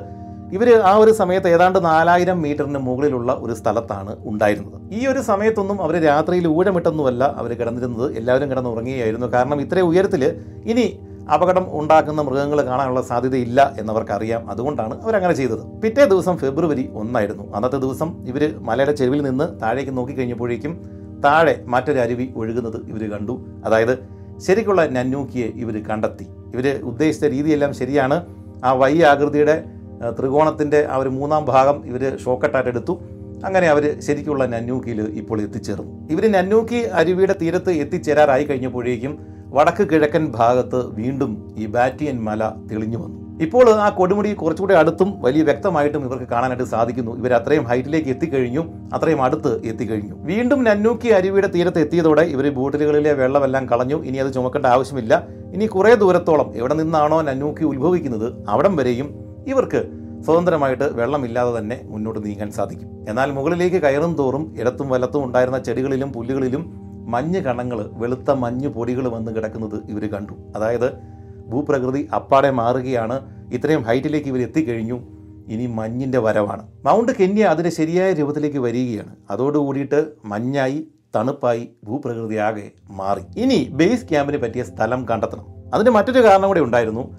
എൻസോയുടെ സ്ഥിതി ആരോഗ്യസ്ഥിതി അത്ര നല്ലതൊന്നും ആയിരുന്നില്ല. ഇനി ഈ മലയിൽ നിന്ന് ഒരു സ്റ്റെപ്പ് പോലും എൻസോ മുകളിലേക്ക് കയറാൻ പാടില്ല എന്ന് ജോവന്നി ബെനൂസിയോട് പറഞ്ഞു ഇനി കുത്തനെയുള്ള ശരിക്കുള്ള മലകയറ്റമാണ്. മാത്രവുമല്ല കൂടിയ മഞ്ഞും തണുപ്പും. ഈ എൻസോയ്ക്ക് അത് താങ്ങാനുള്ള ശേഷി ഉണ്ടാവില്ല. അതുകൊണ്ടാണ് ഇവിടെ ബേസ് ക്യാമ്പ് ചെയ്യാം എന്ന് തന്നെ ഇവർ തീരുമാനമെടുത്തത്. എന്താണേലും അതിന് പറ്റിയ ഒരു സ്ഥലം ഇവർ കണ്ടെത്തി. ഈ മലയുടെ സൈഡിൽ നിന്ന് പുറത്തേക്ക് മുഴച്ചു നിൽക്കുന്ന ഒരു പാറയുണ്ട്. ആ പാറയുടെ അടിവശത്ത് അത്യാവശ്യം നല്ലൊരു സ്ഥലമുണ്ട്. അവിടെ ഇവരുടെ കയ്യിലുള്ള ഉപകരണങ്ങളും കാര്യങ്ങളൊക്കെ വെച്ചിട്ട് നല്ലൊരു ടെന്റ് ഉണ്ടാക്കി കഴിഞ്ഞാൽ കുറച്ച് ദിവസങ്ങൾ ഈ ഇവിടെ ഇവർക്ക് താമസിക്കാം. എൻസോയ്ക്ക് സുഖമായിട്ട് താമസിക്കാം. ആ സമയത്ത് ഇവർക്ക് മല കയറി ഇറങ്ങി വരികയും ചെയ്യാം. അങ്ങനെ ഇവർ ആ ഒരു സ്ഥലത്ത് പാറയുടെ കീഴിൽ ഇവർ നല്ല രീതിയിൽ ഒരു ടെന്റ് ഉണ്ടാക്കുകയും ചെയ്തു. ഈ പാറയുടെ മുകളിൽ ഇവർ വലിയൊരു വടിയുടെ അറ്റത്ത് നല്ലൊരു നീളമുള്ള തുണി ഇവർ ഇടുകയും ചെയ്തു. അത് അടയാളമായിട്ടിട്ടതാണ് കാരണം ഇവർ മലയെ കയറിയിട്ട് ഇറങ്ങി വരുന്ന സമയത്ത് മഞ്ഞ് പെയ്ത് കിടപ്പുണ്ടെങ്കിൽ ഇവർക്ക് ഇവരുടെ ഈ കൂടാരം കണ്ടെത്താനായിട്ട് പ്രയാസമാണ്. അതിന് വേണ്ടിയിട്ടാണ് ഇങ്ങനെ ഒരു തുണി ഇതിന്റെ മുകളിൽ വെക്കാൻ വേണ്ടിയിട്ട് വലിയൊരു വടി ഇവർ വെച്ചത്. ഇത് ഈ ബേസ് ക്യാമ്പിൽ കിടക്കുന്ന ആളിന്റെ ചുമതലയാണ് ഇതെല്ലാം നോക്കുക. ഇതിന്റെ ഈ വടിയുടെ മുകളിലുള്ള തുണിയിൽ മഞ്ഞ് തട്ടാതെ നോക്കുക. കാരണം മഞ്ഞുണ്ടെങ്കിൽ അതെല്ലാം കുറഞ്ഞു കളഞ്ഞിട്ട് വീണ്ടും വെക്കണം എങ്കിലേ ഇവർക്ക് ഇത് കണ്ടെത്താനായിട്ട് സാധിക്കുകയുള്ളൂ. ഇതൊക്കെയാണ് ബേസ് ക്യാമ്പിലെ ആളിന്റെ പ്രധാന പരിപാടികൾ. ഇതൊക്കെ എൻസോ ചെയ്യുവോ ഇല്ലയോ എന്നുള്ള കാര്യത്തിൽ ഇവർക്ക് സംശയമുണ്ട്. അദ്ദേഹത്തിന്റെ ആരോഗ്യം അത്രയ്ക്ക് മോശമാണ്. അങ്ങനെ കൂടാരത്തിന്റെ പണി പൂർത്തിയായി. ബെനൂസി എൻസോയെ ബേസ് ക്യാമ്പ് കമാൻഡന്റ് ആയിട്ട് അവരൊതിച്ചു രസകരമായിട്ടുള്ള ഒരു ചിരി ഉണർത്തുന്ന ഒരു ചെറിയ ചടങ്ങൊക്കെ നടത്തിയിട്ടാണ് അവരത് അങ്ങനെ ചെയ്തത്. അതിനുശേഷം അവർ ഭക്ഷണം കഴിച്ചു. ഇതെല്ലാം കഴിഞ്ഞിട്ട് അവർ മൂന്ന് പേരും കൂടെ വലിയൊരു പാറയുടെ മുകളിൽ കയറി നിന്നുകൊണ്ട് ഈ ഒരു ബാറ്റിയൻ കൊടുമുടിയിലേക്ക് നോക്കി. വളരെ ശക്തമായ രീതിയിൽ നിങ്ങളെയൊന്നും ഞാൻ കയറ്റില്ല എന്ന് പറഞ്ഞിട്ട് ധിഖാരത്തോടെ നിൽക്കുന്ന ബാറ്റിയൻ കൊടുമുടി. ഇനി ഈ ചിത്രം ഒന്ന് നോക്കുക. ഇവർ കിടക്കുന്ന സ്ഥലത്ത് നിന്ന് കുറച്ച് മാറി ഒരു തടാകമുണ്ട്. ആ തടാകത്തിൽ നിന്നാണ് ശരിക്കും നന്നൂക്കി അരുവി ഒഴുകുന്നത് അല്ലെങ്കിൽ ഉത്ഭവിക്കുന്നത്. ശരിക്കും ഈ ബെനൂസിയുടെ കാൽക്കുലേഷൻ കറക്റ്റ് ആയിരുന്നു നന്നൂക്കി ഈ മലയുടെ ഏതാണ്ട് മുകൾ ഭാഗം വരെയും എത്തുന്നുണ്ട്. അവിടെ നിന്നാണ് ഈ ഒരു തടാകത്തിൽ നിന്നാണ് ആ നദി ആ ഒരു അരുവി ഉത്ഭവിക്കുന്നത്. അതുകൊണ്ട് തന്നെ അതിനെ ഫോളോ ചെയ്ത് കറക്റ്റായിട്ട് ഇവർ ഈ ഒരു സ്ഥലത്ത് എത്തിച്ചേരുകയും ചെയ്തു. ഇനി ഈ തടാക തീരത്ത് നിന്ന് കുറച്ചുകൂടെ മുകളിലേക്ക് നമ്മൾ നോക്കിക്കഴിഞ്ഞാൽ ബാറ്റിയൻ മല കാണാം. ഈ ബാറ്റിയൻ മലയുടെ ഇടത്തും വശത്തും മൊത്തത്തോടെ ഒരു റാ വലുപ്പത്തിൽ ഒരു ഒരു റിഡ്ജ് ഒരു വരമ്പ് കിടക്കുന്നത് നിങ്ങൾക്ക് കാണാം. ആ റിഡ്ജിനെ ഇടത്തും വലത്തുമായിട്ട് മാറ്റിക്കഴിഞ്ഞാൽ അതിന്റെ ഇടത്ത് ഭാഗം വഴിയാണ് ഇവർക്ക് കയറി മുകളിലേക്ക് പോകേണ്ടത്. മഞ്ഞ് മൂടി കിടക്കുന്ന കുത്തനെയുള്ള ഒരു വഴിയാണ്. അതിലൂടെയുള്ള യാത്ര അത്ര എളുപ്പമല്ല. സാധാരണ ആളുകൾ ഇതിനു മുമ്പ് കയറിയിട്ടുള്ള ആളുകൾ ബാറ്റിയൻ കീഴടക്കിയിരിക്കുന്നത് ഈ മലയുടെ മറുഭാഗത്ത് നിന്നാണ്. പക്ഷേ ഇവർക്കിനി മറുഭാഗത്ത് എത്തിച്ചേരാനോ അല്ലെങ്കിൽ അത്രയും സമയം ഇവിടെ വെയിറ്റ് ചെയ്യാനോ ഉള്ള സാധന സാമഗ്രികളോ ഭക്ഷണമോ ഒന്നും ഇവരുടെ കയ്യിലില്ല. ഇവർക്ക് ഇപ്പോൾ കാണുന്ന ഈ സ്ഥലത്ത് നിന്ന് കയറാനേ നിർവാഹമുള്ളൂ. പക്ഷേ ഇതുവഴി ഇതിനു മുമ്പ് മറ്റാരും കയറിയിട്ടില്ല. ഇനി ബാറ്റിയൻ ഇവർക്ക് കയറാൻ സാധിച്ചില്ല എന്നിരിക്കട്ടെ. പകുതിക്ക് വെച്ചിട്ട് ഇട്ടേച്ച് തിരിച്ചു പോരേണ്ടി വന്നു. അങ്ങനെയാണെങ്കിൽ തിരിച്ച് ബേസ് ക്യാമ്പിൽ വന്നിട്ട് ഒന്ന് വിശ്രമിച്ച ശേഷം വീണ്ടും ഈ ബാറ്റിയന്റെ ബേസിലൂടെ ഒന്ന് ഇടത്ത് വശത്തൂടെ ഒന്ന് കറങ്ങിക്കഴിഞ്ഞാൽ ഇതിന്റെ പുറയിലുള്ള രണ്ടാമത്തെ കൊടുമുടി ലെനേന കണ്ടെത്താനായിട്ട് ഇവർക്ക് സാധിക്കും. അത് കയറിയിട്ട് തിരിച്ചു വരാം എന്നാണ് ഇവർ കരുതിയിരിക്കുന്നത്. ഇവരുടെ പ്രധാന ലക്ഷ്യം ബാറ്റിയൻ തന്നെയാണ് നടന്നില്ലെങ്കിൽ ലെനേന. അങ്ങനെ ഫെബ്രുവരി രണ്ടാം തീയതി ചൊവ്വാഴ്ച ബെനൂസിയും ജോവനിയും രണ്ട് നേരത്തേക്കുള്ള ഭക്ഷണം മാത്രം കയ്യിൽ കരുതിയിട്ട് ഈ ബാറ്റിയൻ ലക്ഷ്യമാക്കി പുറപ്പെട്ടു. കുറച്ചുകൂടി മുകളിലേക്ക് കയറി ബാറ്റിനെ വിശദമായിട്ടൊന്ന് പഠിക്കുക. കൂട്ടത്തിൽ പുറകിൽ ഒളിച്ചു നിൽക്കുന്ന ലെനേനെ ഒരു നോക്ക് കാണുക. ഇത്രയുമായിരുന്നു ഇവരുടെ ലക്ഷ്യം. മുമ്പ് പറഞ്ഞല്ലോ നന്നൂക്കി ഉത്ഭവിക്കുന്നു എന്ന് കരുതപ്പെടുന്ന ആ സ്ഥലത്ത് വലിയൊരു തടാകമായിരുന്നു ഉണ്ടായിരുന്നത്. ഐസ് പാളുകളും പാറകളും നിറഞ്ഞ വഴികളായിരുന്നു ആദ്യമൊക്കെ. എന്നാൽ പിന്നീട് ചുറ്റിനും മഞ്ഞ് കട്ടകൾ മാത്രമായി. മുള്ളാണികൾ ഘടിപ്പിച്ച ബൂട്ടിനടിയിൽ മഞ്ഞ് കട്ടകൾ ഞെരിഞ്ഞമർന്ന ശബ്ദം മലകളിൽ തട്ടി പ്രതിധ്വനിച്ചു. പുറയിലേക്ക് തിരിഞ്ഞു നോക്കിയാൽ കോടമഞ്ഞ് മൂടിക്കിടക്കുന്ന നന്നൂക്കി താഴ്വര കാണാമായിരുന്നു. എപ്പോഴെങ്കിലും മൂടൽമഞ്ഞ് മാറിയാൽ അങ്ങ് ദൂരെ ക്യാമ്പിലുള്ളവർക്ക് ഒരു നല്ല ബൈനോക്കുറൽ ഉണ്ടെങ്കിൽ തങ്ങളെ കാണാൻ പറ്റുമായിരിക്കും എന്ന് ബെനൂസി മനസ്സിൽ കരുതി. തങ്ങൾ ഇവിടം വരെയെങ്കിലും എത്തി എന്ന് ആരെങ്കിലും കണ്ടാൽ നല്ലതായിരുന്നു. ചില സ്ഥലങ്ങളിൽ നിന്നും താഴേക്ക് നോക്കിക്കഴിഞ്ഞാൽ എൻസോ കിടക്കുന്ന ബേസ് ക്യാമ്പിന്റെ മുകളിലെ പാറമേൽ ഇവർ നാട്ടിയ ആ അടയാള കൊടിയുണ്ടല്ലോ അത് അവർക്ക് കാണാൻ പറ്റുമായിരുന്നു. അവരുടെ മുന്നിൽ ഒരു ഭിത്തി പോലെ നിന്നിരുന്ന പാറക്കൂട്ടങ്ങൾ മഞ്ഞുകടലിൽ പൊന്തി നിൽക്കുന്ന ഒരു പഴയ കപ്പൽ പോലെ അവർക്ക് തോന്നി. കപ്പൽ യാത്രികരുടെ കെട്ടുകഥകളിലെ പ്രേതക്കപ്പലായ ഫ്ലൈയിങ് ഡച്ചുമാൻ എന്ന പേരാണ് ആ പാറക്കൂട്ടത്തിന് അവർ നൽകിയത്. മഞ്ഞുകട്ടകൾക്ക് മീതെ നടന്ന് കുറേയേറെ മുകളിലേക്ക് കയറിയ ശേഷമാണ് അവർക്ക് രണ്ടാമത്തെ കൊടുമുടിയായ ലെനേനയുടെ ഒരു വിദൂര ദൃശ്യം കാണുവാൻ സാധിച്ചത്. അത് കയറുവാൻ തങ്ങളെ കൊണ്ട് സാധിക്കും എന്നവർക്ക് തോന്നി. എന്നാൽ ബാറ്റിയൻ അങ്ങനെ ആയിരുന്നില്ല. കിഴക്കാം തൂക്കായി കിടക്കുന്ന മഞ്ഞു മൂടിയ ചെരുവുകളാണ് ബാറ്റിനുള്ളത് ശരിയാണ്. ബാറ്റിയൻ പലരും കീഴ്പ്പെടുത്തിയിട്ടുണ്ട്. പക്ഷേ ഏത് വഴിയാണ് അവർ കയറിയത് എന്ന് ഇവർക്ക് യാതൊരു നിശ്ചയവുമില്ല. സത്യത്തിൽ ഇവർ നിൽക്കുന്ന ആ ഒരു സ്ഥലം അവിടെ നിന്ന് ഒരായിരം അടി മുകളിൽ ഈ മലയുടെ മറുഭാഗത്ത് തടി കൊണ്ട് നിർമ്മിക്കപ്പെട്ട ഒരു കുടിൽ ഉണ്ടായിരുന്നു. ആ വഴിയാണ് ശരിക്കും ആളുകൾ ബാറ്റിയന്റെ മുകളിലേക്ക് കയറിയിരുന്നത്. അവർ ഉണ്ടാക്കിയ ഒരു കുടിലാണ് അവിടെ ഉണ്ടായിരുന്നത്. പക്ഷേ ഇവർക്കത് കാണാനായിട്ട് സാധിച്ചില്ല. ഇവർക്ക് ഒരിക്കലും കാണാൻ സാധിക്കില്ല. കാരണം ഈ മലയുടെ മറുഭാഗത്താണ് അതുള്ളത്. ഇനിയും മുന്നോട്ട് പോയി കഴിഞ്ഞാൽ ഇന്ന് രാത്രി തന്നെ ബേസ് ക്യാമ്പിലേക്ക് തിരിച്ചു വരാൻ സാധിക്കില്ല എന്ന് മനസ്സിലാക്കിയതോടെ അന്നത്തേക്ക് ആ യാത്ര മതിയാക്കി അവർ തിരിച്ച് ബേസ് ക്യാമ്പിലേക്ക് എൻസോ കിടക്കുന്ന ക്യാമ്പിലേക്ക് മടങ്ങിയെത്തി. എന്നാൽ തിരികെ ബേസ് ക്യാമ്പിൽ എത്തി കഴിഞ്ഞപ്പോഴാണ് പഴയ അനാരോഗ്യമൊക്കെ മറന്നിട്ട് ആക്റ്റീവായിട്ടിരിക്കുന്ന എൻസോയെ അവർക്ക് കാണാനായിട്ട് സാധിച്ചത്. അവിടെ മിച്ചമുണ്ടായിരുന്ന സകല പണികളും ഒറ്റയ്ക്ക് എൻസോ ചെയ്തു തീർത്തു. ഈ കൂടാരം കൂടുതൽ കയറുകളൊക്കെ ഉപയോഗിച്ചിട്ട് കൂടുതൽ ബലമുള്ളതാക്കി മാറ്റി. അത് മാത്രമല്ല ഈ ബെനൂസിയുടെ കയ്യിലുണ്ടായിരുന്ന കപ്പ് കാണാതെ പോയി. അതിന് പകരം ഇവരുടെ കയ്യിലുണ്ടായിരുന്ന ഒരു ടിൻ ഫുഡിന്റെ ആ ടിന്നൊക്കെ എടുത്തിട്ട് കട്ട് ചെയ്ത് ഇദ്ദേഹത്തിന് വേണ്ടിയിട്ട് ഒരു കപ്പ് അദ്ദേഹം നിർമ്മിച്ചു. കൂടാരത്തിൽ ബാക്കി ഉണ്ടായിരുന്ന സകല പണികളും പൂർത്തിയാക്കി. അത് മാത്രമല്ല മഞ്ഞ് ഒലിച്ചിട്ട് അല്ലെങ്കിൽ അതിന്റെ വെള്ളം ഈ കൂടാരത്തിലേക്ക് വരാതിരിക്കാൻ വേണ്ടിയിട്ട് ഇതിന് ചുറ്റും ചെറിയ കിടങ്ങ് പോലെ കുഴികളൊക്കെ ഇദ്ദേഹം തീർത്തു. അങ്ങനെ വളരെ വൃത്തിയാക്കിയിട്ട് നല്ല രീതിയിൽ സ്ട്രോങ് ആയിട്ടുള്ള ഒരു കൂടാരമാണ് ഇപ്പോൾ എൻസോ ഇവർക്ക് വേണ്ടിയിട്ട് നിർമ്മിച്ചു വെച്ചിരിക്കുന്നത്. താൻ വെറും ഒരു വേസ്റ്റ് ഒന്നുമല്ല അല്ലെങ്കിൽ ഇത്രയും ദൂരെ ഇവിടെ വന്നു തനിക്ക് അസുഖമായിരുന്നു എന്നതുകൊണ്ടൊന്നും ഈ ഒരു ദൗത്യത്തിന് യാതൊരു കുറവും ഉണ്ടാവാൻ പാടില്ല എന്ന് എൻസോയ്ക്ക് നിർബന്ധമുണ്ടായിരുന്നു. തങ്ങൾക്ക് പറ്റിയ ആളെ തന്നെയാണ് തങ്ങളെ കൂട്ടിക്കൊണ്ട് വന്നത് എന്ന് അന്ന് ആദ്യമായിട്ട് ബാക്കി രണ്ടു പേർക്കും തോന്നി. ഇപ്പോൾ ഇവർ നേരിടുന്ന പ്രധാന പ്രശ്നം ഭക്ഷണമാണ്. ഇനി കുറച്ച് ദിവസങ്ങൾ കൂടിയുള്ള ഭക്ഷണം മാത്രമേ ഇവരുടെ കയ്യിലുള്ളൂ. അത് തീർന്നു കഴിഞ്ഞാൽ പ്രശ്നമാണ്. ഈ ഒരു മഞ്ഞുമൂടിയ മലയിൽ ഭക്ഷണം കിട്ടാൻ യാതൊരു സാധ്യതയുമില്ല. വെള്ളം പോലും കിട്ടാൻ പ്രയാസമാണ്. അതുകൊണ്ട് ഇത്രയും ദിവസങ്ങൾക്കുള്ളിൽ തന്നെ ഈ മല ഒന്നുകിൽ കയറുക അല്ലെങ്കിൽ തിരികെ പോവുക. അത് മാത്രമേ ഇവരുടെ മുമ്പിൽ ഇനി ഉള്ളൂ എന്താണേലും അടുത്ത ദിവസം ബാറ്റിയൻ കയറുക തന്നെ അതാണ് അവർ നിശ്ചയിച്ച് വെച്ചിരിക്കുന്നത്. പിറ്റേ ദിവസം അവർ പൂർണമായിട്ടും റെസ്റ്റ് എടുത്തു. ഏതാണ്ട് പന്ത്രണ്ട് മണിക്കൂറോളം അവർ തുടർച്ചയായിട്ട് ഉറങ്ങി. പിറ്റേ ദിവസം അതികഠിനമായ പണികൾ അവർക്ക് ചെയ്യാനുള്ളതാണ്. രാവിലെ എഴുന്നേറ്റു. അതിനുശേഷം നല്ല തണുപ്പുണ്ടായിരുന്നു. ആ സമയത്ത് ഇവർ വെള്ളം ചൂടാക്കിയിട്ട് ഈ കാപ്പി ഉണ്ടാക്കാനായിട്ട് ഒരു ശ്രമം നടത്തി. പക്ഷേ നടന്നില്ല. കാരണം തീ ഉണ്ടാക്കാനായിട്ട് ഇവർക്ക് സാധിക്കുന്നില്ല. മുമ്പ് മൗണ്ട് കന്യെ കയറിയ പല ആളുകളുടെയും ബുക്കുകളും ലേഖനങ്ങളും വായിച്ചിട്ടുള്ള ആളാണല്ലോ ഈ ബെനൂസി. അതിൽ പ്രകാരം അവിടെ മഞ്ഞ് പിടിക്കാത്ത പാറകളിൽ വളരുന്ന ലൊബേലിയ ചെടികളുടെയും ജയന്റ് ഗ്രൗണ്ട്സെൽ ചെടികളുടെയും ഉണങ്ങിയ ഭാഗങ്ങൾ അതെടുത്തിട്ട് കത്തിക്കുവാനായിട്ട് ഇവർ ശ്രമിച്ചു. പക്ഷേ അതിൽ തീ പിടിച്ചില്ല. നമ്മുടെ രണ്ടോ മൂന്നോ ഇരട്ടി ഉയരത്തിൽ വളരുന്ന ഭീമൻ ചെടികളാണ് ഈ ജയന്റ് ഗ്രൗണ്ട്സെൽ. ആഫ്രിക്കയിലെ ഒട്ടുമിക്ക പർവതങ്ങളുടെയും മുകളിൽ സാധാരണ വൃക്ഷങ്ങൾ വളരുന്ന ട്രീ ലൈനിനും മുകളിൽ ഈ ജൈന്റ് ഗ്രൗണ്ട്സെൽ കാണപ്പെടാറുണ്ട്. മൗണ്ട് കെന്യയിൽ നാലായിരത്തി അഞ്ഞൂറ് മീറ്റർ ഉയരത്തിൽ വരെയും ഈ ചെടിയുണ്ട്. എന്താണേലും ഉണക്ക ചെടികൾ ഉപയോഗിച്ച് വെള്ളം തിളപ്പിക്കാനുള്ള ശ്രമം പരാജയപ്പെട്ടതോടെ ബിസ്ക്കറ്റും ബട്ടറും പിന്നെ താടിയല്ല് മരവിപ്പിക്കുന്ന തണുത്ത ജലവും കുടിച്ച് അവർ പ്രഭാത ഭക്ഷണം അങ്ങ് തരപ്പെടുത്തി. എന്നാൽ ഉച്ചയോടെ എൻസോ കയ്യിൽ മിച്ചമുണ്ടായിരുന്ന ആൽക്കഹോൾ ഉപയോഗിച്ച് ഒരു വിധത്തിൽ തീ ഉണ്ടാക്കിയതോടെ ഒരു മണിക്കൂറിന് ശേഷം അവർക്ക് തിളച്ച വെള്ളത്തിൽ ചായ ഉണ്ടാക്കി കുടിക്കാനായിട്ട് സാധിച്ചു. ഈ കൂട്ടത്തിൽ എൻസോ മറ്റൊരു കണ്ടുപിടുത്തം കൂടി നടത്തി. ഇത്രയും ഉയരത്തിൽ എലികൾ ജീവിക്കുന്നുണ്ട്. എൻസോ കണ്ടത് കിങ് ആഫ്രിക്കൻ മോൾ റാറ്റ് എന്ന ഇനത്തെ ആകാനാണ് സാധ്യത. മൗണ്ട് കെന്നിയുടെ പടിഞ്ഞാറെ ചെരുവിൽ നാലായിരം മീറ്റർ ഉയരത്തിൽ വരെയും ഈ ജീവികളെ കണ്ടതായിട്ട് ഔദ്യോഗികമായിട്ട് റിപ്പോർട്ടുകളുണ്ട്. അങ്ങനെ ജോവന്നിയും ബെനൂസിയും പൂർണ സജ്ജരായി ബാറ്റിയൻ കീഴടക്കുവാനായിട്ട് തയ്യാറായി. ഇപ്രാവശ്യം മലമുകളിൽ സ്ഥാപിക്കാനുള്ള ഇറ്റാലിയൻ പതാക പിന്നെ ഇവരുടെ മൂന്ന് പേരുടെയും പേരുകൾ എഴുതിയിട്ട് അടച്ചു വെച്ചിരിക്കുന്ന സീൽ ചെയ്തിരിക്കുന്ന മെഴുക് വെച്ച് സീൽ ചെയ്ത ആ കുപ്പി ഇത്രയും സാധനങ്ങൾ ഇവർ എക്സ്ട്രാ കരുതിയിട്ടുണ്ടായിരുന്നു. അടുത്ത ദിവസം രണ്ട് മണിക്ക് തന്നെ ഇവർ എഴുന്നേറ്റു. പക്ഷേ അതിനും ഒരു മണിക്കൂർ മുമ്പ് എഴുന്നേറ്റ എൻസോ ഇവർക്ക് വേണ്ടിയിട്ട് വെള്ളമൊക്കെ തിളപ്പിച്ച് വെള്ളം തിളയ്ക്കാനായിട്ട് ഒരു മണിക്കൂർ എടുക്കും. അതുകൊണ്ട് നേരത്തെ എഴുന്നേറ്റിട്ട് വെള്ളമൊക്കെ തിളപ്പിച്ച് ഒരു കാപ്പിയൊക്കെ റെഡിയാക്കി വെച്ച ശേഷമാണ് ഈ എൻസോ ഇവരെ വിളിച്ചുണർത്തിയത് തന്നെ. ഇന്ന് രാത്രി തിരിച്ചു വന്നില്ലെങ്കിൽ പരിഭ്രമിക്കരുത് എന്ന് എൻസോയുടെ പറഞ്ഞ ശേഷമാണ് ഇവർ കൂടാരം വിട്ടത്. കാരണം ചിലപ്പോൾ എന്തെങ്കിലും പ്രശ്നമൊക്കെ ഉണ്ടെങ്കിൽ അവർക്ക് മലമുകളിൽ തന്നെ തങ്ങേണ്ടി വരും. അങ്ങനെ രാവിലെ മൂന്ന് മണിക്ക് എൻസോയെ ക്യാമ്പിൽ വിട്ടിട്ട് ബാക്കി രണ്ടുപേരും ജോവന്നിയും വെനൂസിയും കൂടെ മല കയറാനായിട്ട് ബാറ്റിയൻ മല കയറുവാൻ വേണ്ടിയിട്ട് ശരിക്ക് കയറാൻ വേണ്ടിയിട്ട് അവർ യാത്രയായി. അഞ്ചര മണി ആയതോടെ അവർ കുറച്ചുകൂടി ഉയരത്തിൽ ഒരു സ്ഥലത്തെത്തി. അവിടെ എത്തിക്കഴിഞ്ഞപ്പോഴേക്കും അവർ കുറച്ചു നേരം ഇരുന്നു റെസ്റ്റ് എടുത്തു. നല്ല തെളിഞ്ഞ ആകാശമായിരുന്നു ആ സമയത്ത് ഉണ്ടായിരുന്നത്. അത് അവർക്ക് ആവേശമേകി. എന്താണെങ്കിലും അവർ വീണ്ടും മുകളിലേക്കുള്ള കയറ്റം തുടരുകയാണ്. എട്ട് മണിയോടെ കുത്തനെയുള്ള കയറ്റം ആരംഭിച്ചു. ഇപ്പോൾ ഒരാൾക്ക് ഒറ്റയ്ക്ക് കഷ്ടിച്ച് നടന്നു പോകാൻ പറ്റുന്ന പാകത്തിലുള്ള വരമ്പ് റിഡ്ജിലൂടെയാണ് ഇവർ മുന്നോട്ട് പോയിക്കൊണ്ടിരിക്കുന്നത് മുകളിലേക്ക് കയറിക്കൊണ്ടിരിക്കുന്നത്. കാലൊന്ന് തെറ്റിക്കഴിഞ്ഞാൽ സ്ലിപ്പ് ചെയ്ത് അങ്ങ് താഴേക്ക് പോരും. ഈ യാത്രയിൽ ആദ്യമായിട്ട് കയറുകളും ഐസ് കോടാലുകളും ഒക്കെ ഉപയോഗിക്കേണ്ട വന്ന സ്ഥലമായിരുന്നു അത്. ആ ഒരു വരമ്പിലൂടെ മുന്നോട്ട് പോകുന്ന മുകളിലേക്ക് കയറുന്ന സമയത്ത് ബെനൂസിയുടെ കാൽമുട്ടുകളിൽ ഈ മുട്ട് ചിരട്ടയിൽ വേദന അനുഭവപ്പെട്ടു തുടങ്ങി. സൂചി കുത്തി കയറ്റുന്നത് പോലുള്ള ഒരു വേദന മുട്ട് കിടന്ന് വിറക്കാനിട്ട് തുടങ്ങി.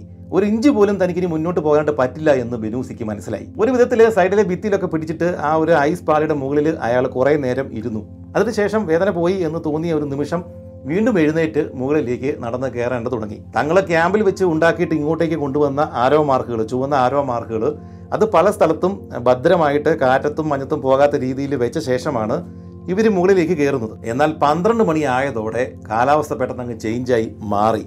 ശക്തമായ മുറൽമഞ്ഞ് കൊടുംകാറ്റ്. താപനില പെട്ടെന്ന് അങ്ങ് താന്നു. ബെനൂസിയെ അടിമുടി വിറച്ചു തുടങ്ങി. ഏറെ മുന്നിൽ നടന്നു കയറിക്കൊണ്ടിരിക്കുന്ന ജോവന്നിയുടെ ഒരു അവ്യക്തമായ ഒരു രൂപം മാത്രമാണ് ബെനൂസിക്ക് കാണാനായിട്ട് സാധിക്കുന്നത്. എന്താണെങ്കിലും കുറച്ച് കഴിഞ്ഞപ്പോഴേക്കും രണ്ടുപേരും നടത്തം നിർത്തി. ഇനി എന്താണ് ചെയ്യേണ്ടത്? ബെനൂസി ഉറക്കെ മുമ്പിലുള്ള ജോവന്നിയോട് വിളിച്ചു ചോദിച്ചു.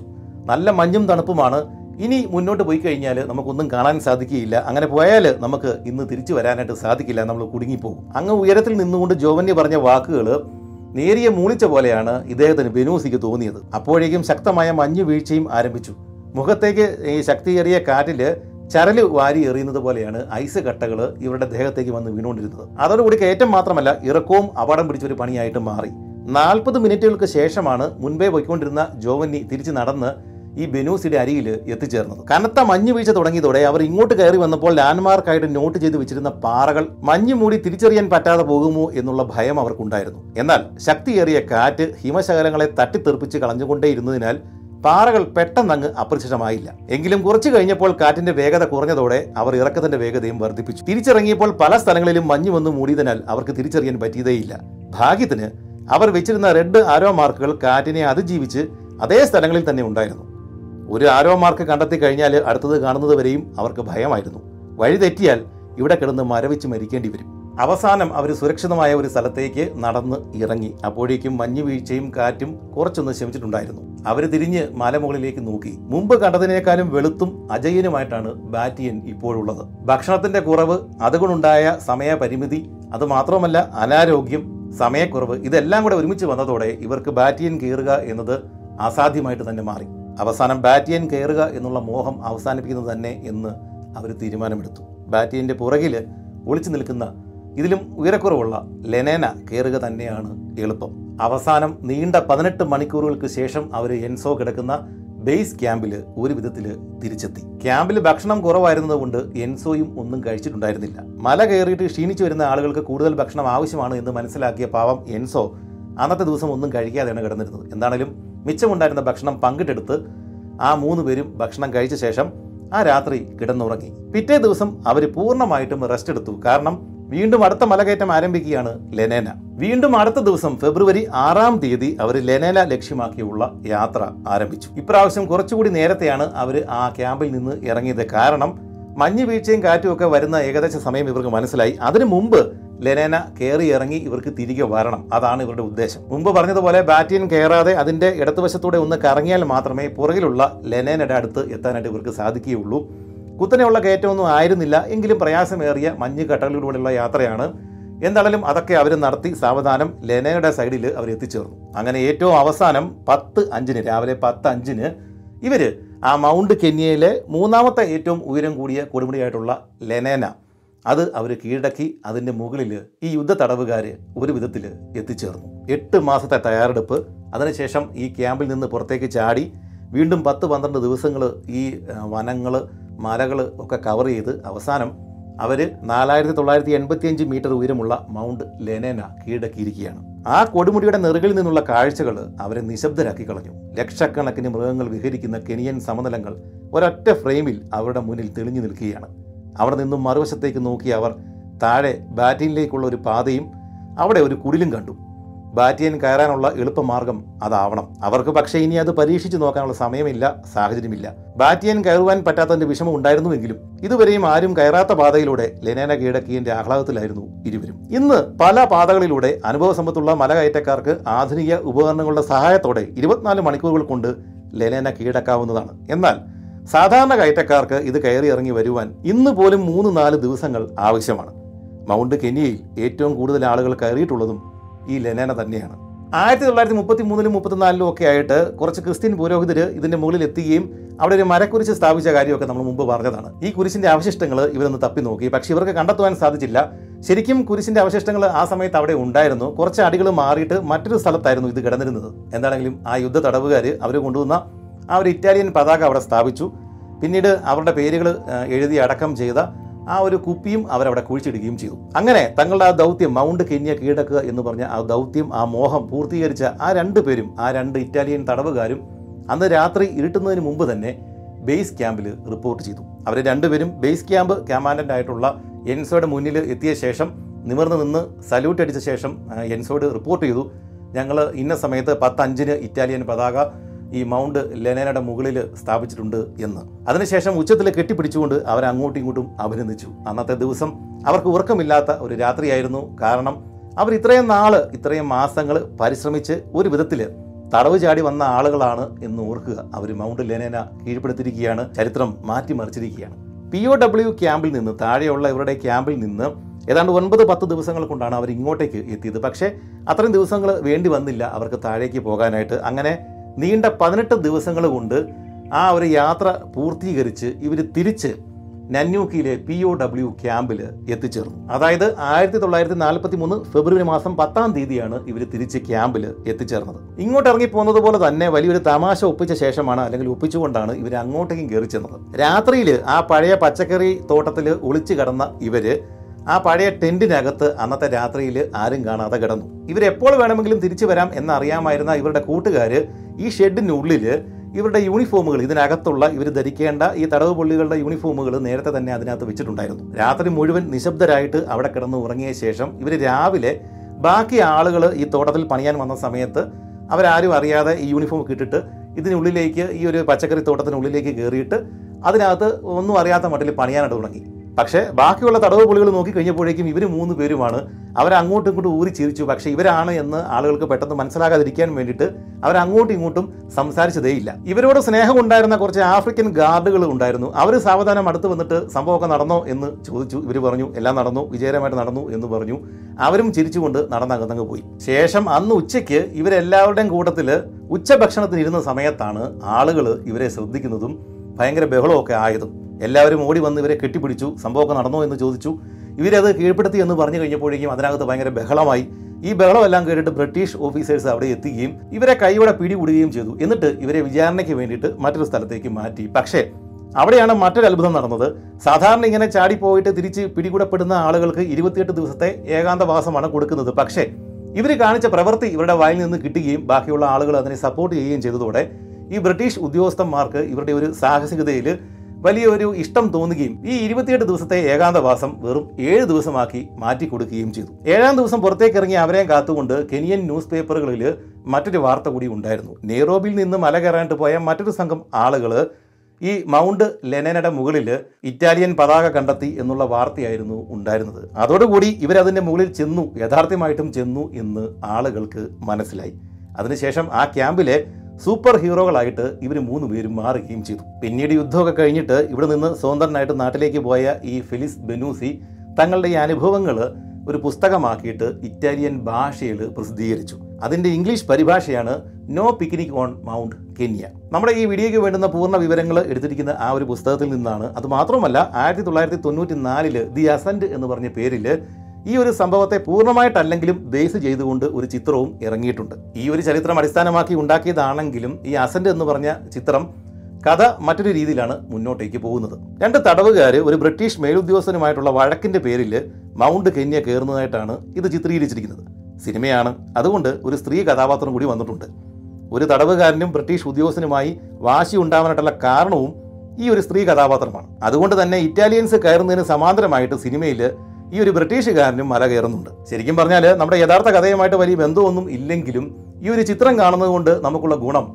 ഈ ബെനൂസിയും കൂട്ടരും കയറിയ ആ ഒരു സ്ഥലത്ത് വെച്ച് തന്നെയാണ് ഈ ചിത്രം ഇവർ ചിത്രീകരിച്ചിരിക്കുന്നത്. ആ സ്ഥലങ്ങൾ നമുക്ക് നേരിട്ട് കാണാനുള്ള ഒരു അവസരം കൂടിയാണ് ഈ ഒരു ചിത്രം കാണുക എന്നുള്ളത്. അത് മാത്രമല്ല ഇത് ഇറങ്ങിയ സമയത്ത് ഏറ്റവും ഉയരത്തിൽ ചിത്രീകരിച്ച ഒരു സിനിമ എന്നുള്ള ലേബലിലാണ് ഈ അസന്റ് എന്ന് പറഞ്ഞ സിനിമ പുറത്തിറങ്ങിയത്. യുദ്ധമൊക്കെ കഴിഞ്ഞിട്ട് ഈ പുസ്തകമൊക്കെ പ്രസിദ്ധീകരിച്ച ശേഷം പ്രശസ്തനായിട്ടുള്ള ഈ ബെനൂസി പിന്നീട് ഇറ്റാലിയൻ ഗവൺമെന്റിന്റെ കീഴിലും യു എന്നിന്റെ കീഴിൽ പോലും വലിയ ഉദ്യോഗസ്ഥനായിട്ടൊക്കെ പ്രവർത്തിച്ചിരുന്നു. പിന്നീട് ആയിരത്തി തൊള്ളായിരത്തി എൺപത്തി എട്ടിൽ റോമിൽ വെച്ചാണ് ഫെലിസ് ബെനൂസി അന്തരിക്കുന്നത്. എൻസോയ്ക്കും ജോവന്നിക്കും ഒക്കെ പിന്നീട് എന്ത് സംഭവിച്ചു എന്നുള്ള കാര്യം കുറെ തിരഞ്ഞു പക്ഷേ എനിക്കത് മനസ്സിലാക്കാനായിട്ട് സാധിച്ചിട്ടില്ല. വ്യക്തിപരമായിട്ട് എനിക്ക് വളരെയധികം ഇഷ്ടപ്പെട്ട ഒരു ബുക്കാണ് ഈ no picnic on Mount Kenya എന്നുള്ളത്. വെറും ഒരു ടിൻ ഫുഡിന്റെ മുകളിൽ രേഖപ്പെടുത്തി വെച്ചിരിക്കുന്ന ഒരു ചിത്രവും വെച്ചുകൊണ്ട് ആ ഒരു ഊഹത്തിൽ ഇവർ ഒരു തടവറയിൽ നിന്ന് ചാടിയിട്ട് ഒരു മല കയറി ഇറങ്ങി തിരിച്ച് വിജയകരമായിട്ട് തിരിച്ചു വരികയും അത് ബ്രിട്ടീഷ് ഉദ്യോഗസ്ഥന്മാർക്ക് ഇഷ്ടപ്പെടുകയും ഇവരുടെ തടവ് ശിക്ഷ വെറും ഏഴു ദിവസമാക്കി മാറ്റി കൊടുക്കുകയും ചെയ്ത ആ കഥ വലിയൊരു ഉണർവ് തരുന്ന ഒരു കഥ തന്നെയാണ്. ഒരു ജയിലിലാണ് തടവറയിലാണ് നമ്മൾ കിടക്കുന്നതെങ്കിൽ പോലും ഇച്ഛാശക്തി ഉണ്ടെങ്കിൽ നമുക്ക് പലതും നേടിയെടുക്കാൻ പറ്റും എന്നതിന്റെ തെളിവാണ് ഈ ഒരു ചരിത്രം. എന്നും രാവിലെ അങ്ങ് അകലെ മൗണ്ട് കെനിയെയും കണ്ടിട്ട് തനിക്കിനി ഒന്നും ചെയ്യാനില്ല എന്നും പറഞ്ഞിട്ട് ആ ജയിലിൽ കിടന്നിരുന്നെങ്കിൽ ഈ ഫെലിസ് ബെനൂസിയെയും ജോവന്നിയെയും എൻസോയും ഒന്നും നമ്മൾ ഇന്ന് അറിയുമായിരുന്നില്ല. എല്ലാ ദിവസവും എഴുന്നേൽക്കുന്ന നമ്മുടെ മുന്നിൽ ഇതുപോലെ ഒരു മൗണ്ട് കെനിയ തെളിഞ്ഞു നിൽപ്പുണ്ട്. അത് കയറണമോ വേണ്ടയോ എന്നുള്ള തീരുമാനം നമ്മുടെ മാത്രമാണ്.